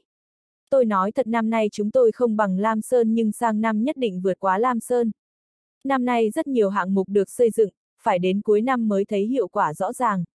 Thị trưởng Liên Hương làm phó thị trưởng thường trực phụ trách công tác thu hút đầu tư, có thể nói dành nhiều tâm trí. Một người phụ nữ có thể làm được như vậy là không dễ. Hạng mục Camin và Fukuda lúc đầu do tôi và thị trưởng Trung dẫn tới khảo sát, nhưng về sau đều do thị trưởng Liên Hương chú ý. Từ việc gặp gỡ, đàm phán, từ đầu tới cuối về cơ bản đều do thị trưởng Liên Hương phụ trách. Hai hạng mục này thành công đầu tư vào Ninh Lăng, công của thị trưởng Liên Hương không thể không có mà. Hàn Độ gật đầu, phó thị trưởng thường trực phụ trách công tác thu hút đầu tư là thông lệ. Một năm qua việc thu hút đầu tư của Ninh Lăng khởi sắc rất nhiều. Mặc dù nói có quan hệ lớn đối với Triệu Quốc Đống, nhưng nếu như không có trợ thủ đắc lực thì đâu có được. Công việc Lam Sơn hai năm qua quá ổn định, điều này chính là nguyên nhân chính mà ứng Đông Lưu muốn điều chỉnh bộ máy Lam Sơn. Hơn nữa thị trưởng Liên Hương phụ trách tài chính, từ đó đến giờ tình hình tài chính Ninh Lăng cải thiện rất nhiều, đương nhiên điều này có quan hệ đến việc kinh tế phát triển, nhưng cũng là do thị trưởng Liên Hương đưa ra quy hoạch cụ thể. Triệu Quốc Đống không chịu bỏ qua việc thuyết phục Hàn Độ. Cơ hội này nhất định phải nắm bắt, ở điều kiện này thì chủ yếu cần xem ấn tượng của hắn trong mắt lãnh đạo chủ yếu. Quốc Đống, chuyện này chỉ có thể nói tới đây mà thôi. Chủ yếu phải xem ý của bí thư ứng. Tôi thấy bí thư ứng năm nay không được vui. Tình hình toàn tỉnh làm y vừa mừng vừa lo. Mấy thành phố, thị xã lớn như An Đô, Miên Châu, Kiến Dương, Lam Sơn, Nam Hoa đều giảm tốc độ tăng trưởng, mà Thiên Châu, Đường Giang, Vinh Sơn, Lô Hóa lại không có chút sức lực nào. Nhất là Vinh Sơn, Lô Hóa cùng Đường Giang có thể nói không gượng dậy nổi. Làm như thế nào để chấn hưng mấy thành phố công nghiệp cũ này lên là điều mà tỉnh ủy, ủy ban nhân dân tỉnh luôn chăn trở. Điều chỉnh thành viên bộ máy chính là một con đường. Ứng Đông Lưu cũng đã nói chuyện với Hàn Độ về việc điều chỉnh bộ máy lãnh đạo tất cả thành phố, thị xã trong tỉnh. Hàn Độ cũng mơ hồ cảm nhận được áp lực và sự lo lắng của ứng Đông Lưu. Năm ngoái tốc độ tăng trưởng kinh tế của An Nguyên vẫn có thể đứng hàng đầu cả nước nhưng quý một năm nay đã giảm đi. Sau khi bộ máy tỉnh ủy, ủy ban được thành lập, lãnh đạo chủ yếu của tỉnh muốn trong 3 năm đuổi kịp tỉnh chiết. Hết khóa này sẽ kịp tỉnh lỗ, nhưng số liệu GDP năm trước đã có. Tỉnh chiết tăng trưởng kinh tế rất nhanh, đạt đến 740 tỷ, mà An Nguyên năm ngoái chỉ đạt 640 tỷ, còn cách tỉnh chiết 100 tỷ, so với tỉnh lỗ còn kém xa. Mà năm nay tỉnh chiết đột nhiên tăng tốc, kinh tế An Nguyên lại giảm đi, theo xu thế phát triển như vậy thì có lẽ năm nay khoảng cách giữa An Nguyên và tỉnh chiết càng lớn hơn. Vì thế tỉnh khá lo lắng. Ứng Đông Lưu cùng Tần Hạo Nghiên đang liên tục xuống các thành phố, thị xã kiểm tra tình hình phát triển kinh tế, tìm con đường phát triển. Ở tình huống như vậy, Ninh Lăng quý 1 có tốc độ tăng trưởng đạt 45%, quý 2 có lẽ đạt đến 60%, nửa cuối năm mấy hạng mục lớn của Ninh Lăng sẽ khánh thành, đi vào sản xuất, có lẽ hai quý cuối năm đạt trên 80%, tốc độ tăng trưởng cả năm đạt 80%, đây có thể nói là liều thuốc kích thích cho cả tỉnh. Triệu Quốc Đống có lẽ thấy được điểm này nên mới tự tin đề cử cán bộ Ninh Lăng ra ngoài. Hàn Độ nói làm Triệu Quốc Đống khá động tâm. Lãnh đạo chủ yếu của tỉnh bắt đầu chú ý đến sự phát triển không cân bằng trong toàn tỉnh. Hoài Khánh, Vĩnh Lương cùng Ninh Lăng phát triển rất nhanh khác hẳn so với Lô Hóa, Vinh Sơn, Đường Giang. Mà An Đô, Miên Châu cùng Kiến Dương vốn đứng đầu kinh tế cả tỉnh lại đang giảm tốc độ tăng trưởng cũng khiến lãnh đạo tỉnh rất chú ý. Hiện nay Hoài Khánh, Vĩnh Lương cùng Ninh Lăng được xếp vào nhóm một về tốc độ tăng trưởng kinh tế. Mà Tân Châu, Lam Sơn, Thông Thành, Thiên Châu biến thành nhóm phát triển nhanh thứ hai. Hai nhóm này có tốc độ tăng trưởng kinh tế cao hơn trung bình của tỉnh. Mà An Đô, Miền Châu, Kiến Dương mặc dù có tổng GDP cao nhưng tốc độ tăng trưởng chậm, tạo thành nhóm 3. Còn Đường Giang, Lô Hóa, Vinh Sơn không phát triển mấy, ngành sản xuất công nghiệp trì trệ, công ty nhà nước phá sản, sản xuất nông nghiệp đình trệ, mâu thuẫn xã hội nhiều. Căn cứ thống kê của Đảng ủy chính pháp tỉnh ủy, năm nay số lượt đến tỉnh ủy, Ủy ban Nhân dân tỉnh kiện cáo tăng nhiều. Trong đó có 60% đến từ Đường Giang, Lô Hóa cùng Vinh Sơn. Bộ máy ba thị xã này thiếu sức sống, năng lực của lãnh đạo nhất định có vấn đề. Đây cũng là suy nghĩ của ứng Đông Lưu, Tần Hạo Nghiên và Hàn Độ. Việc điều chỉnh bộ máy ba thị xã này là rất cấp bách. Căn cứ Hàn Độ đoán thì tỉnh ủy nhất định sẽ tiến hành điều chỉnh bộ máy ba nơi này trong nửa cuối năm. Quyển 13, chương 117 Tuy là vậy nhưng có những lời chỉ có thể nói đến đây. Triệu Quốc Đống cũng biết hôm nay mình nói hơi quá, nhưng cũng may là có Hàn Đông làm cầu nối nên không tính là mất lễ phép. Ba người ăn xong, Triệu Quốc Đống thấy tâm trạng của Hàn Độ hôm nay khá tốt, cơ hội này đối với hắn mà nói là không quá nhiều. Ba người một là thường vụ tỉnh ủy, trưởng ban tổ chức cán bộ, một là bí thư thị ủy lại ngồi trong một nhà hàng ăn uống, nếu truyền thông phát hiện đúng là thành tin tức thu hút báo cáo và mạng. Quốc Đống, về sau có cơ hội nhất định phải gọi tôi đó. Tôi đã lâu không ăn uống vui vẻ như vậy.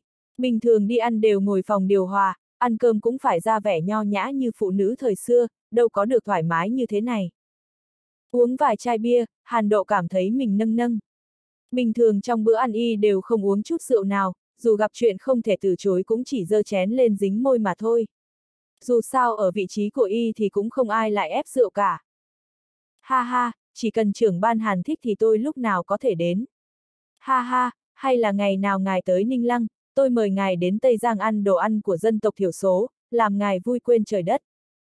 Triệu Quốc Đống nói, cứ quyết định như vậy đi, khi đó tôi tới một mình, một người một xe, hai chúng ta vui vẻ đi ăn. Chứ đâu như bây giờ đến khách sạn ăn toàn món có sẵn, quen thuộc, nhìn là lại không vui vẻ gì. Hàn Độ hiếm khi nói chuyện thoáng đến thế. Ba người ngồi trong xe của Hàn Đông, y nhìn quanh cảnh phố rồi thở dài nói. Có đôi khi đến vị trí này cũng mất đi nhiều niềm vui thú vốn thuộc về mình.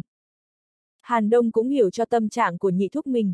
Có đôi khi nhị thúc rất cô đơn, con trai ông sau khi tốt nghiệp trường quân sự liền đến quân khu Trầm Dương, ít khi về nhà.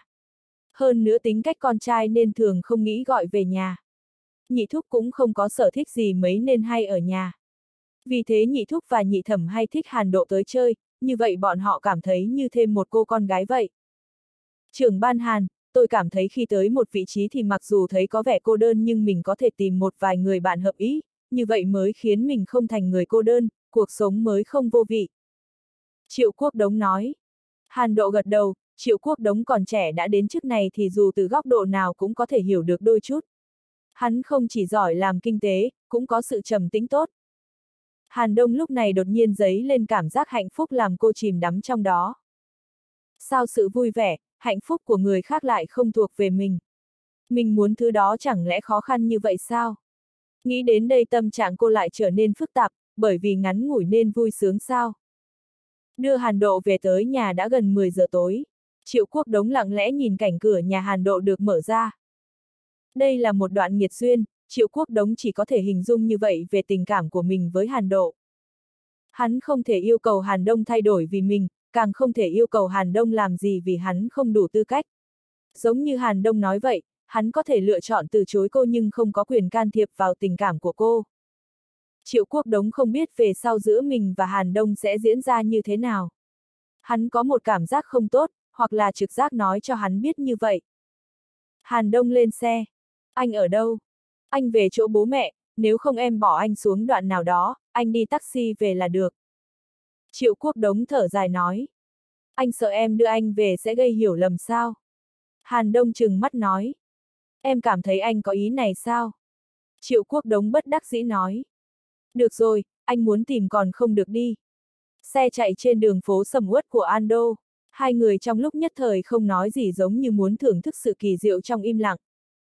Quốc Đống, anh có phải muốn để cán bộ Ninh Lăng ra ngoài không? Ừ, có cơ hội đương nhiên là muốn rồi. Một nơi có nhiều cán bộ ra ngoài cũng là khẳng định nơi đó phát triển. Anh cảm thấy Ninh Lăng đáng được vinh dự này. Triệu Quốc Đống gật đầu nói. Lần này trên tỉnh sẽ lục tục có cuộc điều chỉnh trên quy mô lớn. Anh là bí thư thị ủy Ninh Lăng nên đương nhiên muốn tranh thủ sân khấu cho các đồng nghiệp có năng lực, đó là rất bình thường. Em đâu có nói anh không bình thường. Hàn Đông yêu kiều nhìn hắn. Chẳng qua em đoán dù nhị thúc muốn giúp anh thì một mình ông cũng không được. Trưởng ban tổ chức cán bộ chỉ có quyền đề cử và đề nghị, không có quyền quyết định mà. Làm nhiều năm trong thị ủy An Đô, Hàn Đông đã không phải cô gái ngây thơ như hồi mới vào. Cô cũng từ một cán bộ bình thường lên làm cán bộ cấp phó huyện nên hiểu được không ít về việc đấu tranh trong chính trị. Anh biết, nhưng ban tổ chức cán bộ là cửa đầu tiên, cũng là cửa quan trọng nhất. Cho nên anh mới muốn giới thiệu tình hình với nhị thúc em, để nhị thúc em hiểu rõ cơ bản tình hình Ninh Lăng. Dù sao nhị thúc em đối mặt với 14 thành phố, thị xã và mấy chục sở ban ngành thuộc tỉnh. Cán bộ cấp phó giám đốc sở quá nhiều, nếu như không có ấn tượng thì ngài đúng là khó đưa ra được phân tích và phán đoán. Triệu quốc đống bất đắc dĩ nhún vai. Đây là sơ sót trong chế độ nhân sự, bởi vì có nhiều nhân tố nên năng lực chỉ là một mặt, nhất là dưới vầng sáng của lãnh đạo chủ yếu khiến anh càng khó được nhận ra. Hàn Đông khẽ gật đầu. Trước mặt cô, Triệu Quốc Đống luôn nói thẳng làm cô rất vui. Vâng, bên nhị thúc em chắc không vấn đề gì, chủ yếu là chỗ bí thư ứng mà thôi. Hàn Đông thở dài nói. Đứng trước cửa tiểu khu nhìn xe chạy đi, Triệu Quốc Đống thở dài một tiếng. Như vậy là tốt nhất, giữ được khoảng cách tuy không phải cách hay nhưng trước mắt hắn chỉ có thể làm như vậy. Triệu Quốc Đống vung tay đánh bóng, Nhâm Vi Phong ở bên kia lưu như hoài hoạt đánh bóng sang. Nhâm Vi Phong giành phần thắng ở ván này. Y cười ha hả cầm khăn lông lau mồ hôi rồi để vợt sang bên. Quốc Đống, kỹ thuật của cậu rất bình thường ngoài thể lực tốt ra tôi không thấy cậu có năng lực gì ở môn này cả. Nhâm Vi Phong lắc đầu nhấp ngụm nước suối. Ha ha, Chủ tịch Phi Phong, thể lực tốt không phải ưu thế sao? Bất cứ môn thể thao nào nếu không có thể lực tốt thì sao được? Nhâm Vi Phong đang thở hổn hển nhưng Triệu Quốc Đống lại thoải mái hơn nhiều. Nhâm Vi Phong có kỹ thuật tốt nhưng do trên 50 nên thể lực giảm đi nhiều. Ngồi lát đi, tôi không so sánh được với người trẻ như cậu. Nếu là 10 năm trước tôi có thể chơi thêm vài sách nữa với cậu. Nhớ năm đó tôi cũng là nhân vật cấp kiện tướng đó. Nhâm Vi Phong rất thích cảm giác vận động hết sức này. Chủ tịch Vi Phong, sức khỏe của ngài giữ khá tốt. Tôi cũng hay đánh với trưởng ban trang quyền và trưởng ban uẩn hoa, bọn họ không thể so sánh với ngài. Đánh hai ba lượt là thở hổn hển như châu. Triệu quốc đống ngồi xuống nói. Tôi ở Hoài Khánh còn hay chơi nhưng bây giờ đến đến Ninh Lăng liền không có thời gian. Quốc đống, cậu mặc dù còn trẻ nhưng cũng phải chú ý tập luyện. Sức khỏe là tài sản của cách mạng mà. Nhâm Vi Phong gật đầu nói. Chẳng qua một năm nay đúng là cậu không có thời gian rảnh. Triệu quốc đống muốn dơ cao ngọn cờ phát triển thì không thể không có cậu. Chủ tịch Vi Phong, thế giới này dù không có ai vẫn phát triển tốt. Ninh Lăng không có tôi thì vẫn phát triển, tôi chẳng qua là đến đúng dịp mà thôi. Triệu quốc đống khiêm tốn nói. Nhâm Vi Phong bĩu môi. Quốc đống, cậu khiêm tốn như vậy từ bao giờ? Trước mặt tôi cậu không cần như vậy. Bí thư ứng rất kỳ vọng vào cậu, nửa cuối năm tới Ninh Lăng phải nhảy vọt hơn nữa, cũng để bí thư ứng tạo điển hình ở Ninh Lăng chứ. Điển hình có chỗ gì tốt chứ? Tôi thấy không làm là tốt nhất, tôi là người dễ làm mất lòng kẻ khác, thành điển hình không phải thành con chim bị mọi người bắn sao. Quyển 13, chương 118. Ồ! Nhâm Vi Phong có chút kinh ngạc nói. Nói nghe xem. Tốc độ tăng trưởng kinh tế của Ninh Lăng năm nay khá nhanh, tôi đoán theo xu thế hiện nay thì năm nay đạt thứ nhất không vấn đề gì, thu hút tài chính của Ninh Lăng cũng đứng đầu toàn tỉnh, lấy được thành tích đó không phải bản lĩnh của riêng ai, không ai có thể làm được cả. Đây là sự đồng tâm hiệp lực của toàn bộ Ninh Lăng. Bắt đầu từ năm trước đến năm nay tôi thấy ban đầu khi Hoàng Lăng bị bắt mọi người lo, sau đó yên tâm rồi cuối cùng đồng tâm hợp sức, có thể nói điều này là do cố gắng của toàn bộ bộ máy thị ủy, ủy ban Ninh Lăng. Nhâm Vi Phong kiên nhẫn nghe Triệu Quốc Đống đi đường vòng. Nhâm Vi Phong có thể đại khái nghe ra ý của Triệu Quốc Đống, chỉ là người này hình như tìm nhầm của thì phải. Lục kiếm dân trầm tính Vưu Liên Hương khôn khéo, có năng lực. Tiêu Phượng Minh lão luyện, bọn họ đều có năng lực, tôi không dám tự khen nhưng bọn họ dù ai ra ngoài làm bí thư thị ủy hay thị trưởng đều không vấn đề gì. Triệu Quốc Đống tiếp tục nói. Bí thư Đông Lưu cùng Chủ tịch Hạo Nhiên trong khoảng thời gian này đi đến các nơi khảo sát làm tôi mơ hồ hiểu ra vấn đề. Đường Giang, Vinh Sơn cùng Lô Hóa đều là các nơi mấy năm không khởi sắc. Nguyên Châu, Kiến Dương lại giảm tốc, ảnh hưởng đến sự củng cố địa vị của tỉnh ta trong mười mấy năm qua. Vĩnh Lương đạt thứ hai, chỉ sợ Nguyên Châu Kiến Dương muốn đoạt lại vị trí là rất khó khăn. Có khi sang năm Hoài Khánh sẽ đẩy hai thành phố này xuống hạng. Nhâm Vi Phong nở nụ cười vui vẻ nghe Triệu Quốc Đống phân tích. Vậy sang năm Ninh Lăng các cậu có phải cũng có thể dẫm Miên Châu Kiến Dương xuống dưới chân? Ha ha, điều này khó nói. Trên chiến trường ai không muốn giành phần thắng Hạng mục Fukuda cũng là do Ninh Lăng đoạt của Tân Châu và Miên Châu. Nếu nói điều kiện thì Miên Châu hơn, nó vừa lúc dễ dàng hợp với hai trụ sở sản xuất ô tô lớn là Ando và Trùng Khánh.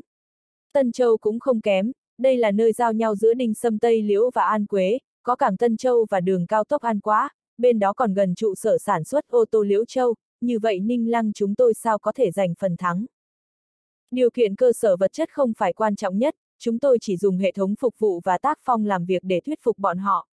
Công tác có thể cung cấp công nhân đã qua tập huấn và nơi ở, sống và giải trí cho nhân viên quản lý, nhân viên kỹ thuật của bọn họ, cũng đưa ra chế độ trợ cấp cho các chuyên gia, đây là pháp bảo để chúng tôi giành chiến thắng. Nhâm Vi Phong gật đầu, triệu quốc đống này có thể rất giỏi nói. Hắn có lẽ muốn thuyết phục mình nên mới mịt mờ nói ra cách làm của Ninh Lăng, nếu người bình thường muốn hắn nói những điều này là không thể. Trụ cột kinh tế quyết định kiến trúc thượng tầng, bí thư ứng cùng chủ tịch tần còn trẻ, còn có hy vọng tiến lên thêm. Nhưng lên như thế nào thì phải do kiến trúc thượng tầng quyết định, nhưng kiến trúc thượng tầng do cái gì ảnh hưởng. Đó là trụ cột kinh tế. Ai có thể chứng minh mình có trụ cột kinh tế chắc chắn, người đó có thể được hai vị lãnh đạo chủ yếu tin tưởng.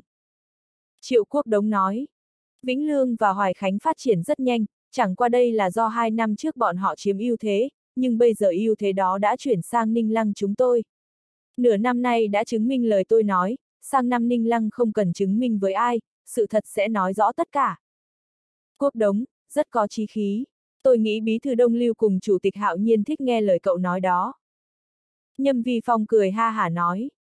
Chẳng qua toàn tỉnh chỉ có mình Ninh Lăng phát triển là không đủ, cậu là ủy viên tỉnh ủy, phải đứng ở góc độ cao mà nhìn nhận vấn đề. Đối với bí thư Đông Lưu cùng chủ tịch Hạo Nhiên mà nói, bọn họ cũng phải suy nghĩ làm như thế nào để chấn hưng các thành phố công nghiệp trước đây là đường Giang Vinh Sơn, đây là nhiệm vụ quan trọng nhất hiện nay của tỉnh ủy, ủy ban. Tôi đang suy nghĩ đề nghị với Bí thư Đông Lưu cùng Chủ tịch Hạo Nhiên về việc tổ chức hội nghị thu hút đầu tư toàn tỉnh ở Ninh Lăng, cậu thấy sao? Triệu Quốc Đống há hốc mồm suy nghĩ ý trong câu này.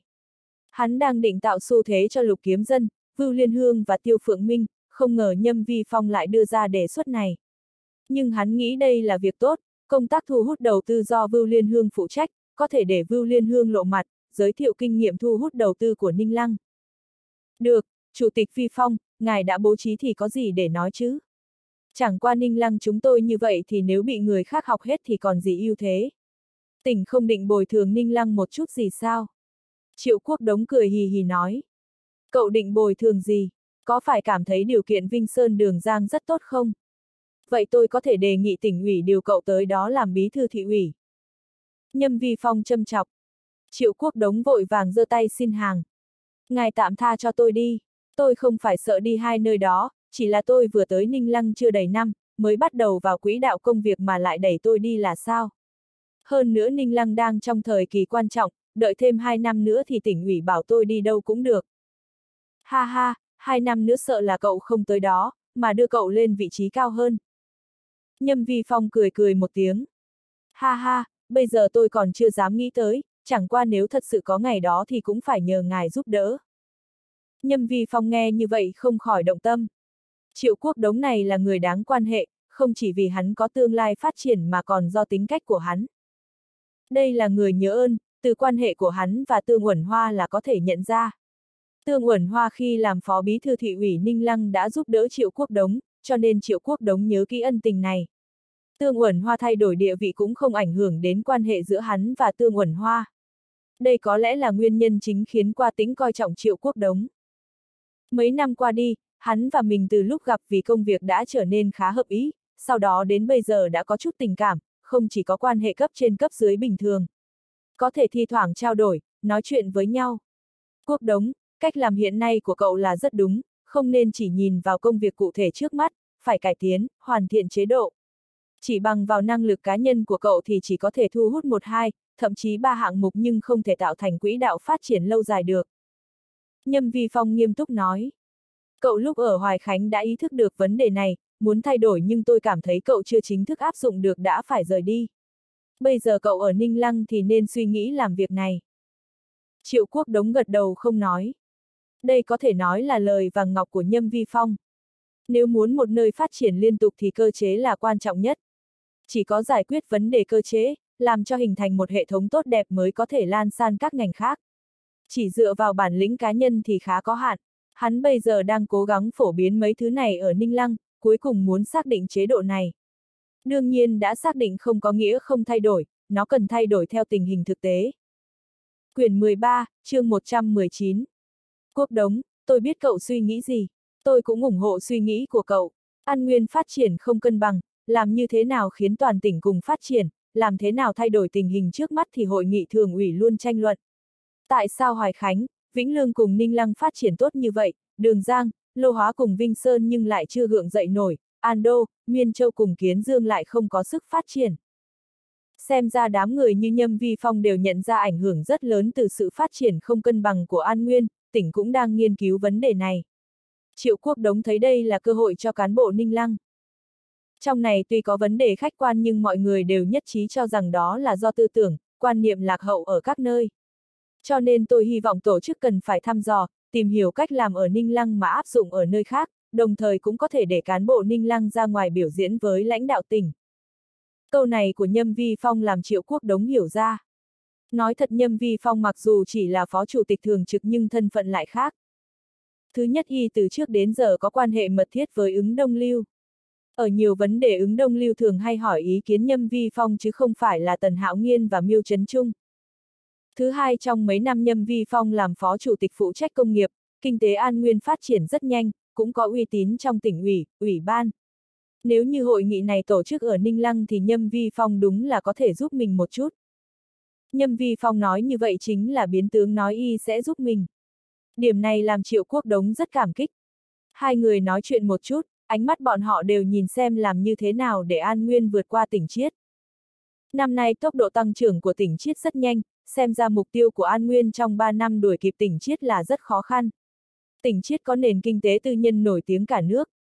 Ngoài Nhật Bản là thành phố cấp phó tỉnh ra, Thiệu Hưng, Ôn Châu, Thái Châu đều là thành phố lớn về kinh tế, dân cư và tài nguyên thấp hơn An Nguyên nhưng GDP của tỉnh Chiết lại cao hơn An Nguyên, thu tài chính cũng vượt xa An Nguyên không ít. An Nguyên đặt mục tiêu cũng thấy có chút kinh ngạc nhưng không ngờ năm trước và nửa năm nay lại bị tỉnh Chiết bỏ xa như vậy sang năm nếu muốn đuổi kịp tỉnh chiết gần như mơ tưởng. Hết 5 năm khóa này có thể đuổi kịp tỉnh chiết đã là may rồi. Chủ tịch, chiều ngài có lịch gì không? Triệu quốc đống nhìn đồng hồ thấy thời gian cũng đã tới. Nhâm vi phong không mấy khi được rảnh rỗi, cho nên hắn cũng muốn có nhiều thời gian ngồi với đối phương. Nếu không có lịch gì thì tôi gọi trịnh kiện tới, cùng nhau chơi ván bài. Được đó quốc đống, chẳng qua cậu đánh bài quá kém mà cũng dám lộ ra sao. Nhâm Vi Phong nở nụ cười. Y thích nhất là tìm mấy người bạn đánh giỏi ngang nhau ngồi chơi, nói chuyện. Hay tôi gọi Minh Thần tới. Được, trưởng ban thư ký Minh Thần nghe nói đánh bài rất hay, tôi cũng muốn học tập một chút xem có phải lời lời đồn thổi không. Triệu Quốc Đống thản nhiên nói. Ha ha, cậu có thể thử, nhưng tôi đoán cậu không tìm Ran Am ra bắc đó. Nhâm Vi Phong cười phá lên nói. Ha ha, thất bại mới có thành công mà. So sánh với chủ tịch thì tôi cũng có thể học thêm mà. Triệu Quốc Đống một bên nói chuyện một bên gọi cho Trịnh Kiện. Kiện ca, chiều có rảnh không? Ừ. Chủ tịch Vi Phong muốn tham khảo kiến thức cao thủ đánh bài của ngân hàng xây dựng anh, anh có nhận khiêu chiến không? Ồ, Đông ca cũng về, vậy vừa lúc, Chủ tịch Vi Phong đã lâu không gặp anh ta, vừa lúc cũng có thể xem Đông ca có tiến bộ gì khi lên Bắc Kinh lâu như vậy không? Được, các anh trực tiếp đến đây, chỗ cũ. Ai thế? Nhâm Vi Phong có chút tò mò hỏi. Lôi hướng đông vừa xuống máy bay, tôi gọi anh ta và chỉnh kiện luôn, bảo bọn họ đến đánh với ngài và trưởng ban thư ký Minh Thần. Còn tôi chắc ngồi bên xem trận chiến thôi. Triệu Quốc Đống nói. Ồ, giám đốc lôi cũng về ư. Tôi cũng có thể nói chuyện với anh ta, ngân hàng phát triển quốc tế ở tỉnh thành khác giúp đỡ rất nhiều công ty tư nhân nhưng hình như ở tỉnh ta chỉ có công ty Thiên hàng Ninh Lăng là qua cửa. Vậy không được, An Nguyên tốt xấu cũng là nơi anh ta trưởng thành, phải giúp đỡ một chút mới được. Nhâm Vi Phong vui vẻ nói. Đúng thế, Chủ tịch Phi Phong, ngài phải sớm nhắc anh ta mới được. Anh ta lên Bắc Kinh phát triển mà quên địa phương, sắp thành Trần Thế Mỹ vong ân phụ nghĩa rồi. Triệu quốc đống bỏ đá xuống giếng. Xem ra tối nay phải bố trí bữa ăn mới được. Buổi chiều mọi người khá vui vẻ. Trịnh Kiện và lôi hướng đông đến làm nhâm vi phong vui, Nguyễn Minh Thần cũng là cao thủ đánh bài, mấy người đánh khá hợp ý, đánh đến chiều muộn mới thôi. Chấm, Huyền. Ba nàng tiên cá nhàn nhã bơi trong hồ, nếu không bơi ở hồ công cộng nhất định hấp dẫn vô số ánh mắt mọi người. Triệu quốc đống bị ba người cổ tiểu Âu kéo tới đâu. Sau khi uống mấy chén trong ba, thời tiết nóng nên mấy cô đòi đi bơi. Triệu quốc đống bất đắc dĩ nên đành phải gọi cho Hồ Vân Loa, cũng may Hồ Vân Loa ngoài việc mở với khách bình thường ra thì cũng mở bể bơi cho khách VIP. Hồ Vân Loa bây giờ đã thành tài sản của tập đoàn Thiên Phu. Vốn hầu hết cổ phần của Hồ Vân Loa bị thế chấp cho ngân hàng nhưng sau khi tập đoàn Thiên Phu mua lại tập đoàn Hoa Mậu nên cũng nhận khoản nợ, khiến Hồ Vân Loa thành một tài sản của tập đoàn Thiên Phu. Thiên Phu vì thế cũng chuyên môn chỉnh thu lại tài sản này, sau đó cho nơi này tự kinh doanh, Hồ Vân Loa chính thức lấy tên làm câu lạc bộ quốc tế Hồ Vân Loa, thành tài nguyên khan hiếm với giới thượng lưu Ando. Bởi vì phía đông ngoại thành có nhiều cây xanh nên Thiên Phu cũng không định sửa lại nơi này mà giữ lại mảng cây xanh ở đó, biến Hồ Vân Loa thành khu nghỉ dưỡng tốt đẹp ở Ando. Ngoài việc sửa lại sân gôn ra còn thăng cấp các nơi khác, khiến nơi này càng thêm hút khác. Mà hội trợ xúc tiến thương mại An Nguyên hàng năm vào tháng 9 cũng được tổ chức ở đây, điều này càng làm cho Hồ Vân Loa thêm nổi tiếng. Hồ Vân Loa đã sửa lại chế độ hội viên VIP nên tăng không ít hội viên. Chẳng qua Hồ Vân Loa bây giờ trong vài năm tới không lo tăng hội viên VIP, nhưng cho phép tư cách hội viên VIP được chuyển sang cho người khác khiến giá chợ đen hội viên VIP Hồ Vân Loa tăng vọt. Một ít người giàu ở Ando chấp nhận bỏ ra gấp vài chục lần giá gốc để mua một thẻ hội viên VIP. Triệu quốc đống bơi hai vòng rồi lên bờ, bơi ở hồ nhỏ như vậy hắn không thích. Hắn thích bơi ở nơi rộng như dòng ô giang, ninh giang, có nước chảy mạnh. Nằm trên ghế, triệu quốc đống rất thoải mái nhìn ba cô vẩy nước, đây cũng là một sự hưởng thụ. Từ ngây ngô đến trưởng thành, cổ tiểu Âu không nói, rất ngang bướng. Kiều San rất quyến rũ. Về phần đồng Úc thì lạnh nhạt nhưng thêm phần tươi tắn. Đẹp chính là đẹp, không có lý do gì cả. Triệu quốc đống thích hưởng thụ sự vui vẻ riêng tư này. Nhưng hình như ông trời không cho hắn cái phúc đó. Tiếng ồn ào bên ngoài vang lên làm triệu quốc đống nhíu mày. Chẳng lẽ câu lạc bộ như Hồ Vân Loa mà có chuyện này sao? Quyển 13, chương 120 Thường Xuân đầy kiêu ngạo vỗ vỗ mặt nhân viên phục vụ nói. VKAITER, tôi không làm khó, tôi có thẻ VIP, chúng tôi đều là người có thân phận nên tất cả làm theo quy định. Tôi biết đây là bể bơi VIP, chúng tôi có quyền hưởng thụ mà.